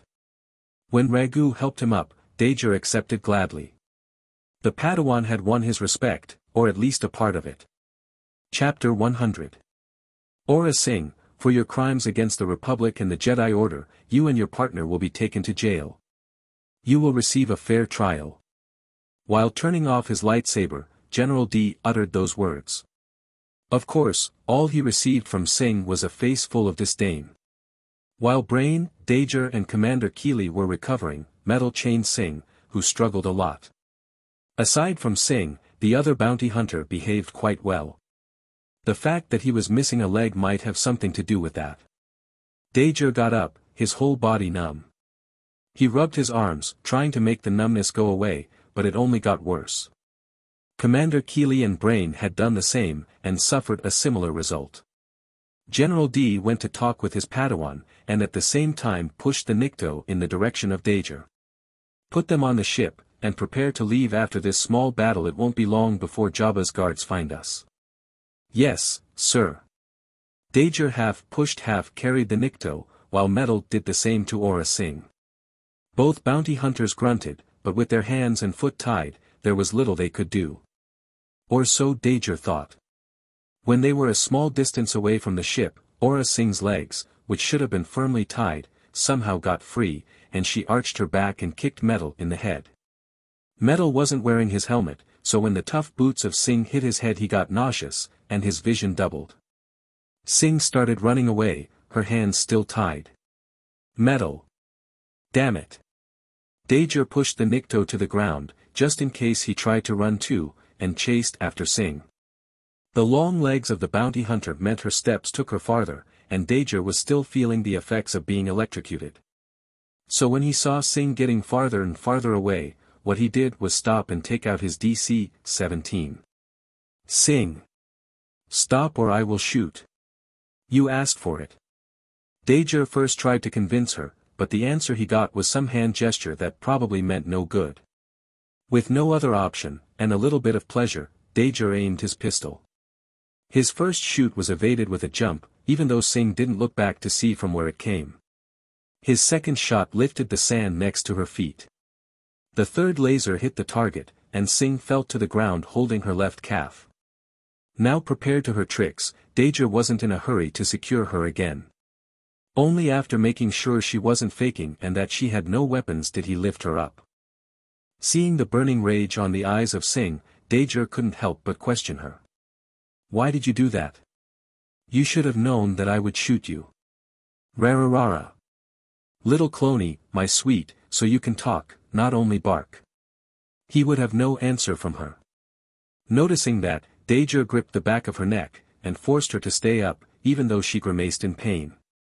Since the bounty hunter wasn't going to say anything important, Dager only had to do his job, and take her back. They weren't too far from the ship, and when the duo got back the clones were still loading the Nikto that Dager had left behind. Metal was sitting in the cargo ramp, using a piece of his old cloak to wrap his head. How bad is it, Metal? Nothing much sir. Just another tattoo, right? Good to see that you don't mind. Now, take her inside. She can't run anymore, but be careful anyway. She is a dangerous one. You bet I am. Rararara. Yes, sir. Come on, bounty hunter. Brain, General Di and Commander Keeli had already boarded the ship. The only ones still outside were Ragu, and Dager, who was waiting for the former. While the Padawan looked at Jabba's palace, Dager just stood guard dutifully. Dager, we are ready to go. General Di said to you and General Ragu get in. All right, Commander. When Commander Keeli ringed Dager, he went ahead and called the Padawan. General, General Di says it is time to go. We would better get going. There is no need to call me General, Dager. I did nothing to deserve that title. Let's go. Dager followed Ragu to the inside, and soon the ramp closed and the ship got off. It was only when the two suns appeared in the sky that Jabba called off the pursuit. Deep space. General, I've been trying to contact the fleet, but the distance is too much. If they haven't moved from our last position, then we might be able to get a recorded message to them, but not a transmission. That is all we need. Thank you, Brain. Just doing my job. General Di started recording the hologram, explaining what happened and where they should meet. Dager wasn't paying much attention, until General Di said something totally unexpected in the last sentence. I will meet you at Sector 76. Commander Keeli also noticed it, as did Brain, who was in the command center of the ship. The one who stepped out to ask was obviously the one with the higher rank, Commander Keeli. General. Did you say Sector 76? If I am not wrong, that is almost in the inner ring. That area is entirely under Republic control. What will we do there? Keeli, how long have been since the 303rd was deployed? 102 days, General. We are approaching the four months mark. If you remember, that is when we are given a period of rest. General Di was right. According to the decisions made by the Senate, if the Clone Wars were to last more than four months, then all the legions that took part on it since the first battle would have two weeks of rest before being thrown back in the battlefield. Meanwhile, new and fresh legions would step out to take their place. Of course, if they were in the middle of a battle they would have to wait, but luckily that wasn't the case for the 303rd. Chapter 101 Dager went to check on their captives, who were, at the moment, being guarded by metal, and Ragu was keeping him company. Their hijacked ship didn't have any kind of prison, or cell block, so they had to make do with what they had at hand, and locked Sing and the Nikto in the same storage room the clones had used. Metal was still using his dusty armor, and it was only when Dager saw it that he realized that neither of the clones had cleaned theirs. He had to find a moment to wipe it, and also tell do others to do the same. Metal was also wearing his helmet, and his beloved Z6 was leaning on the wall just beside him. It wasn't a blaster good for guard duty, as it took some time to charge, and it also didn't have stun mode, so Metal also had Brain's DC-15S with him. The clone made a salute to Dager when he passed, straightening his back. His head injury was probably still hurting pretty badly, but he didn't make a sound. Sitting on the floor, with his legs crossed and eyes closed was Ragu. Since Commander Keeli had started calling him General, Dager and the others had followed suit. For the first few times Ragu corrected them, but after noticing that it was useless, he only gave an exasperated look. It was the same now, when Dager greeted him. General. Are you sure you don't want to go rest? Metal and I can take care of that scum. I feel no need to sleep at the moment. In fact, staying here is quite good for my training. I don't get it, General. I'm training my senses. We Jedi have ways of sensing danger, and I feel an incredible amount of it from there. The Padawan stretched his index finger and pointed it to the storage room. When Dager approached the glass window, he saw the penetrating eyes of Aurra Sing. She and the other bounty hunter were tied together, back to back, in the middle of the room. The Nikto was sleeping, and his leg, or what was left of it, was wrapped in bandages. After they got on the ship Brain had taken care of it under General Di's orders, and given him some sleep drugs. Aurra Sing, however, was awake, staring back at Dager with palpable hostility. After five seconds, Dager understood what Ragu meant. He was sure that if the bounty hunter got her hands on any of them, she would eliminate them cruelly. Taking his eyes off Sing, Dager stood beside Metal, and told him and Ragu about the news. Their reactions were different. Metal was curious and happy, but Ragu looked pensive and disappointed. Dager noticed that, but it wasn't his place to say anything. And for you, bounty hunters, a nice little prison cell is your next stop. Dager couldn't help but taunt Sing. There was something about the woman that worried him. She was facing a lifelong jail time, and yet there were times she laughed and smiled. He wasn't sure if Sing heard him or not, but her stare intensified. The following two days passed in a blink. The group had stopped at some other planets to refuel, and were about to make the final jump to Sector 76. Dager was on guard duty himself.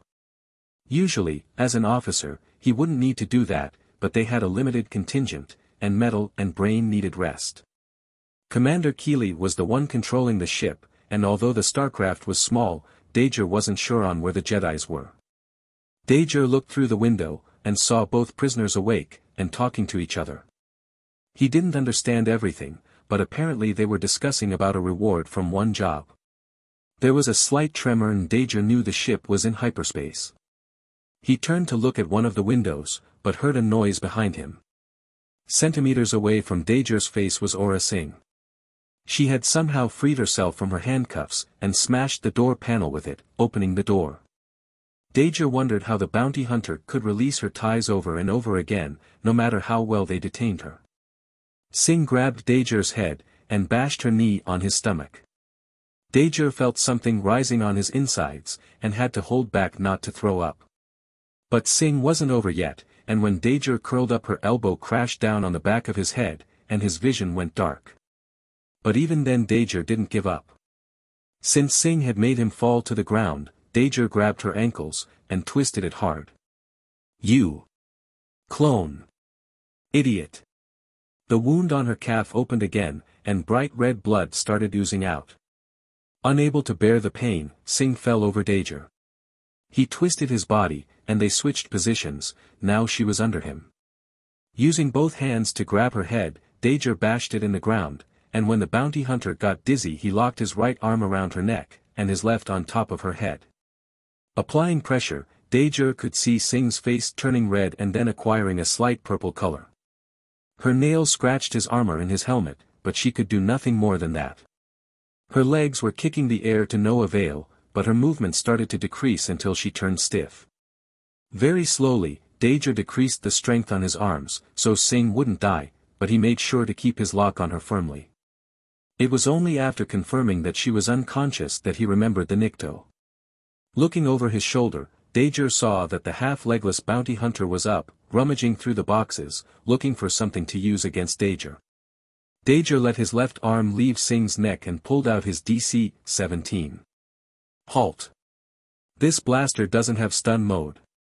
Defeated, the Nikto dropped the power tool he was holding, and sat on the floor. Commander. Sing tried to escape. I restrained her, but I would appreciate some help.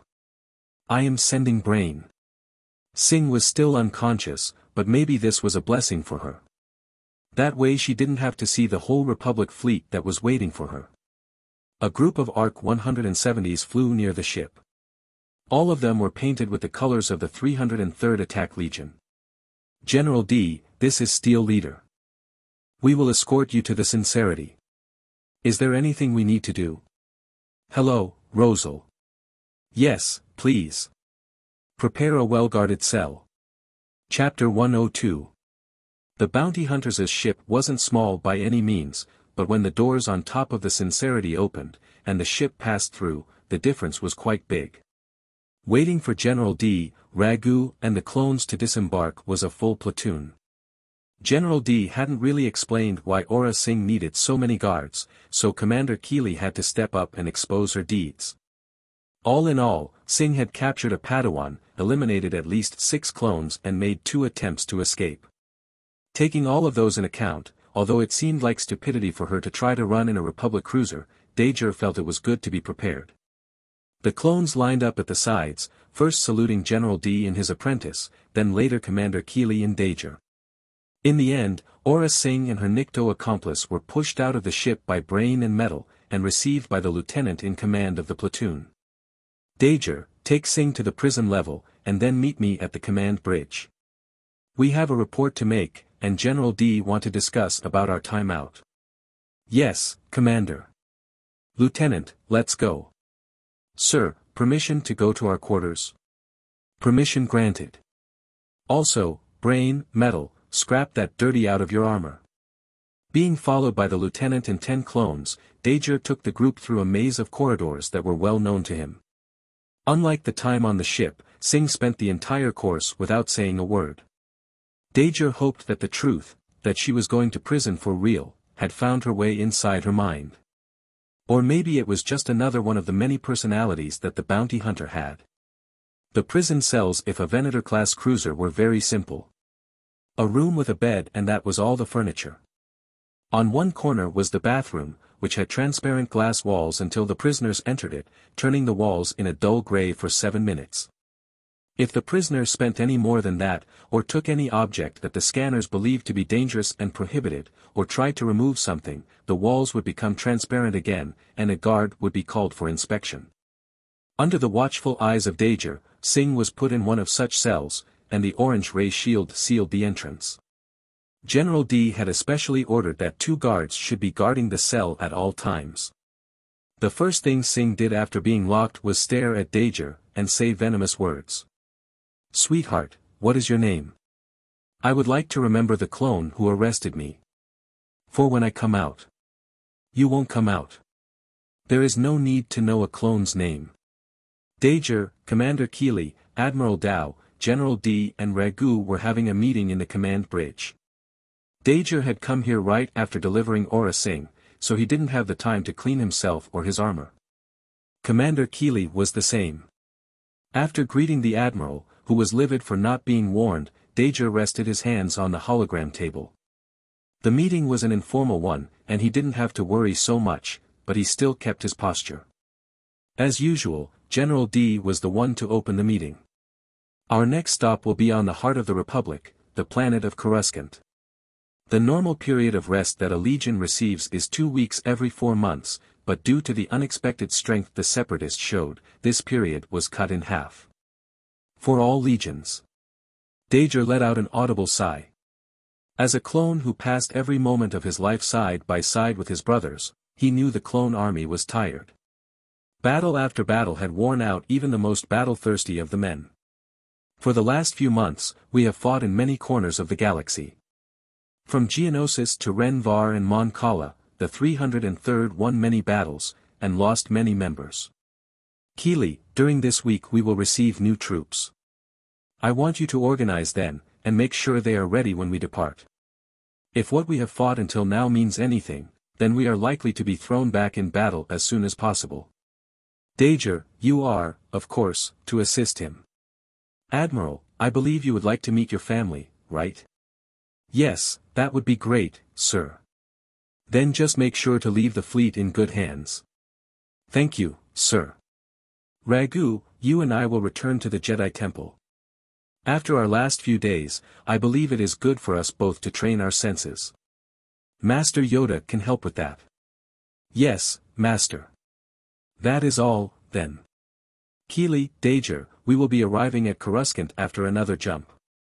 After that, Sing will be handed to the Coruscant guards, and this matter will be officially out of our hands. Make the arrangements for the disembark. Dager, you are on it. Yes, Commander. Um. General, may I speak with you? Come over here.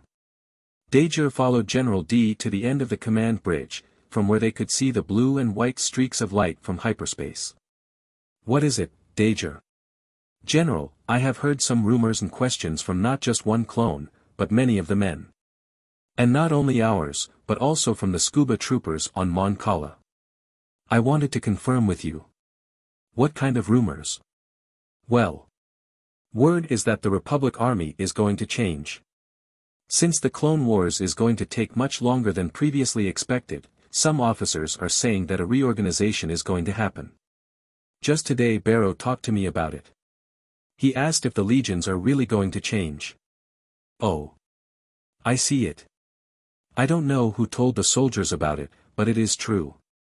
As a result of the previous battles, the Senate is voting a bill, and it is almost sure to be approved. From the moment the Senate agrees on it, a new kind of armor is going to be introduced to the clones. New recruits will come with it from Kamino, and for those soldiers who are already on the battlefield, the armor is going to be changed little by little. And about the rest of the rumors. Chapter 103 What about the other half of the rumors? What other half? It is quite weird. The officers were saying that each legion is going to receive an identity. That would be better discussed with Keeli, rather than me. He was directly involved in said rumors. Find him when you can. Now, Dager, if that is all, your men are waiting. Thank you, General. Unfortunately, Dager didn't have the chance to talk with Commander Keeli. The logistics of a disembark like the one they would do were almost as difficult and complex as the ones for an invasion. First of all, money. Clones didn't receive payment or salary, but all their expenses were covered by the Republic, within a certain range, of course. Dager had to make sure all the clones had what they needed. Obviously, when he said, he needed, he meant the officers under him needed. Advantages of being a sub-commander. Second and most important, Dager had to oversee the transfer of the wounded.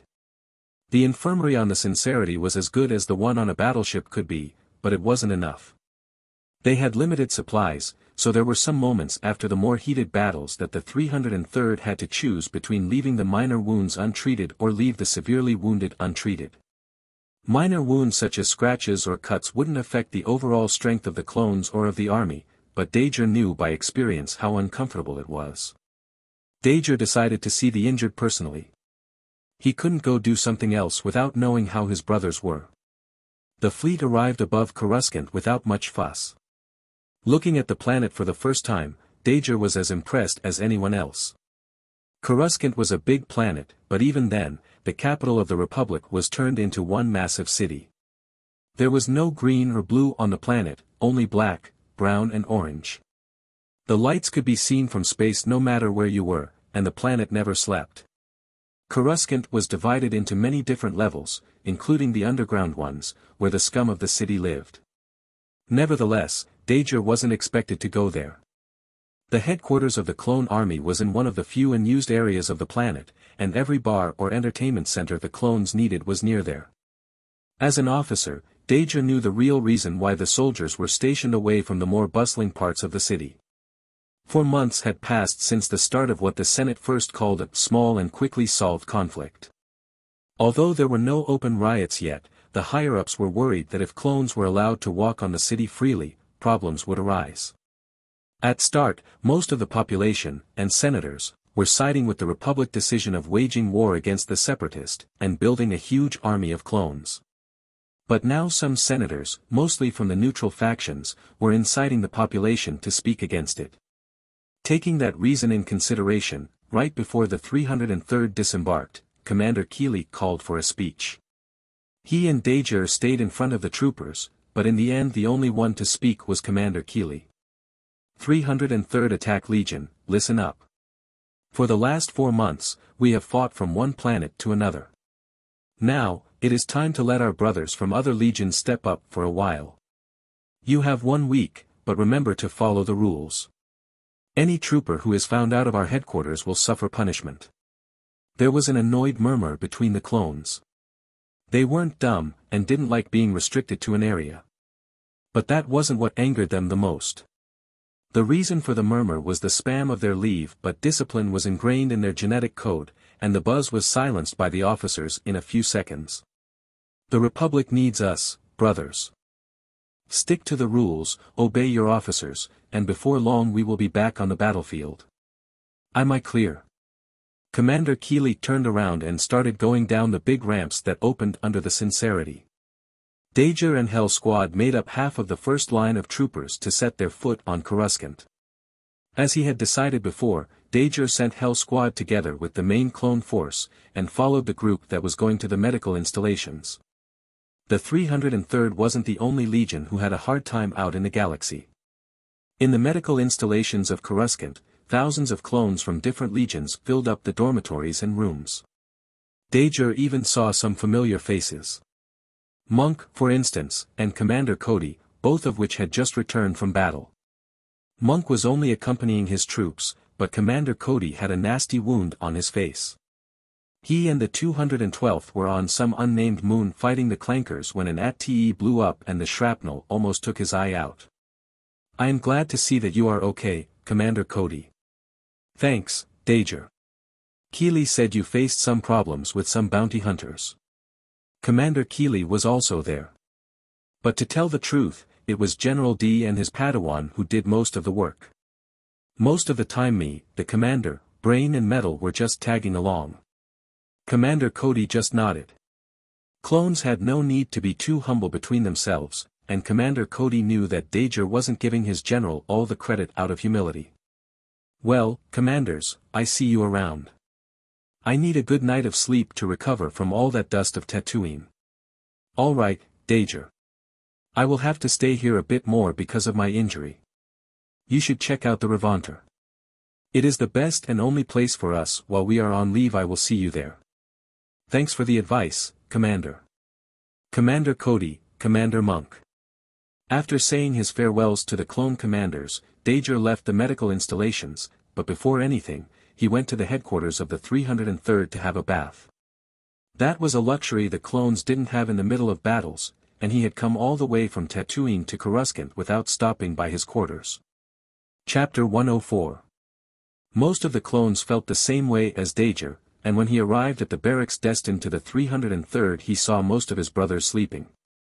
Only a few had gone to explore the surrounding bars, most of them being those who were idle before they arrived at Coruscant. After taking a much-deserved bath, Dager dropped at his bed without trading words with anyone. Maybe because he was too tired, that was the first time in months that he slept without having the usual nightmares. Dager woke up with Cell tapping his shoulder. Um. What is it? Wah. It took some time for him to fully wake up, but after washing his face he became smart enough to understand what Cell wanted. Sir, Hell Squad requesting permission to go to Revanter. You are in leave, Cell. Unless you are about to do something really stupid or really important, there is no need to request permission. But since you woke me, I will go too. That is good. Barrow and Frit already went there, and they say it is awesome. Besides, everything is on the Republic. There was one time when Dab and I were cadets that our squad got the chance to go to a bar during a visit to the moon of Kamino. We want to see how it is here. Alright, alright. You are behaving like you are a cadet again. Cell laughed freely, not ashamed at all. After all, although they joked about it, they had been in life and death situations one after another. No matter how good they were, the chances of they dying on some random planet weren't small. I assume everyone is coming. Yeah. Then, Hell Squad, let's get going. There was a happy, hurrah. Amongst Hell Squad, and they boarded a transport that would take them to the Revanter. They had all traded their armors for the loose brown cloths that represented the 303rd. Dager at first was in doubt between using his old, soldier rank clothes or the new, almost commander-like clothes. In the end he decided for the old ones. Clones had discipline on their blood, and if they knew he was an officer they wouldn't fully enjoy themselves. The transport arrived quickly, and contrary to what Dager thought previously, what waited for them was a bustling area of the city. The majority of the people he saw were clones, but there were also Mon Calamarians, Twi'leks, Niktos, Togrutas, Celestians, and dozens of other alien species that Dager didn't recognize. The Revanter was pretty easy to find, and Hell Squad only had to follow the stream of clones. Many of the men of the 303rd Attack Legion were there, but Dager also recognized the uniforms of the Scuba Troopers, the 212th Attack Battalion, the 327th Star Corps and the 41st Elite Corps. Those were basically all the legions that were able to leave the battlefield that was the Outer Rim. Hell Squad also met a good number of Coruscant Guard troopers, wearing their red-striped armor. As they approached the Revanter, the music got louder and louder, and the noise of laughs drifted towards them. Soon, Dager saw clones carrying bottles and glasses, and some of them were so drunk they couldn't even walk normally. Dager frowned when he saw some of the 303rd members amongst them. Sir, should I go? No need, Brain. We are on leave, and the men are stressed. Just make sure none of them break the rules, or they will be dealt with as Commander Keeli said, alright? And I hope I don't see Hell Squad amidst them, or you will face my punishment. Okay, Cell. Why did you line me up, sir? Do I look like I would do something like that? I am more serious than Dab and 3-4. Cell put one arm around the shoulders of each of the clones he mentioned, and both 3-4 and Dab immediately pushed him, making him trip. Ha ha ha ha ha ha. Okay, okay. Let's get something to eat and drink, boys. The inside of the bar was even bigger than Dager thought, easily able to accommodate hundreds of clones. Hell Squad went to the counter, and ordered a couple of drinks. Hey! A sharp voice called for Dager. When he looked up he saw a clone with no armor waving to him. It took a while for him to remember who he was. Dager grabbed his drink and nodded to Hell Squad, to indicate he was going. Lieutenant Thayer. I haven't seen you since Geonosis.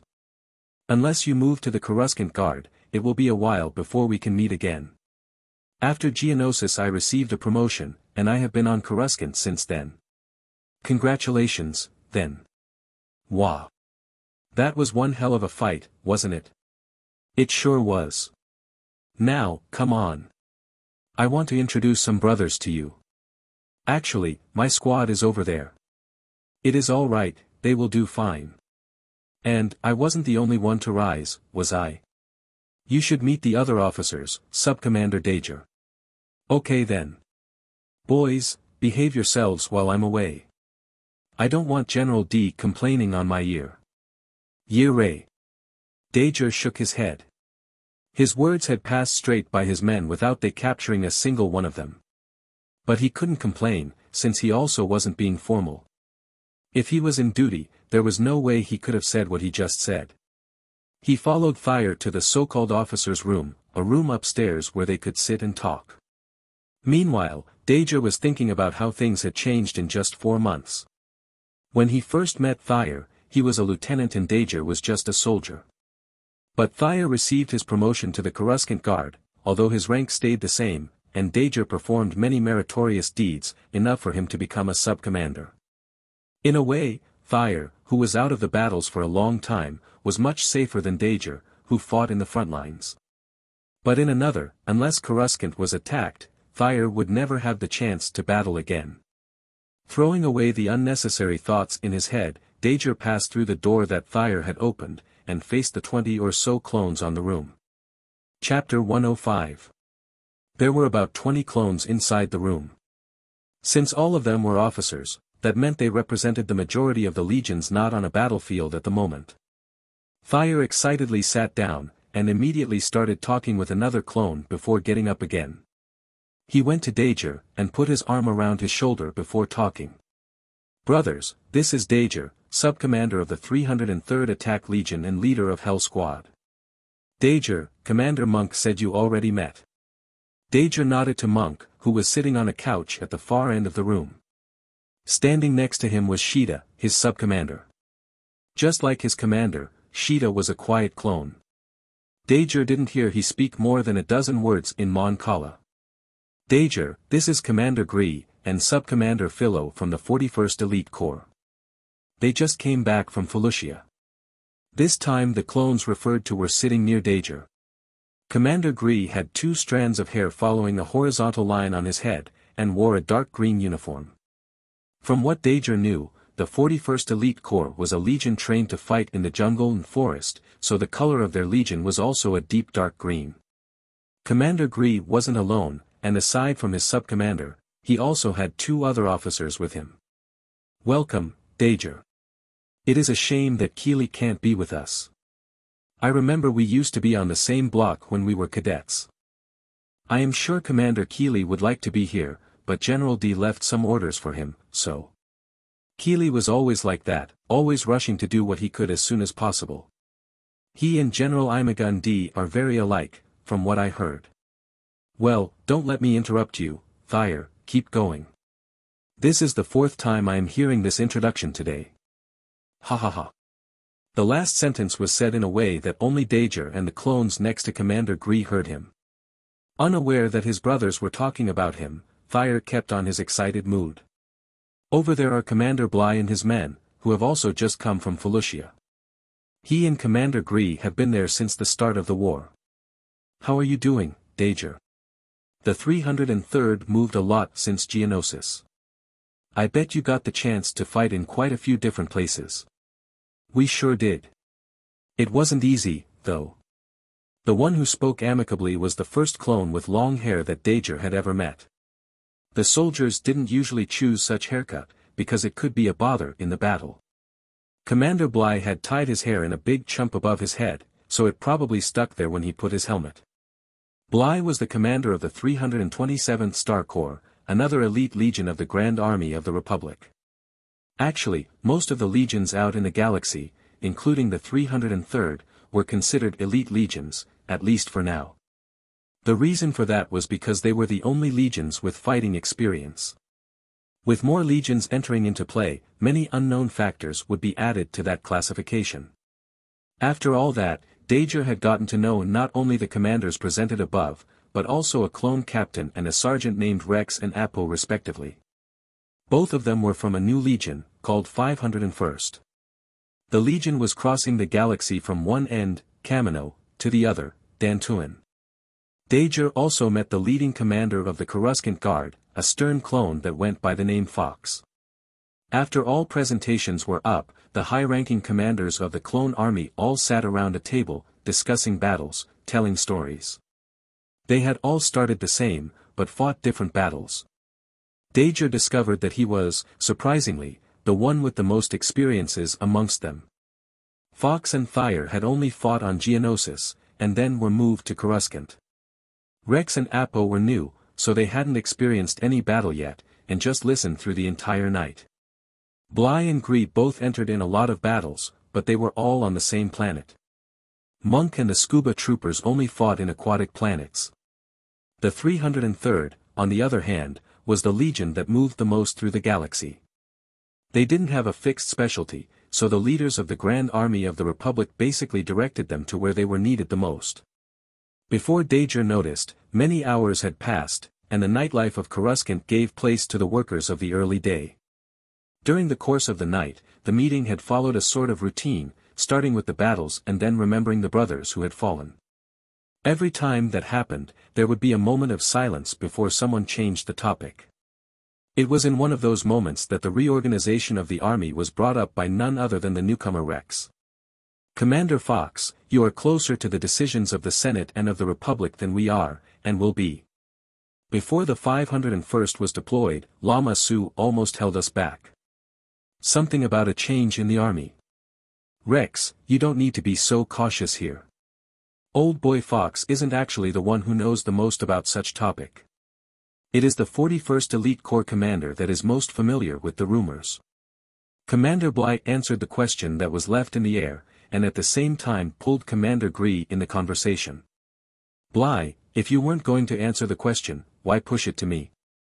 See. Even Fox is laughing. I think the only time I saw that happen was when we were cadets, and even now I am not sure if he wasn't sneezing. Burua. Ha ha ha ha ha. The clones had gotten to know each other enough, and drank enough, that they laughed without restraint. Bly almost spilled his drink, and Dager had a hard time containing his laugh. And, also, don't act like you know nothing about that. You, I, Fox, Keeli, Bacara, Cody, Monk and Wolf were the ones that pushed this proposition forward. The 41st is only testing it first. Dager was lost. He knew what they were talking about, but many new details had been added at once. The commanders that Gree quoted were the most important of the Republic, and they all had moved together to convince the higher-ups.